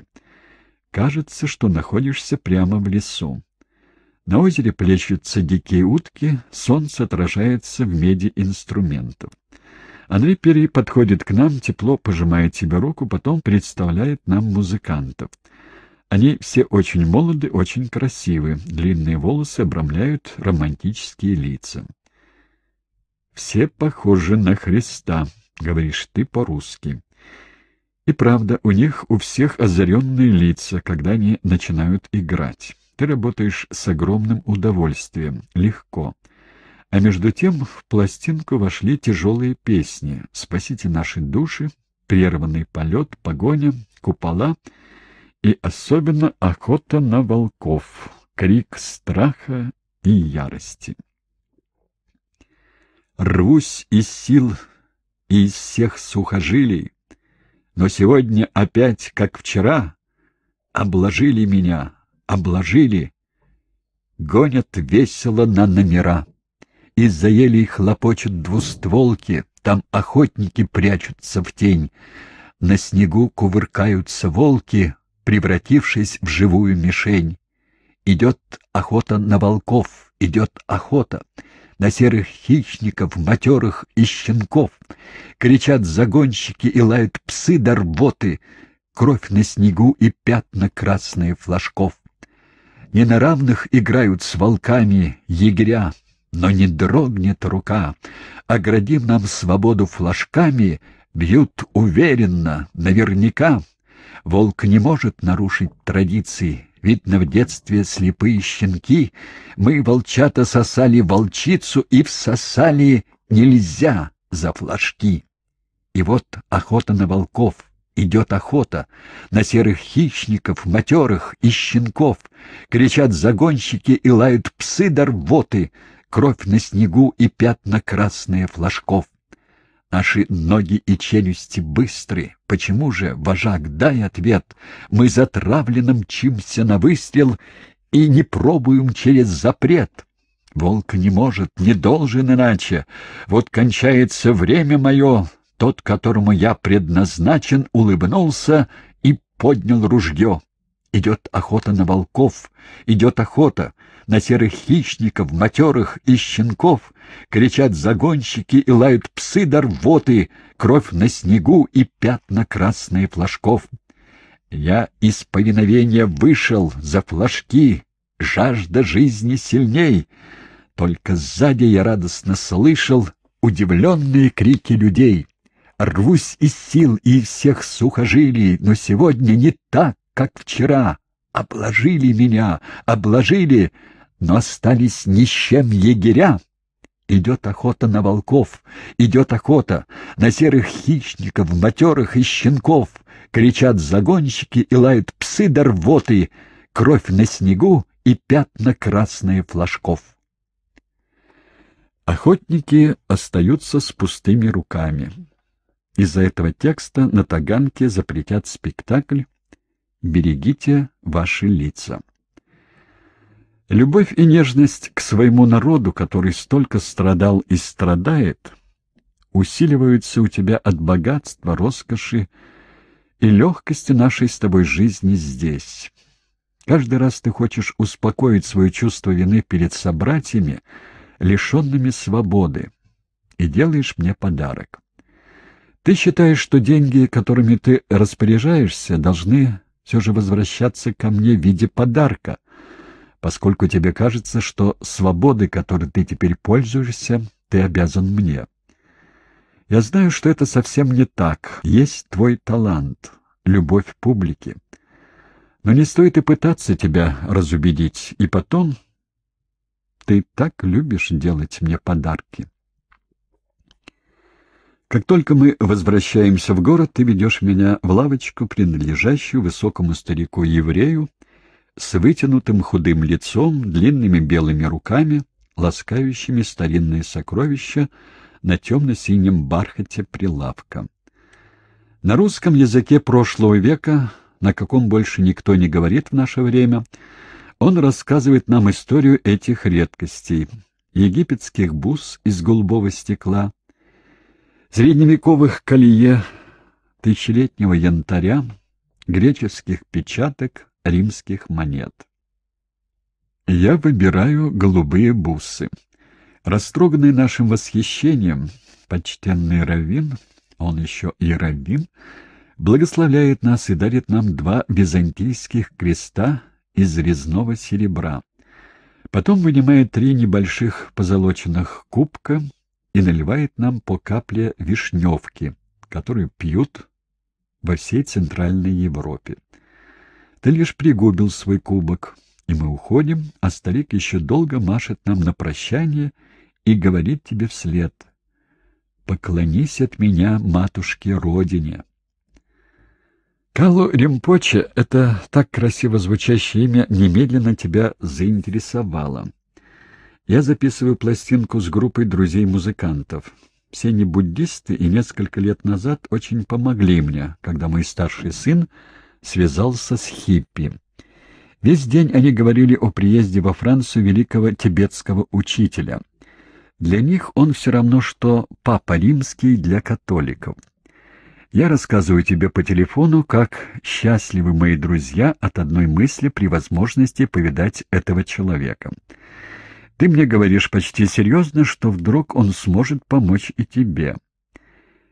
Я сама в это не особенно верю, но, стараясь использовать любую возможность, пусть даже колдовство, обещаю тебе, что как только ты приедешь в Париж, он тебя примет. На первом же ужине у нашего друга-художника Миши Шемякина, тоже большого любителя выпить, разговор крутится вокруг гуру и других персонажей, которые обладают способностью помогать несчастным бороться против зеленого змея. Шемякин, очень склонный к мистике, обязательно хочет как можно быстрее попасть к мудрецу.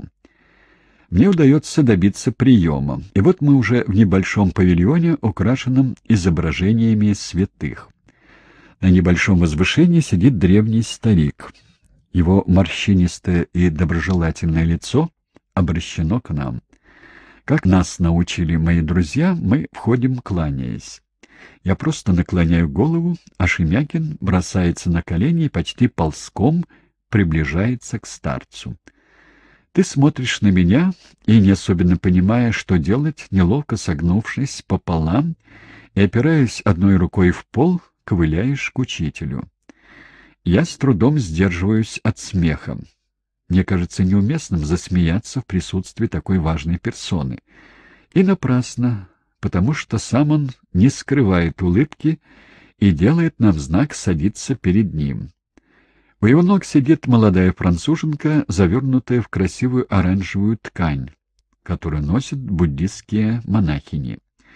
Тихим, но твердым голосом человечек произносит приветствие. Девушка переводит и спрашивает, чего хотят иностранцы. Я беру слово, потому что вы с Шемякиным не говорите по-французски. Я объясняю, что вы не можете справиться с наклонностью к выпивке и надеетесь на помощь мудреца. Девушка переводит. После некоторого размышления Калу Римпоча рассказывает притчу. Вот этот рассказ, переведенный с тибетского на французский, а потом на русский. Однажды молодой монах проходил перед домом вдовы.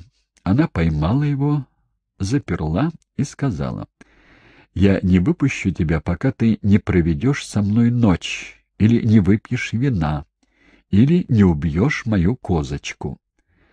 Молодой монах не знает, что отвечать. Дав обет безбрачия, он не может провести с ней ночь. Дав обет трезвости, он не может пить, а уж тем более он не может покуситься на чью бы то ни было жизнь. Но он должен выбрать, и после долгих раздумий он решает, что выпить вина — наименьший из этих грехов. В этот момент Калло Римпоче разражается лукавым смехом, смотрит нам прямо в глаза и заключает. Он выпил вина, потом провел ночь с женщиной и убил козу. Я смеюсь вместе со всеми. Как это просто и мудро. По вашим взволнованным и напряженным лицам видно, как точно он попал в цель. Но что меня удивило больше всего, вы оба не пили после этого почти целый год. Миша, Рива, Дорота — эти имена мы произносим каждый день, когда ты в Париже. Шемякины — семья художников в изгнании. Квартира их похожа на лабиринт. Она заполнена любопытными животными. Самый любопытный из них, несомненно, знаменитый Михаил Шемякин, хозяин дома, одетый во все черное, со всегда замкнутым, очень бледным флорентийским лицом, таким худым, что оно и фас напоминает профиль. Рива — миниатюрная женщина с ярко-рыжими волосами — она ходит в цветастых платьях, подчеркивающих ее более чем щедрые формы. Ее живые и добрые глаза неустанно следят за порядком в доме. Дорота — отчаянная девчонка, вся в булавках, велосипедных цепях и других аксессуаров панков. Приводит восхищение родителей. Это трио так и блещет талантами.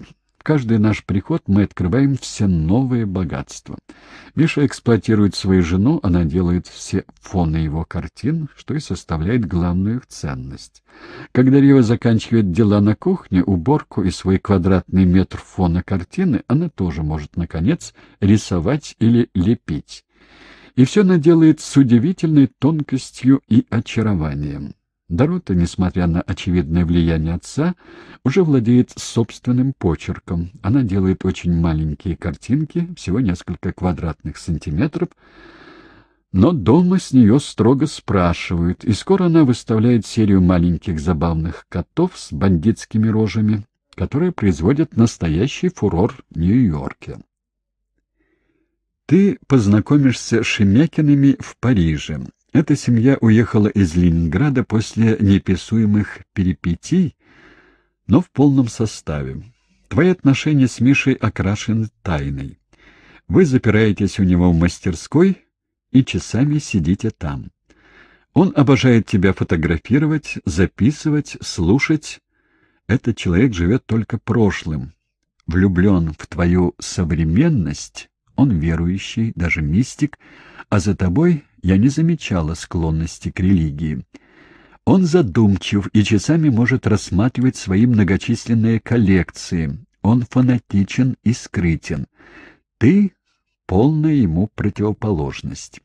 Единственная ваша точка соприкосновения, за исключением таланта, — это любовь к диким попойкам. Сколько раз Рива, Дорота и я, охая под тяжестью, втаскивали вас обоих в квартиру напротив Лувра. Собаки, не переносящие запаха алкоголя, яростно лают, попугай ужасно ругается. Мы не знаем, смеяться нам или плакать, потому что, насколько ораторские способности исчезают у тебя, как только ты выпил. Настолько Миша любит в этом состоянии декламировать длинные нецензурные монологи. И его, обычно изображающего из себя мрачного и молчаливого принца, невозможно заставить замолчать. Хуже того, у него появилась привычка нам звонить в этом состоянии. Много раз была вынуждена выслушивать длинные пулеметные очереди ругательств. Если положить трубку, он будет звонить всю ночь. Я видела иногда, как ты засыпаешь около телефона, но не кладешь трубку, чтобы дать своему приятелю выговориться. Пока вы пьете вино, расположившись в углу, мы с Ривой, иногда из Дороты, болтаем на кухне и едим что-нибудь вкусное. Жизнь прекрасна, жизнь печальна. Мы и не догадываемся, что это спокойное и счастливое время. Через несколько лет ничего этого не будет, только я осталась в Париже. Шемякин, за которым в 80-м году гонялась налоговая служба, занял у меня денег, чтобы выкупить матрицу литографии, хранимую в качестве обменной валюты его издателем. Он уезжает в Нью-Йорк, увозя с собой все состояние семьи. Дорота и Рива переселяются в Грецию. Там много света, красивых моряков — и жизнь там недорогая. Я больше так и не увижу Мишу. Что же до Ревы и Дорота, мы встречаемся иногда, когда я приезжаю в Грецию. Они работают, живут весело, хотя и очень бедно. Девчонка с велосипедной цепью превратилась в крупную сильную девушку, она даже иногда работает каменщицей. Мы едим муссаку, говорим о прошлом и всегда то смеемся, то плачем. 87 год. Я получила американский банковский чек и два очень красивых альбома живописи, подписанных Шемякиным. После восхитительного путешествия на Таити мы направляемся в мировую столицу кино. Погода мягкая. Внизу под нами в туманной дымке виднеется Лос-Анджелес. Мы находим дом Бака Генри, человека-оркестра, актера, сценариста и режиссера, и проводим здесь целый день. Сидя в бассейне, мы видим, как приходят двое наших старых друзей, Милош Форман и только что эмигрировавший в США Миша Барышников в сопровождении красивой блондинки. «Ты счастлив снова увидеться с Мишей. Вы совсем как мальчишки резвитесь в голубой воде бассейна. Присутствие молодой девушки вас подзадоривает. Милош рассказывает о своем будущем фильме «Волосы» и приглашает нас посмотреть первые репетиции в Нью-Йорке. Вечером мы едем на прием в одно суперсовременное здание на Сансет-бульвар. Сюда приходят показаться в компании известных людей. Здесь необходимо вести светские разговоры и расхаживать с отсутствующим видом. Чем больше интригуешь других, тем лучше. Небесные создания болтаются по комнатам, небрежно извиняясь, когда им случается ненароком побеспокоить уединившуюся парочку. Ты растерян, и очень скоро тебе надоедает изысканное общество. Ты с досадой говоришь мне, все эти девицы похожи одна на другую. Они красивы, но в них нет души. Пойдем отсюда.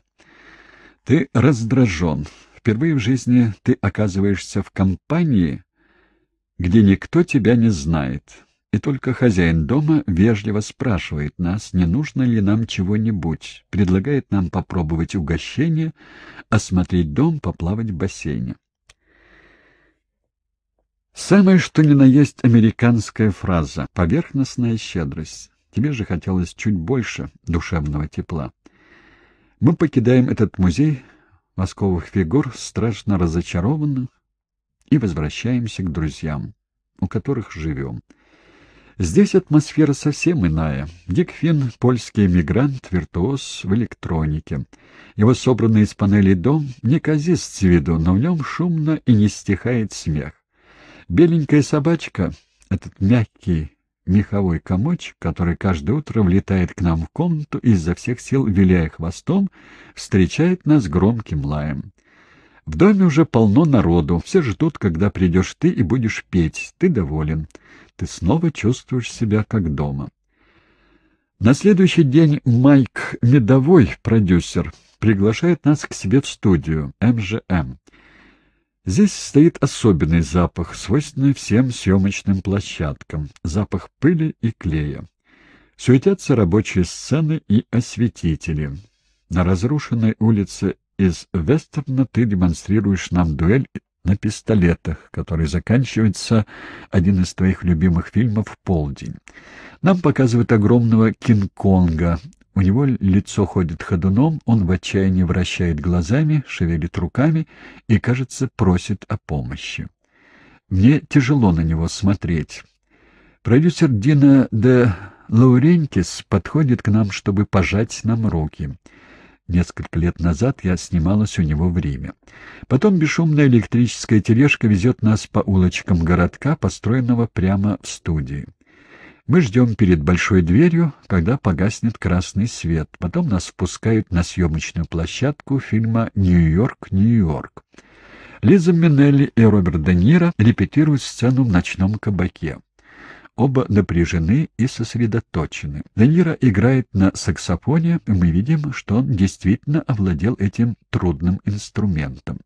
Лиза Минелли с ее огромными во все лицо глазами и накладными ресницами — бросает на тебя плотоядный взгляд. Мы присутствуем при съемке. Работа идет полным ходом, и, не желая никого беспокоить, мы потихоньку уходим. Майк Медовой говорит нам шепотом. «Сегодня я организую для вас вечер. Мы с благодарностью принимаем приглашение. Я вижу, что ты польщен. Тебя пригласили почетным гостем. Вернувшись домой, ты начинаешь перебирать водолазки, брюки, куртки, одежду, подходящую случаю, и выбираешь бледно-голубой цвет. Ты загорел и в отличной форме. Глаза у тебя блестят от возбуждения. Меня это тоже радует, тем более, что я ни о чем не беспокоюсь. Тебе только что вшили эспираль, и ты ничем не рискуешь при виде бутылки. Этот невидимый барьер делает тебя абсолютно свободным. Проблемы больше не существует. На несколько месяцев ты счастливый, не пьющий. Ярко освещенный парк окружает дом в колониальном стиле. На веранде, в комнатах, возле бассейна собрался весь Голливуд. Нас поражает красота этих людей, длинноногие женщины с потрясающими волосами, золотистой кожей и крепкими телами под легкими платьями. Крупные, гибкие, улыбающиеся мужчины, похожи на хищников в поисках добычи. Ты меня толкаешь локтем и, как мальчишка, зачарованно произносишь вслух имена актеров. Рок Хадсон, Пол Ньюмен, Грегори Пек. Хозяин дома подзывает тебя и просит тишины. Все собираются в кружок возле вас и слушают, что рассказывает Майк. Он говорит, что ты советский актер, поэт, певец с исключительным голосом. А я вижу, как ты волнуешься. Сидя почти у твоих ног, тебе улыбается Лиза Минелли. Ободренный ее взглядом, ты с места в карьер начинаешь первую песню. И тут же вежливо внимательные лица становятся напряженно серьезными. Из сада от бассейна с террасы идут люди, словно их тянут за невидимую ниточку. От твоего голоса их бросает дрожь. Женщины невольно прижимаются к своим спутникам, мужчины курят. Исчезает небрежность манер. Они не понимают слов, но масок не осталось. Вместо светских полуулыбок — лица. Некоторые даже и не пытаются скрывать своих чувств и, закрыв глаза, отдались во власть твоего крика. Ты исполняешь последнюю песню, и воцаряется долгая тишина. Все недоверчиво смотрят друг на друга. Все они в плену у этого человека в голубом. Лиза Минелли и Роберт Де Ниро задают тон, выкрикнув «Потрясающе! Невероятно!» Все хотят пожать тебе руку, обнять тебя, высказать свои чувства. Я потеряла тебя в толпе этих высоких мужчин и женщин. За час ты завоевал, может быть, самую трудную публику, состоящую лишь из профессионалов кино, избалованных славой гораздо больше тебя. На следующий день в университете зал набит битком. Здесь собрались студенты, изучающие русский язык, русскую литературу и историю, и жаждущие увидеть, наконец, поэта, о котором столько слышали. Ты не обманешь их ожиданий. Еще не остыв после вчерашнего триумфа, ты начинаешь свой первый концерт в США двухминутной речью на английском языке. Открыв рот от изумления — я слушаю, стоя в кулисах. Когда ты успел выучить эти слова? Ты мельком смотришь на меня и улыбаешься в зал. Это был небольшой сюрприз, который я приготовил для вас сегодня ночью. И, как обычно, без перехода начинаешь с охоты на волков. После двух изматывающих часов концерта ты уходишь со сцены весь мокрый, пальцы сбиты в кровь, с гитары свешиваются две лопнувшие струны, но лицо у тебя сияет. Они все поняли. Сегодня был хороший зал. В аудитории, которая служит тебе гримуборной, тебя ждут ректор университета, преподаватели русского языка и два человека из консульства СССР в Лос-Анджелесе. Эти двое еще не знают, от какой печки им танцевать. Успех бесспорный, и они просто счастливы, как, впрочем, и вся остальная публика, побывать на твоем концерте. Для них это невероятная удача, потому что в СССР, где они бывают редко, достать билет в театр на Таганке или на твой концерт почти невозможно. И потом ты спел очень широкий репертуар, тридцать самых популярных песен, плюс несколько еще неизвестных в Москве. Но именно это их и настораживает. Как им теперь себя вести? Поздравить и выразить свою радость? Или пожалеть тебя за содержание некоторых песен? От этих сомнений у них все время меняется выражение лица. Если он здесь, если он свободно поет, если у него такой уверенный вид, значит, у него есть прикрытие, у него наверняка имеется особое распоряжение. Кто знает, может быть, сам Брежнев дал ему зеленую улицу. Мы не получили никакого сигнала из посольства. Думают они, нам известно, что он лишь сопровождает свою жену, больше ничего. Надо быть осторожными. Подождем официальной реакции. И наскоро пожав тебе руку, они мгновенно испаряются. В каждом университете, где ты поешь, сценарий тот же. Восторги публики и осторожная сдержанность советских официальных лиц. В США тебя это забавляет. А по приезде в Москву ты откровенно хохочешь над таким осторожничанием. Все органы опеки, с которыми ты столкнешься, будут обезоружены твоим нахальством штампы всех стран, украшающие твой паспорт, выданный с единственным разрешением приехать ко мне во Францию, придется объяснять моими профессиональными и семейными делами. Мне нужно было съездить на Таити, повидаться с детьми. Что же касается твоих концертов во всех этих странах, здесь ты будешь повторять в свое оправдание короткую, но многозначительную фразу «Наверху знали». И каждый раз в худшем случае тебя могли лишь слегка пожурить, но всегда осторожно. Кто знает, думали они. Он, видимо, имел разрешение, иначе бы он не посмел. И, не рискуя перепроверить туманное наверху знали, твои собеседники ни разу не решатся наказать тебя. Раз нельзя ничего, говоришь ты, то можно все. Надо только иметь смелость. Эта смелость была в тебе всю жизнь, и еще тебя поддерживают любовь и восхищение стольких людей. Всенародное признание служит тебе щитом. Мы возвращаемся в Нью-Йорк, где нас ждет Миша Барышников. Он предоставляет наше распоряжение свою квартиру. Здесь ты всего лишь зритель, и мы ходим на концерты и шоу, выставки живописи и балет. Бродвей тебя поражает. Мы объедаемся гамбургерами, сосисками в тесте и пиццей. Мы день и ночь ходим по городу, никому неизвестные и немного потерянные. Два дня подряд мы восхищаемся выставкой Кандинского в Гугенгеймском музее. Среди шоферов такси часто попадаются русские. Некоторые тебя узнают, не верят своим глазам — резко тормозят в самых неожиданных местах, и немедленно образуются пробки. Они зазывают тебя в гости, хотят показать своим товарищам, послушать, как ты поешь. С большим трудом нам удается освободиться от их восторгов, пообещав им билеты на концерт. Милош Форман знакомит нас со своей группой танцовщиков и певцов. Мы присутствуем на репетиции фильма «Волосы».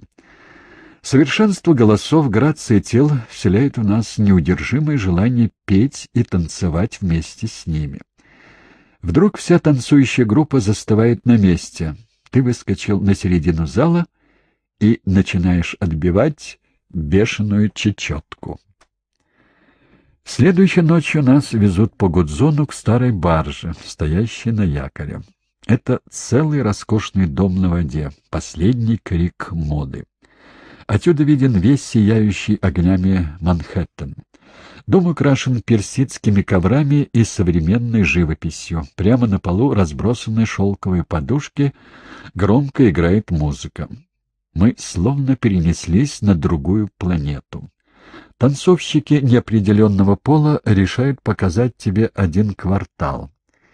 Я не хочу идти туда с вами, но ты не соглашаешься оставить меня одну на барже, и мы снова пускаемся в лодке по темной и немного пугающей воде. Из ночных кабаков на набережной вырывается музыка. Увидев меня в группе мужчин, вышибалы не хотят нас пускать. Нам здесь баб не нужно. Большой ресторан, откуда странным образом доносятся звуки аккордеона, оказывается более гостеприимным. Мы входим, я смотрю на тебя.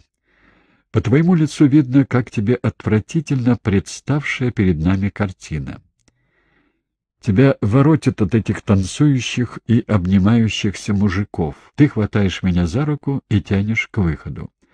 Как только мы оказываемся на улице, к нам подходят два очень красивых накрашенных мальчика Их предложения не оставляют сомнений, и совершенно выведенно из себя ты отвечаешь ругательством сквозь зубы. Мы хватаем такси и уезжаем из этого квартала, чтобы никогда больше сюда не вернуться. К счастью, на следующий день у нас назначена встреча с Иосифом Бродским, одним из твоих любимых русских поэтов. Мы встречаемся в маленьком кафе «Гринвич-Виллидж». Сидя за чашкой чая, вы беседуете обо всем на свете. Ты читаешь Бродскому свои последние стихи, он очень серьезно слушает тебя. Потом мы идем гулять по улицам. Он любит эту часть Нью-Йорка, где живет уже много лет. Становится прохладно, и ты покупаешь мне забавную шапочку, чтобы не надуло в уши. Улица, по которой мы идем, кажется безмятежно спокойной, но Бродский говорит, что ночью здесь просто опасно.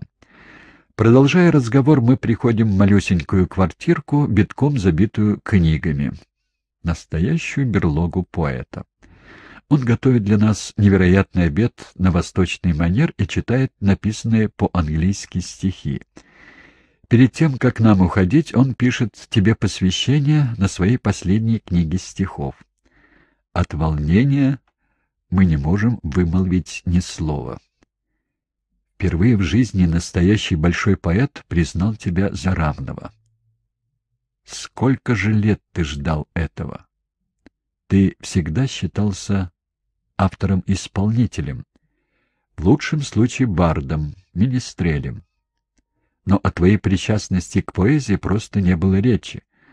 Официальные поэты Евтушенко и Вознесенский с удовольствием общаются с тобой, но снисходительно улыбаются, когда ты приносишь им свои стихи. Не стоит рифмовать, кричу-торчу. Много раз они забирали с собой твои стихи, обещали их напечатать, но так ничего и не сделали. Не имея необходимого количества напечатанных строчек, ты никогда не сможешь стать членом Союза писателей.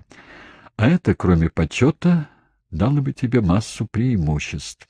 Неочередное получение квартиры с рабочим кабинетом, льготы для организации поэтических вечеров, путевки многочисленные дома творчества, где можно за очень умеренную плату жить месяцами в прекрасных условиях. А главное — ты получал бы визы для участия в концертах за рубежом. К счастью, у тебя все это есть благодаря твоему таланту, любви к тебе людей и тому, что ты женат на француженке. Что до почета, вот ведь признал тебя за равного лучше из живущих ныне поэтов. У тебя в глазах счастливые слезы. Книгу эту ты будешь показывать каждому из гостей — она всегда будет стоять на почетном месте в твоей небольшой библиотеке. И я буду тихонько улыбаться, глядя, как ты часто перечитываешь посвящение, произведшее тебя сан поэта.